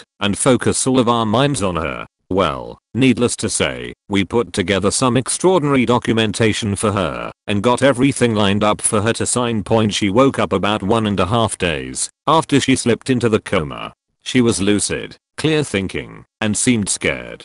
But we put on the brave face, and we took care of everything she asked point it should go without saying, but we don't really do this that often, and as a result, I was both unprepared and out of my element sitting in a hospice wing, Two days after everything had been signed, notarized, and otherwise completed, I was asked to run up to the hospital she was in and give her the final copies. Duplicates were given to other people but whatever, I went up there, really just wanting to get in and out, as that day was my birthday. Point whelp, I went up and saw her in the room, walked in with the intent to just drop off the package, say a kind word or two, and be on my way. But when I arrived, I found that all her friends had scattered to grab a quick bite. They'd been by her side for days, perhaps since she knew she was alone, and sensed something that I didn't. She asked me to stay. I obliged, and together we made small talk about the weather, eventually moving on to the things she liked and loved about the city, and other such superfluous topics as I was asking her about something or other. She cut me off, lightly moved her hand over mine, and looked me in the eyes. We both got quiet for a bit, and then she asked me to give her a smile. I obliged. Point she smiled back, said thank you, and then closed her eyes. She passed away with her hand in mine. I stayed there, quiet and in shock, until the doctors rushed in. I just slipped into the corner of the room and stayed there until the commotion died down about 20 odd minutes later the friends and family showed up and I fumbled through what happened, escaping to the subway the first chance I could. I didn't go back to work for a few days and nearly drank myself to death that night, not saying a word to any of my friends out celebrating my birthday point all in all. In a way, I resented her. I think it unreasonable, unfair, to choose me to die in front of, like some sort of odd performance art. But this is how I deal with shit I guess that's my story. Whatever. Edit. I know she was looking for help. I do have compassion, and I think about her more than I could care to admit. Point the thing I suppose I forgot to mention is that she was young, only slightly older than myself, and it scared me to my core. Life can be quite difficult, and in a way, I had to process that her making me understand the frailty of life when I was there to be a postman shocked me in a way I internalized as unreasonable. Point I know it's selfish to have this view, and I was never anything short of kind to her, but that's the effect of fear. Being told on multiple occasions to get metal shopping carts in the middle of a thunderstorm, even after repeated factually accurate statements like, if you can hear thunder even with no clouds around then lightning can reach you, and the more obvious one of metal plus lighting minus anything tall around. To redirect the charges means increased chance that you're the target. And on top of that being told to wipe down every shopping cart taken out of the rain brought under the overhang before bringing back in the store, while being expected to also maintain bagging duties with no help slash extra staff called in, and carry outs and bathroom checks, and jump on register if it gets busy, which you can never get away from for a solid 30 minutes, and then after all that being yelled at that the carts are low, there was also the occasional floor spill during a rush period up front and them watching me go back to clean it up and still repeatedly calling me over the intercom to come up and help with the rush, which you can't leave spills unattended. There was also carts to consider during a rush while you were thrown on register in the first break in the madness you rush out to get them making eye contact with the front end. Office watching the whole thing while they twiddle their thumbs waiting for lotto people and when you finally come back, in getting yelled at for not sticking around the cashiers more for bagging, while being told you never told anyone where you went, and we have been calling you for the record the store was always understaffed. We would regularly have one register opened morning and night midday two registers and three during the peak 4 hours, and regardless of the fact that there was only ever one bagger on staff during all of those hours the bagger was responsible for picking up all the slack register and cartwise. When I first started working for this one photography company I was asked to go on a weekend trip to photograph a cheerleading competition. They didn't tell any of the staff to bring blankets or pillows or that we would have to share beds. Mind you there were 8 women crammed into a 3 bedroom condo.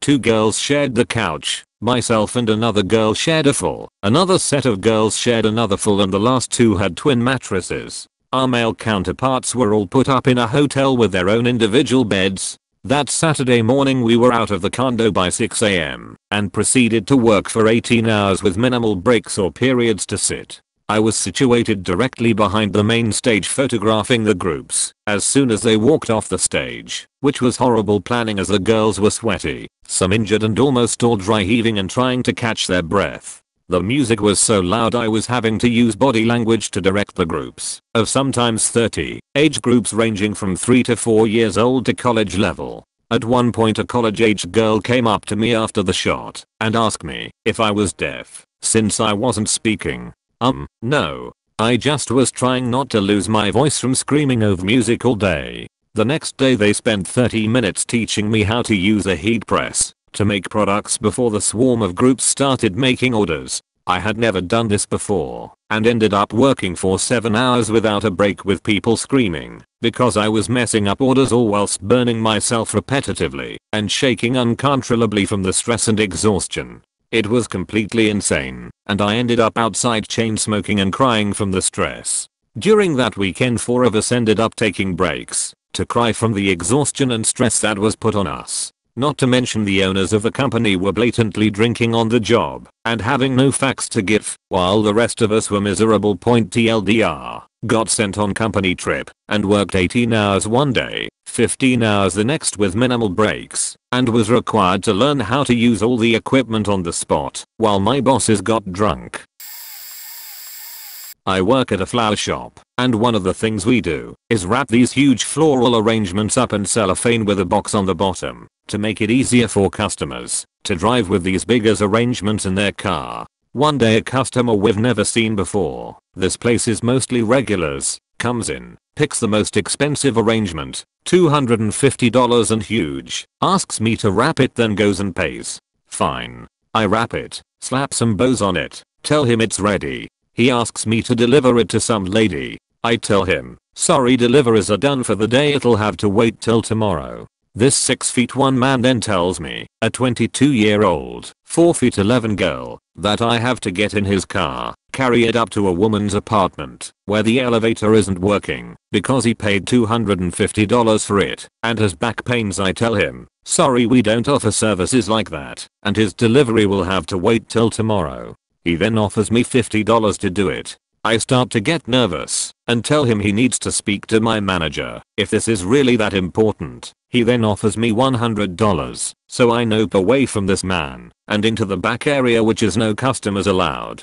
He follows me back there, increasing his offer to $150, then $200, then $300. He is now offering me more to get into his car and deliver a floral arrangement for more than he paid for the actual arrangement. I call the manager's desk from the phone in the back Tell him to get there now and keep my distance from the customer. My manager comes, takes the customer back out to the front, loads his arrangement into his truck, and tells the customer never to come back. Point customer comes back two weeks later and repeats the whole process again.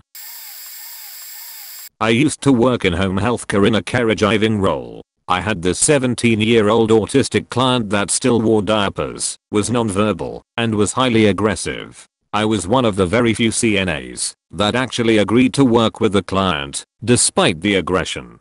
I later learned that, out of my company, only two CNAs ever stayed there for longer than two weeks, me, and the guy who got fired for doing cocaine. Point even though I still have physical scars from that job, I maintain 100% that the client was not the issue. His freaking grandmother was. My job as a CNA slash home health aide was to take care of my client's activities of daily living. That is to say, making sure he was able to eat, changing his diapers, giving him his showers, making his bed, and etc. Point his grandmother decided that really I was a maid, and that I needed to do her laundry, her dishes, clean the entire house, run errands, and a lot of other various things. This was my first job in years, and I didn't want to lose it, so I just went with it. I was using my personal vehicle to drive my client around to parks and to the store to get things for her and was occasionally given $5 for gas. When my client destroyed the headliner in my car, she said my company would have to take care of it. I told my company about it, and they came up with some BS paper that I should have signed before driving my client around, when in the past they had yelled at me for refusing to drive my client and never mentioned the paper and claimed that they weren't liable because it wasn't signed. They then continued to insist I continue to drive around for them. Point I made it clear at this point that I would no longer use my vehicle. Okay, they said, use the grandmother's vehicle. One day when picking up the grandmother's medicine, I decided to stop for my lunch. When I got to her house, she freaked out on me for using her car for doing her personal things. Ugh. This is when I finally had it, told her off, and called my company, and said I'm done. Oh, and that's not even mentioning the overpass deal I had with them. I worked 9A to 9P on weekends, and my client's insurance approved him for 24 hour care.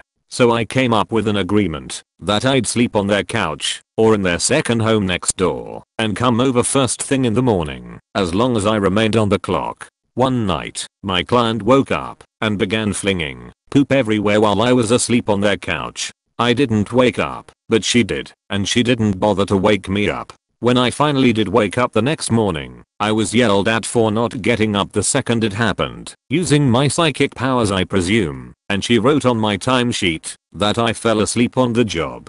So all of my nighttime hours for that weekend were now null, and the director of nursing yelled at me and threatened disciplinary action on my license if I slept while I was there again, even though the original agreement was for me to sleep there overnight. The Don said, if I was getting paid, I had to be awake, but I could still spend the night if I clocked out. Yeah right, that's going to happen.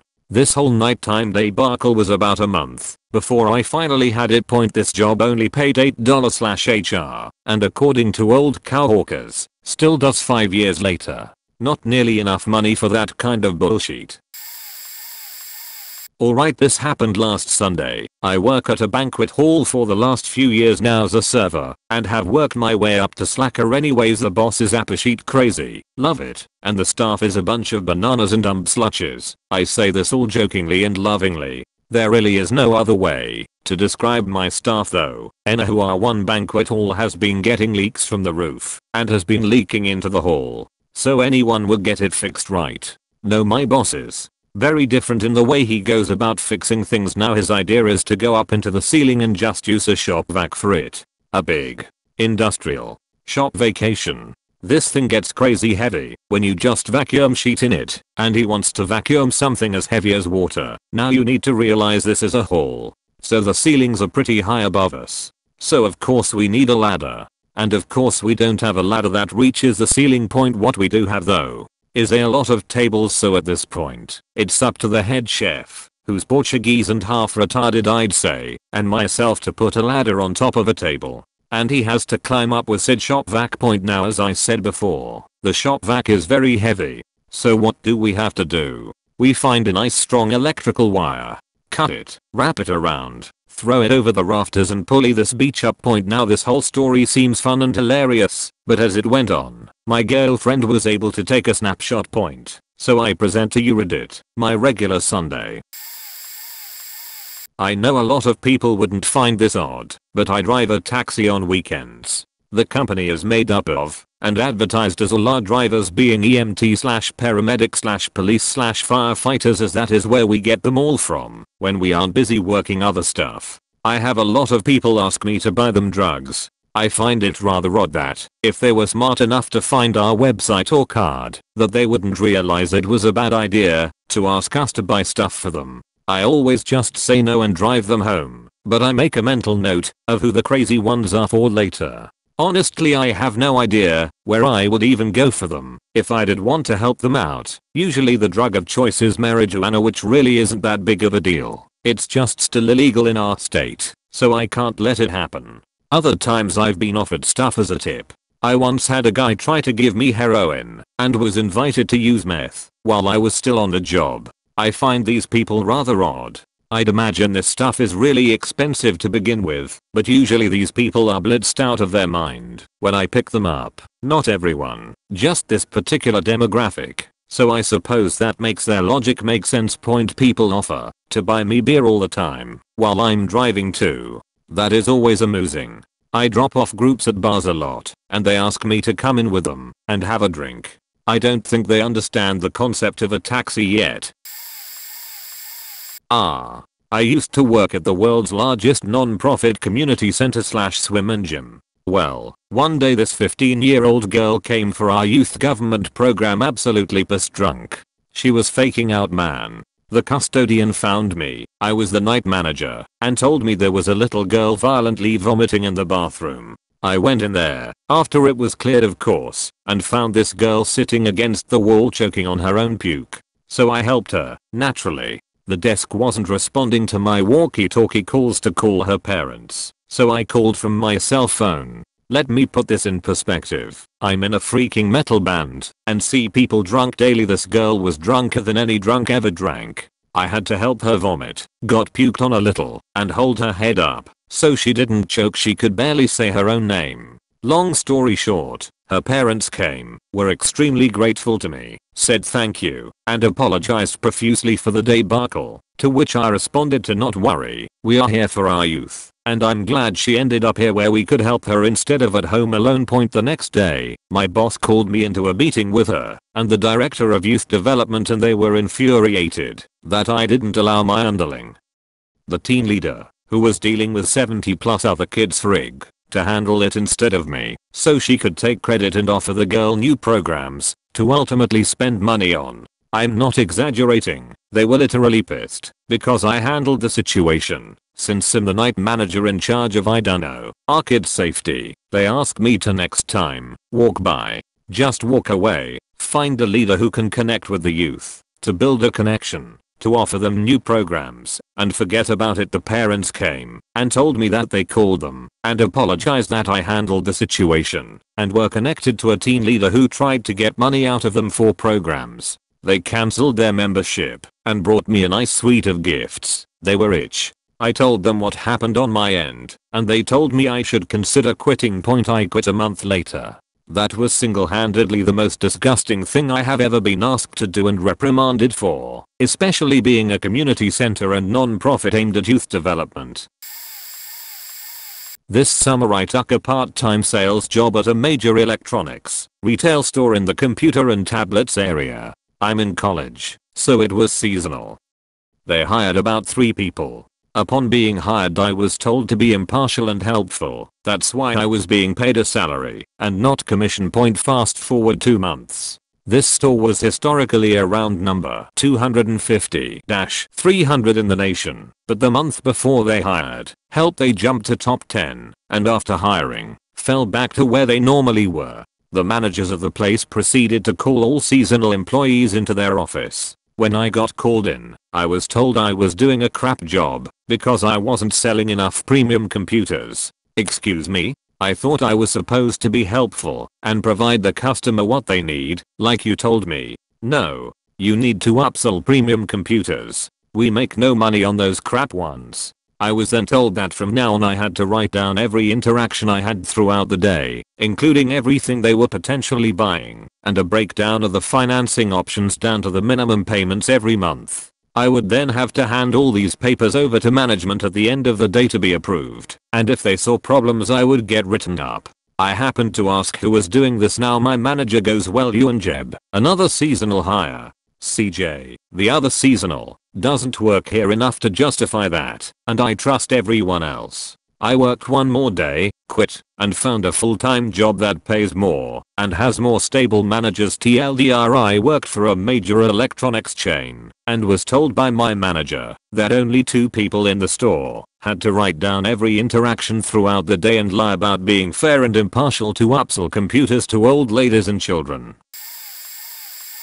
I worked at an ice cream store when I was 17. The owner and his manager wife often left me alone to run the shop when I wasn't allowed to handle cash at the cash register. Said owner would watch his employees, another new hire girl and I, on his cameras, and call us on the store phone if it looked like we didn't do something right X. Too many sprinkles on a cone. Too many dough pieces on the soft serve. Scoops of ice cream were too big. Guy was a huge cheapskate. He underserved the portions and jacked the prices. Owner also took taxes off our paychecks that didn't add up to the proportionate time we worked. He was eventually caught by the other girl's mother. He was also a graduate student at the time and would often call me over to ask me what so and so meant in his textbook. Then he would proceed to tell me that he would give me his shop one day. So creepy. Owner's wife accused me of stealing some ice cream yogurt bags once because their inventory didn't match up. I have no reason to take large bags of liquid. I don't have an ice cream machine. It made no sense, but this accusation continued for months, and she liked to watch me closely point owner liked to go across the street to his competition to observe their prices. He was banned from that store, but he'd bribe people to go in there for him and report their prices and portions to him. Anyways, I stopped working there after a couple of months and he refused to give me my last paycheck. They threatened my mother over the phone when she asked about it, and the owner's wife proceeded to bash me, calling me a thief and threatening to call the police over the phone lol. Owner also threatened that he had lawyer friends if we didn't stop bothering him. Then, my dad went over there personally with my brother and I and demanded the money, threatening to call our lawyer on him. Owner eventually spat out a paycheck with a couple of hundred dollars more than my hours worked asked for fact that guy point edit. Grammar. I was employed as an administrator for a small company that does sales, maintenance, installations, etc. point for small businesses. Our biggest customer was a 50 person insurance company in the CBD. Their server room had no aircon, and so the room got uncomfortably warm. My bright spark of a boss is always keen to make a dollar, and so why outsource something you can do for yourself? So he buys an R2D2 style air conditioner, portable unit, that has an 8 inch exhaust tube coming out the back. I get to work on this day, and says I'd like you to visit, redacted today. There's a portable aircon there, that I'd like you to set up. Take the ladder and the toolbox. I was conflicted. I'm not a small man and most ladders are not prepared for my weight. Still, I figured surely it's not rocket science and the ladder is new, not old and rusty points so I visited and had a look. Very quickly, I discovered that there was nowhere to send the exhaust. I cut a hole in a ceiling tile but where next? There's an aircon conduit there, but I don't know if it's a sucker or blower, and I do know that feeding unexpected hot air into either conduit may upset the system. I called the boss. He said it didn't matter just use the tin snips to cut a hole and stick it in. I refused to modify a building aircon and ended up leaving it blowing the hot air into the ceiling cavity. Then I discovered that this R2 does not have a built-in means of dealing with condensation water, just a drain pipe. So, I can't have water running across the floor of the server room. So I visited one of the very few hardware stores in the CBD, bought a bucket and some adhesive plastic loops to hold the water pipe in place. When I left, I showed the IT staff the bucket and said okay, I'm not sure how long this is going to take to fill, so keep an eye on it. When it reaches the one half full point, go empty it. Yes, carry a half full bucket of water about 30 meters through an office to the sink. When I got back to my office, I asked the boss what I was supposed to do with the drain pipe. Oh, you expected me to take a masonry drill and bore a hole from the inside of a major commercial building to the outside. Aside from that probably being a violation of the customer's lease and several building and OHS codes, particularly of the ones involving electrical cables running inside the wall I'm drilling. Redacted do you know that when you bore masonry clean through, a piece of concrete typically chips off the outside and falls 14 floors down onto people sitting at tables having their lunch? He pretty much ignored me and kept doing whatever he was doing point later when a similar situation arose at a customer site. He wanted me to bore an outward hole to pass a Wi-Fi cable. I just reminded him of those considerations and flatly refused. He took it in his stride and did it himself. Point for someone with a diploma of electrical engineering. He's a faking cowboy. At a different site, he mounted an external directional antenna, extending the network to a couple of portable classrooms on the eaves of a school, right next to the announcement bullhorn. I had to visit the site later to do some maintenance and the customer said ever since, redacted, put in the antenna, the bullhorn has been buzzing. I think it's related. I'm not sure if it's to my credit or not, that I bit my tongue and didn't tell the customer of course it faking is. It's like sitting your mobile phone on top of your computer speakers. Instead I just said oh, I'm not sure. I'll ask, redacted, when I get back to work. Naturally he just shrugged one shoulder and kept working. I worked at a toy store in the downtown area of my city. Locally owned, popular place, the only catch was the building across the street. It used to be a hotel, but had been converted to housing slash treatment for mentally ill and physically handicapped individuals, mostly war vets with PTSD or other issues. Most of them were really awesome. A few were real hassles one guy was pretty infamous. I never actually got his name, but let's call him Frank. He was wheelchair bound, but his mind seemed pretty good. It was mostly physical issues he dealt with, he had been trouble before, but nothing major.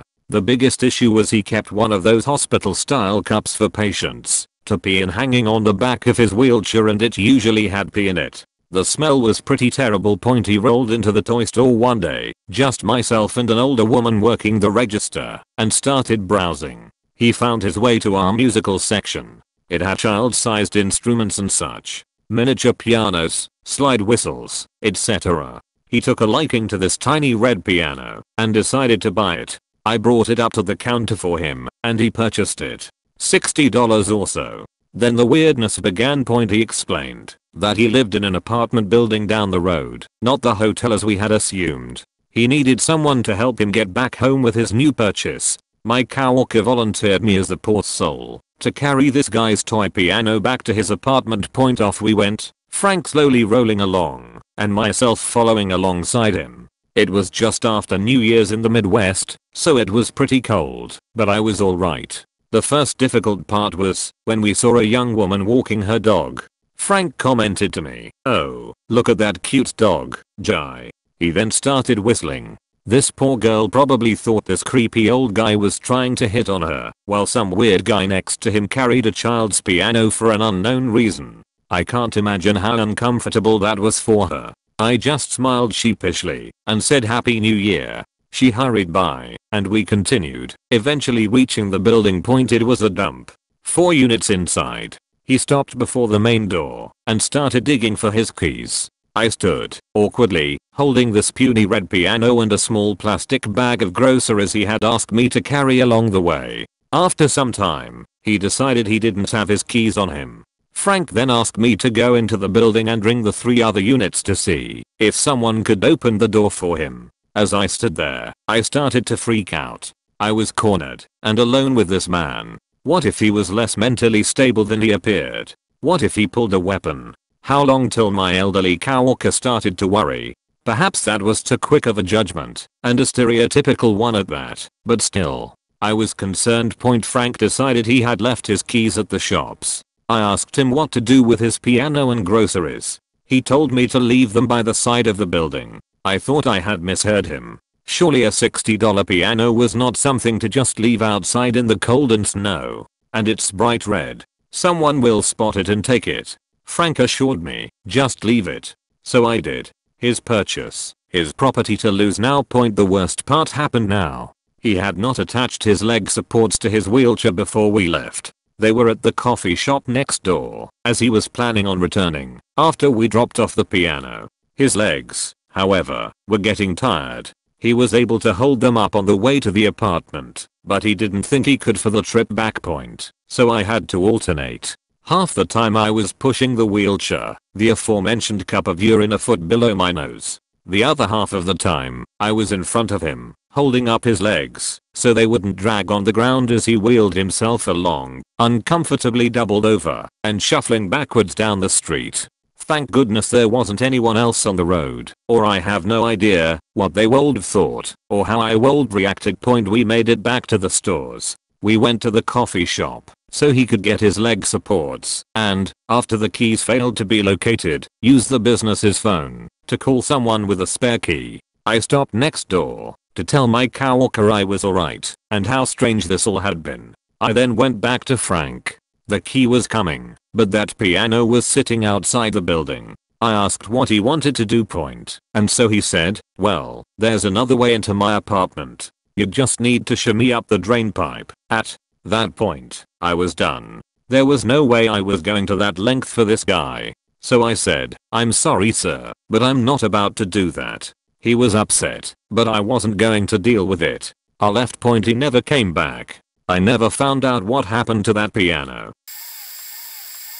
I worked for a moving company one summer during my college years. They were pretty unethical overall but one day stood out among the others. The previous day the truck driver had gotten injured. The doctor put him on some pretty epic pain meds and told him point blank he wasn't fit to operate a tanker truck, much less a 20 ton semi. The driver told management this, including the signed doctor's note clearly stating he was impaired, and their response was too bad. You're driving to 80 miles away today. Guess who was on that truck's crew that day? Well, surprise surprise, the driver got into an accident. Thankfully nobody was hurt, but the trailer was damaged pretty badly. It was no longer safe to tow and it definitely wasn't fit to hold a customer's entire household's worth of possessions. We snapped pictures of the accident and sent them back to management, explaining that we could not work in this state. They said to continue onwards anyway with the damaged truck and to park it in such a way that the damage was hidden from the customer later that night. When we were bringing the cargo back to the warehouse, the trailer began to fall apart. Bits and pieces were flying off as we drove down the highway, and more than once a car behind us had to swerve to avoid all the debris. By the time we made it home the trailer had no roof left and only half of its walls my first action, after getting back to the warehouse, was to unload on the boss and quit. He only responded whatever, pick your check up Friday. I was a 14 years old stock boy at an appliance store. One of our sales was that, if you bought a new appliance you got a free watermelon. This lasted for 2 weeks the watermelons came on a pallet that had a thick cardboard, about 4 feet high, canister on it point by the end of the 2 weeks the last 6 or 7 watermelons in the canister were now partially squished, some were white, some were black, some were fuzzy, some were jelly, all of them smelled like death. My job was to jump in with them and lift them up, somehow climb back over the side and carry each of them to the trash compactor. I'm proud to have finished the job, but the horror, or picking up the first one, that looked like an ice green watermelon, and feeling your hand sink into something soft and fuzzy on the underside, and then the rank smell was traumatic. I couldn't eat watermelons for years, got the smell point they gave me no gloves, apron, etc point and made fun of me when I asked for some. This is also when I found out I'm allergic to most molds. I've always avoided penicillin due to both of my parents being allergic, so I got these red hot itchy hives the next day over all soft parts of my skin, neck, backs of arms, left side of stomach, inner thighs, knee pits that felt like an unreasonable experience for the $5.15 hour I was getting paid. When I was in high school I got hired at a restaurant as an after school job. I ended up working there for several years into college and would come back and work there during summer breaks. The franchise in question was notorious for manager turnover and after the first year I don't think we had the same manager for more than 6 months. Because the management was terrible, the place went downhill very quickly. There weren't enough employees to cover shifts completely, and so labor was cut back massively. We had very few cooks, not nearly enough to cover all the shifts with more than one, so each cook was usually scheduled for 8 hour shifts alone. Over time, the management gave me more responsibilities and work without even a title change. I was paid minimum wage even after 3 years of work, because I was technically tipped out, but with a severe decline in customers, there was also a severe decline in tips. Also, the cooks were tipped separately from the servers, so we got even less. Through all of this, by the end of the summer I was working the equivalent of three different shifts at once, cook, dishes, and line, to refill the buffet. The franchise manager visited the restaurant near the end of the summer, and while we had few people visit, I never got to speak with him, because I was so busy. When I tried to return to the restaurant the following year, I had been blacklisted from reapplying, because I had shirked duties while cooking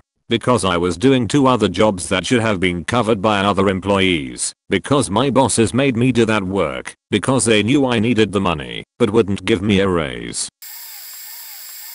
I worked in a greenhouse with small plants. Right next to it was a stroke of land with a small canal. A lot of greenhouses have that, and it is not uncommon for the owners to have some sheep to keep the grass down and it also looks better with a few sheep walking around. In our coffee break the neighbor comes checking in on us and tells us that one sheep is dead point. So the next thing to do is call a special service to pick up the dead sheep as it is technically bio waste. But our owner is a bit of a cheap man, so he decided that me and two friends who also worked there had to bury the sheep. This would save him a call and the money. So we get some gloves. Luckily there were a few gloves laying somewhere in the greenhouse and go to the sheep we thought he wasn't dead for very long so me and a friend grab a nice chunk of wool and try to lift it up point we hear a big tear and the sheep falls down leaving us with some wool in our hands and we see the entire inside of the sheep loaded with maggots. It was filled with maggots, maggots every faking where.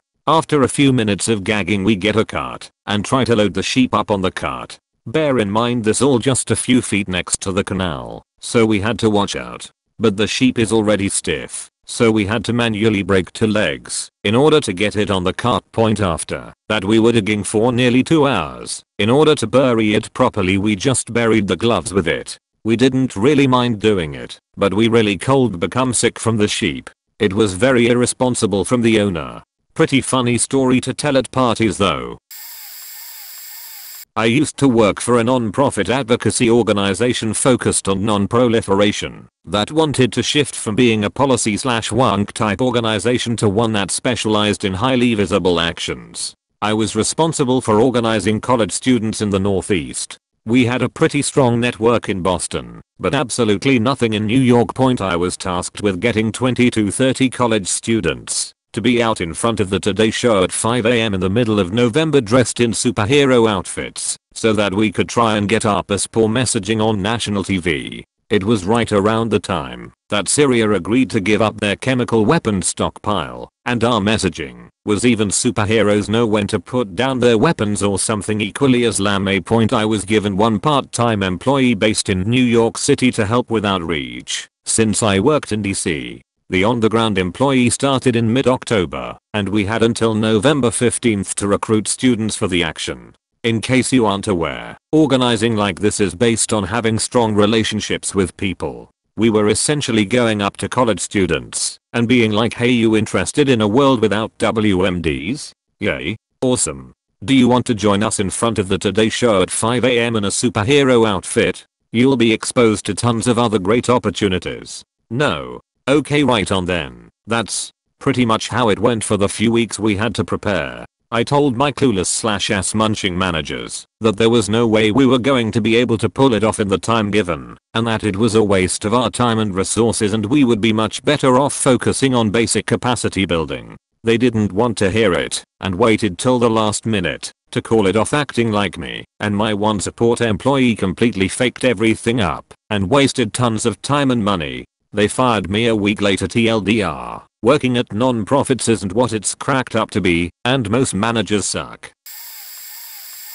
I was a case manager for a group home, three separate residences, comprising 20 children, ages 12 to 17, in foster care.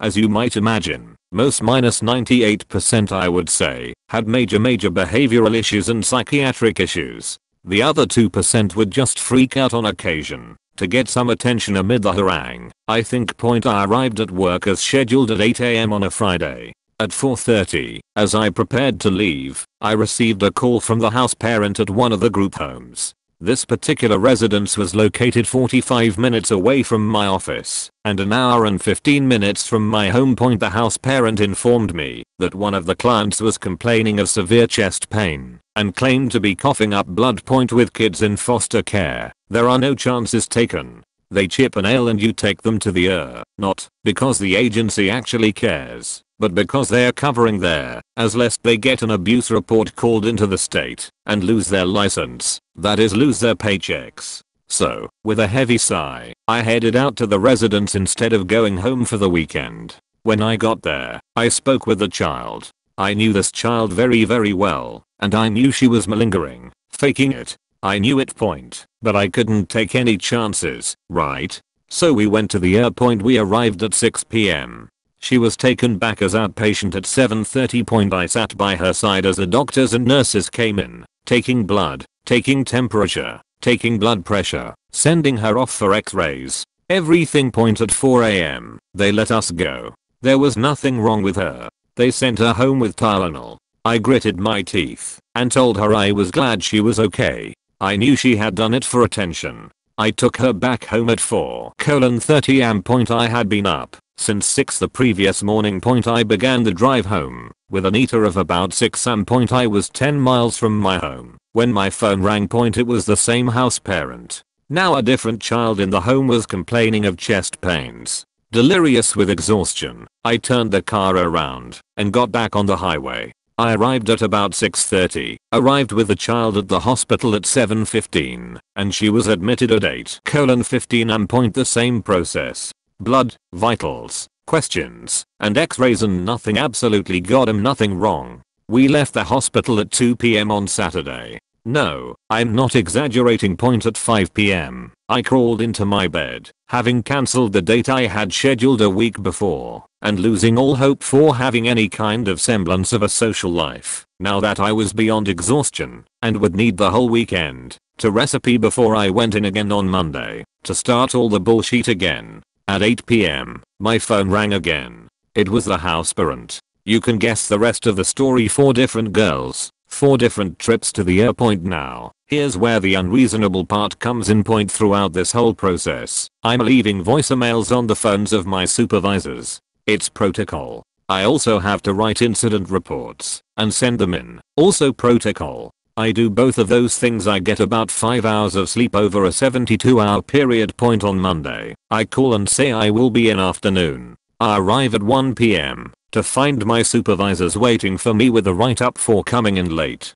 At 3.30pm, I received yet another call from the same house, alleging chest pains, and I flatly told my supervisors that I would not be going out there, and that they would have to call relief staff to attend to the situation. I was given another write-up and told that my attitude was bad and my work ethic was worse this after an already 50 hour work week. A what? I can't even do the math. What? A 60 hour work weekend. So I worked 100 hours that week. That Friday, I submitted my resignation. And somehow, by the grace of God or the flying spaghetti monster, I did not inform them of what massive short-sighted ass stinking piece of sheet cunts they were. And that is the whole story, as they say. These people were the worst people I ever worked for in my life. TLDR. Worked as a case manager at a group home. Ended up working a 100 hour week, then getting written up twice for coming in late the following Monday because I was so exhausted I couldn't drive.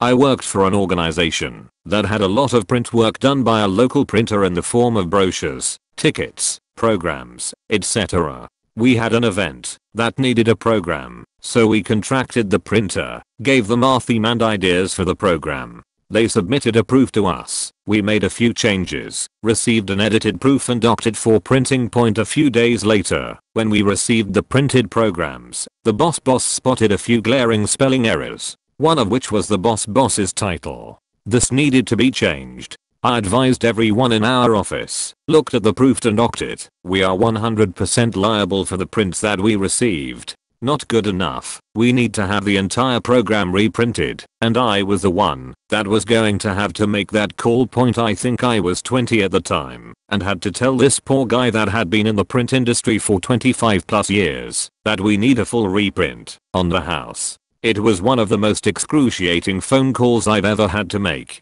because I hate confrontation and it was firmly my organization's mistake. Apparently they valued our business a lot because they did a full reprint. My supervisor and I felt so bad that we had lunch catered at the printers and went there to hang out with them. That was also painfully awkward for me because I still perceived myself as the asshole. Thankfully they were really cool about it. The caterer also screwed up the food order, so the printer got another free lunch the next day. I work as a pharmacy technician at local retail store. Job isn't exactly rocket science, but this puts the fuel in my tank and the puppy chow in my dog's bowl point now. About me, I've got a good head on my shoulders, but I'm human and sometimes my attention span isn't all that golden. This catches my boss's attention, and for the past 1 to 2 years, I've been kept as a cash register. Sometimes I fill, at others, I credit return medications that have not been picked up. It's all cool point this not so great attention span of mine is a, but of everyone's faking jokes in the pharmacy point however, he's unbearably disrespectful to me. And I understand that I should talk back like the crass second in command chick he gets along with. But that's not me. I'd rather be professional. So I take his sheet like a beach point haha and I have two rather unreasonable things to be asked to do at work.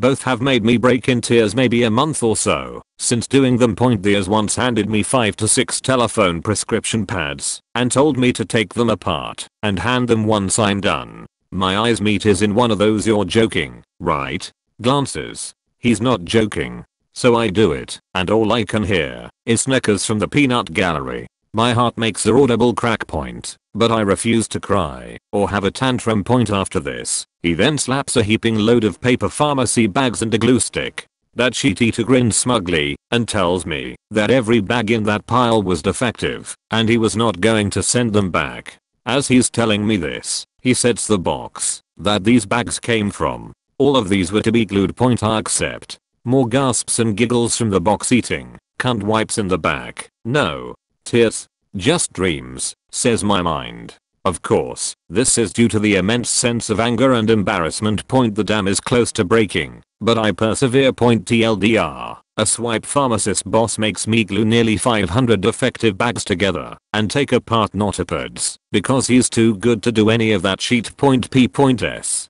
Formatting my tail is hard. Also, sorry for the pity party. I had a job as a homework helper at the city library. My boss, the librarian was asked by a lady to help type an ML up because the lady claimed she had wrist issues and couldn't type. Boss referred her to disabled services, but I guess they had already denied her, so my boss relented and typed her ML up for her as she dictated it. This lady continued to come in and ask my boss to type up emails for her at least on a weekly basis, and my boss would do it because she felt bad for her and her sob story needed to communicate with her son in the military, though half the time spent with my boss was her talking her ear off. Eventually my boss got tired of doing it so gave the job to me. I'm usually not too busy at my job as there was often no kids to help, but it is important I'm available to help kids if they do come in. One time the lady came by and began to chat my ear off I started typing her email, and not long after, my boss brings in a teen girl who wants my help. My thought is good, time to drop this lady and help the kid, but my boss just asked the lady I was typing for if it wouldn't take much longer to finish the email, and asked the girl wanting tutoring if she could wait. I tried to finish as quickly as possible, but when I finished and turned around to help the girl she was gone and couldn't be found anywhere in the library. I was pissed point. When I told my boss about the girl leaving she was puzzled, but didn't bother to change the policy on this lady using us as her personal secretary for two more months. After talking to the children's librarian at that site and having her bring it up to my boss a couple times, I was finally allowed to cite policy on my job, being to help patrons do things themselves and not to do things for them. If she needed more help, she would have to work with disabled services to get it. Worked one summer at a computer distribution company. One week, management had a falling out with our vendor, and we couldn't get any of the special chassis we needed for the server builds. So, I was sitting on my, but doing odd jobs all week. But each day they got weirder and weirder. One day my boss, who was also the company's owner, handed me a BB gun and asked me to take care of the birds that were flying around the warehouse building nests. I explained that I had never fired a gun before, and he calmly replied, I figured, this isn't a gun, it's an airsoft rifle. Whatever. Needless to say, for every 12 I fired, I maybe connected once. Thank god it was CO2 cartridge instead of pump, or it would have been quite a lengthy process the last day, before we got on new shipment. In was the weirdest request. He comes over to me as I'm sitting, spinning in the chair. This is the conversation, verbatim. I will never forget it. Boss, Hey, you dipping, me, no, sir boss, you can't dip while you're inside. I don't care, if you have a can point me, I don't dip, sir boss, that's great. Good to hear. Tobacco's a killer, you know. I need you to do something point me, sure point boss, I need you to go wash my me, okay. Do you have any quarters, boss? Ah, see, that's the thing. I don't like auto washes. Just take the hose from the loading dock and wash it up. Co-worker has a small vacuum for you. 2 point me. You want me to vacuum it, boss? Yep point me. Alright. Boss walks away, and then, with the least convincing performance ever, stops and acts like he just remembered something boss. Oh, if you find a little sunglasses case in there, it's yours. Thanks a heap. I'm sure it was pure coincidence I saw him pulled over just down the street from the building that evening, when we were all leaving. Not sure who tipped him off, but I ended up flushing the sunglasses. In his head, it was a generous tip. Knowing the trouble I could have gotten into, I vowed that day never to get mixed up in any of that crap again. And to this day I haven't shitty as that was, he was actually a great boss and paid a very respectable wage. Sometimes I catch myself wondering what he's up to these days.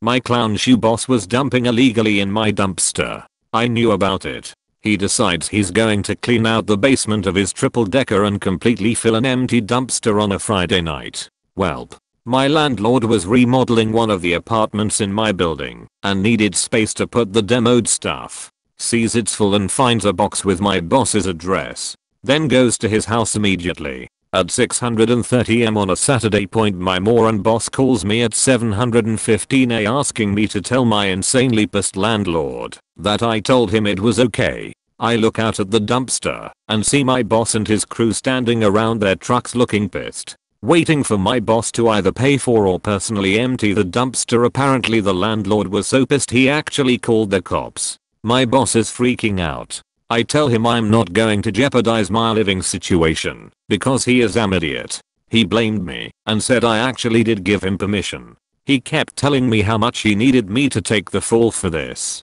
I told him he was overstepping my boundaries and he didn't stop. Kept pushing point I freaked out and stabbed him point kidding. I quit the job and never stood face to face with him again. That sort of self-absorbed nonsense was not worth the $400 a week for a full-time job fuck you, Mike fuck you, and your shitty clothing company. You can go right to hell. Point fun fact, the second or third result, when you google his name is a story about him getting kicked off Warped Tour for screwing a 14-yo. He was at least 24 at the time. Point TLDR, go to the damn dump, yeah cheap bastard. When I arrived at work early one day for my internship my boss pulled me aside and said he needed a favor from me. Handing me seven $100 bills, he told me I'd need to take the express train to New York City to meet one of his business business partners to retrieve some paperwork point he didn't want me to spare any expenses and told me that I should take the Acela Express way, expensive high-speed train, and to valet my car. He told me to call him once I arrived in the city once I arrived in the city, my next directions were to head to a specific Starbucks and wait at a table and that his partner would meet me. After about 20 minutes, a gentleman in his mid-30s sat down at my table. Dark sunglasses, baseball hat pulled low, shady looking guy. He confirmed who I was and then slid a thick envelope across the table telling me to put it in my bag and to be very careful with it. Point the guy left immediately after I put the envelope in my bag. So I went to a bathroom to see what was in it. It was about an inch, inch and a half of $100 bills. I was a bit freaked out because what I had potentially gotten myself into. Of course I didn't charge my phone that morning and my phone died. I spent the rest of the day getting a nice lunch and dinner and took the train back to Philly Point once I got back at the office. I called my boss and put the envelope in the back of one of his cabinets. He was freaking out at me because my phone had died and that he thought something serious had happened to me. He also told me to not tell anyone at the office about what happened and to keep the extra $500 from the trip point I'm pretty sure that I was a mule of some type carrying dollar sign $25k $30k cash in my backpack through New York for the day with a dead phone point TLDR as an intern. My boss made me mule dollar sign $30k cash from a shady guy in New York City to our office in Philly. Edit grammar. AWWA my time to shine point where to begin. Fucking work 76 hours a week at $5 an hour with no overtime. Wasn't an easy job either. I was a line cook at a fine Italian restaurant point it was an apprenticeship, but it soon was revealed to be a full-time job.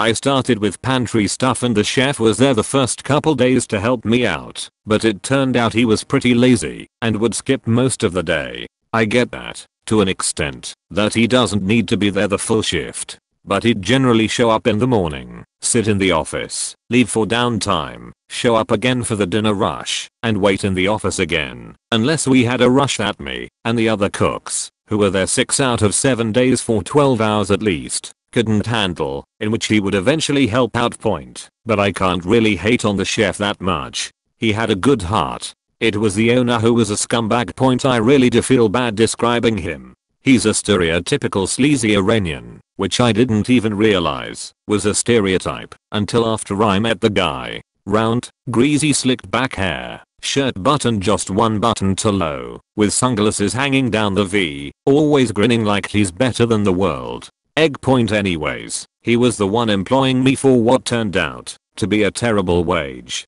It wouldn't have been so bad if I was actually shadowing somebody, but I really wasn't. I was working full time, desperately trying to scrape off what little info I could from the Spanish speaking cooks, who did more than a fantastic job, while also keeping up and running a pantry in part of the line with literally no prior cooking experience. Now, the owner pays only two people a reasonable wage. The chef, who got paid a salary, and the bartenders, who make minimum wage plus tips. The servers all got paid 2.17 an hour plus tips to meet minimum wage, and the cooks and dishwashers were all illegal immigrants, so they got paid whatever the owner wanted to pay them. I really shouldn't complain, because whatever I complain about, I guarantee they got much worse point, but I'll tell my side of the story anyways. Basically, since I wasn't getting minimum wage and I wasn't being paid overtime, the owner couldn't legally pay me with a W-2. So at the last second, literally April 25th, I think that's tax day, he hands me a 10 to 99 which is a form for commission work.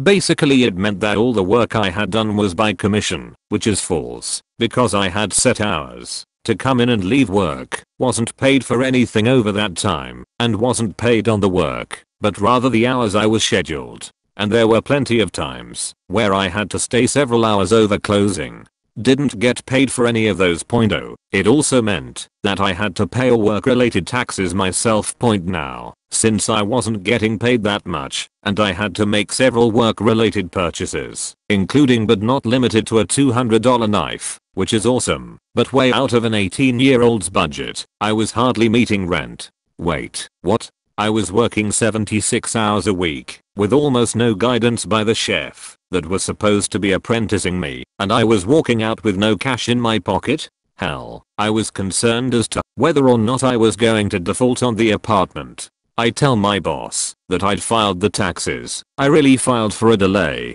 didn't tell him, because I didn't want him to get pissed and call my mom for guidance. She basically called the Texas Workforce Association who told her that this 10 to 99 bullshit was surprisingly common, but very illegal among restaurants. She called the owner and talked very politely about her confusion with the whole ordeal, while innocuously dropping the name Texas Workforce Association in the conversation. God bless you mother. He calls me in a day later, beaches me out about lying to him, and then a few days afterward presents me with a W2 and says that he'll have to cut my hours down to 40 a week because he can't afford to pay me overtime. A day later, on my birthday, I quit. Best birthday gift I ever got point I could stayed. Honestly, the 40 hours a week deal was pretty solid, even working at a fast paced high quality restaurant like that for minimum wage. But that restaurant was my life. Literally, I woke up, went to work, went home, and slept. That was my social time, my leisure time, everything. I had nothing else. To try to change that to a job and maintain a life outside of it would be like trying to change the love of your life to a casual acquaintance. It just doesn't work. Not afraid to admit I cried multiple times during this whole ordeal point. Before moving back home for a bit, I revisited the restaurant and the chef easily ended up being one of the most melancholy moments of my life thus far. The chef told me I was probably best suited towards another line of work. Thanks, Peer. I do miss the cooks though. I love those guys I guess this doesn't really fit in with the prompt, but it feels good to share it. I've got a few more stories from that whole year if anyone's interested, including almost getting hit by a car crash, not having power for a full month, and literally walking 2 miles in a snowstorm with the flu on Christmas day to get food.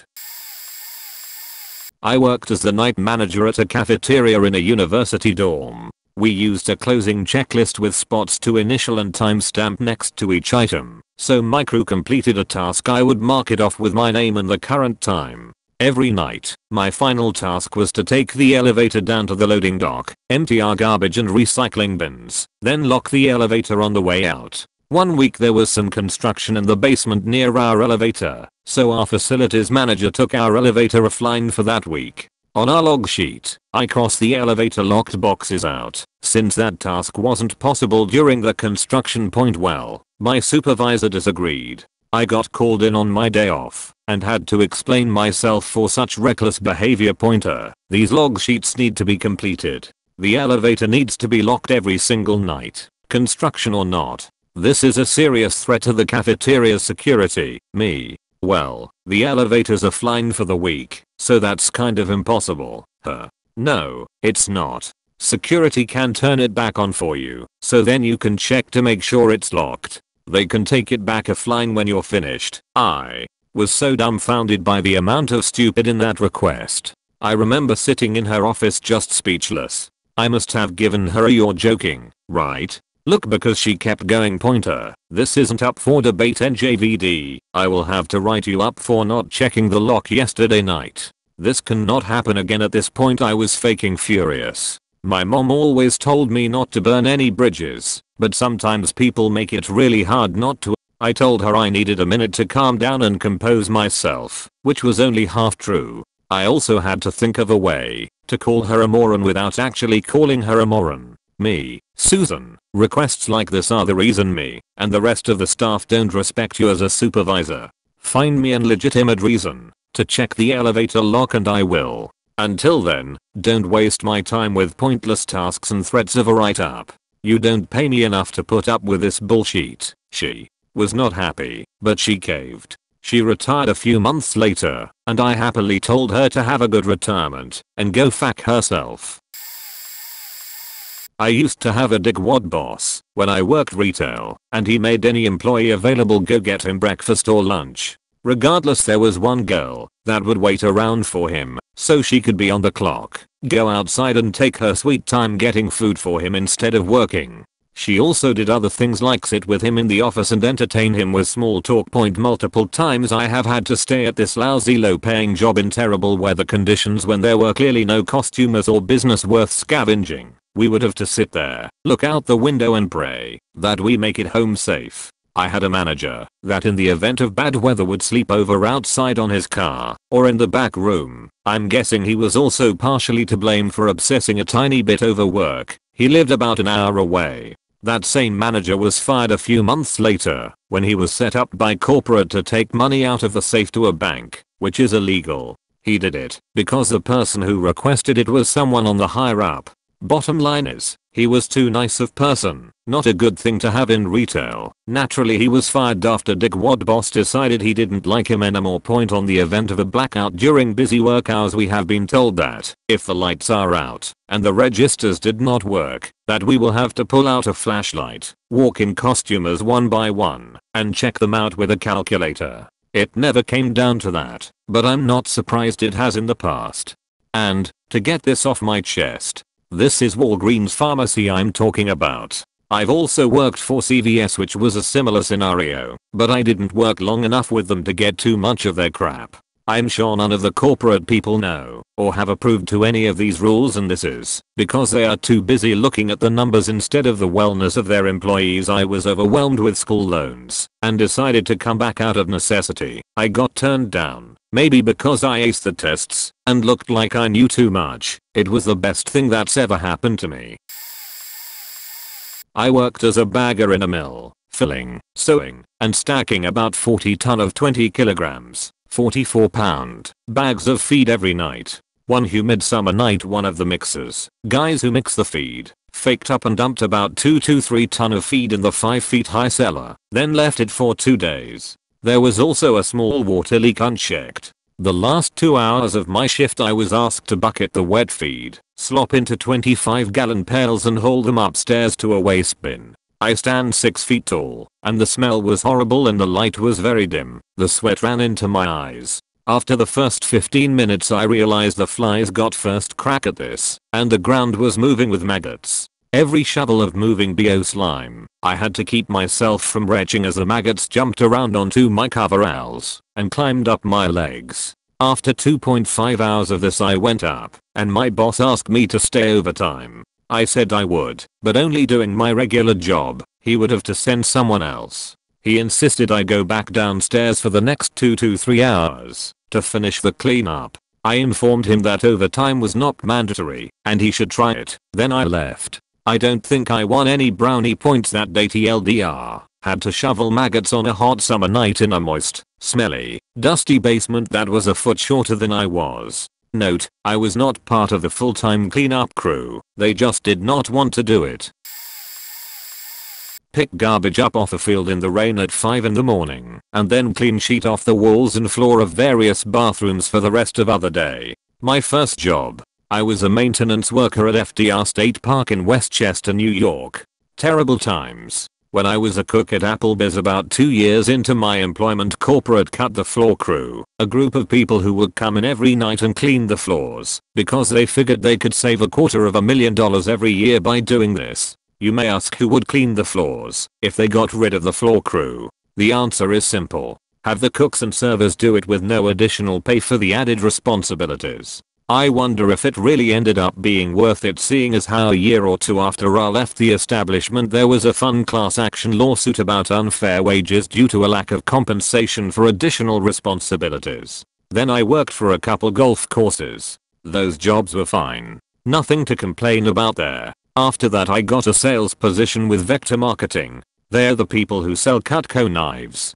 They expect you to start by trying to sell their very expensive products to your family and friends and then solicit their family and friends for additional clientele. If you ask me this is a scummy business practice. I stayed with them for a few months as I quickly got out of the family and friends circle since that idea made me uncomfortable. Then I worked for the university telephone soliciting alumni for donations to the university as I finished up that undergrad degree. Honestly, it wasn't that bad. I didn't make much, but I had loans, so that didn't matter. Now I'm a marketing rep for an exterior renovation company. I like this job. The company is ethical, and I get paid very well. My only complaint is that I have to work weekends sometimes, and that the communication in the office isn't always too great. These aren't big problems considering all things, though.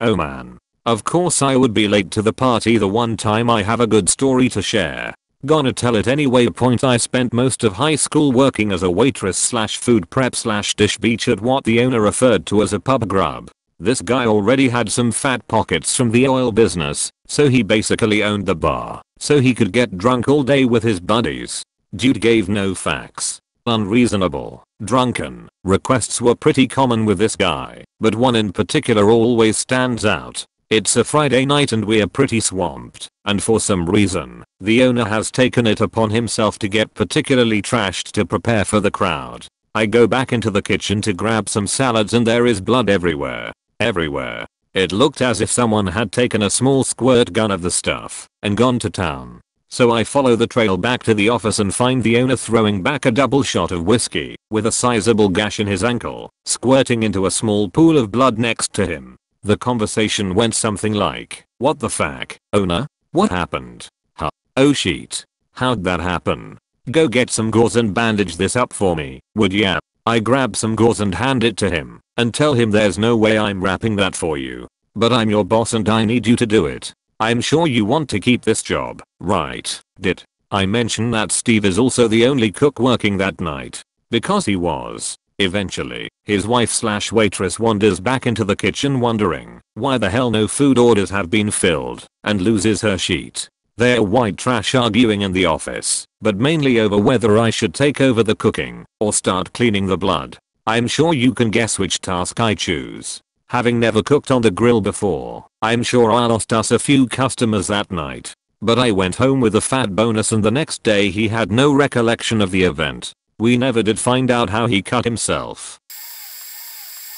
I was it slash purchasing slash facilities slash ass wiping manager at a manufacturer who recently went bankrupt and was bought out I was told to cover up FDA and deeper regulations for this chemical company. We had hazardous chemicals in bad Chinese drums that leaked near a major water source, as in slowly kill you, but not fast enough to raise eyebrows. I said absolutely not, and was let go a couple weeks later, because they had to follow up with me too often on things I looked the CEO dead in the face, and said unfortunate for you, that your fabricated statement is about to kick you in the balls I turned them into EPA and the New York State EPA department. They were fined over 30k, and ripped in the local newspaper. Not sure how much the FDA has fined them, I would guess all in all, 100 plus k in fines, which for that type of evil, seems like bullshit to me. Point they are still in business, as I liked a couple of the guys there very much, so I'm glad they are still employed, but the business owners probably took a nice hit point by the way, this was owned by Hasidic, SP.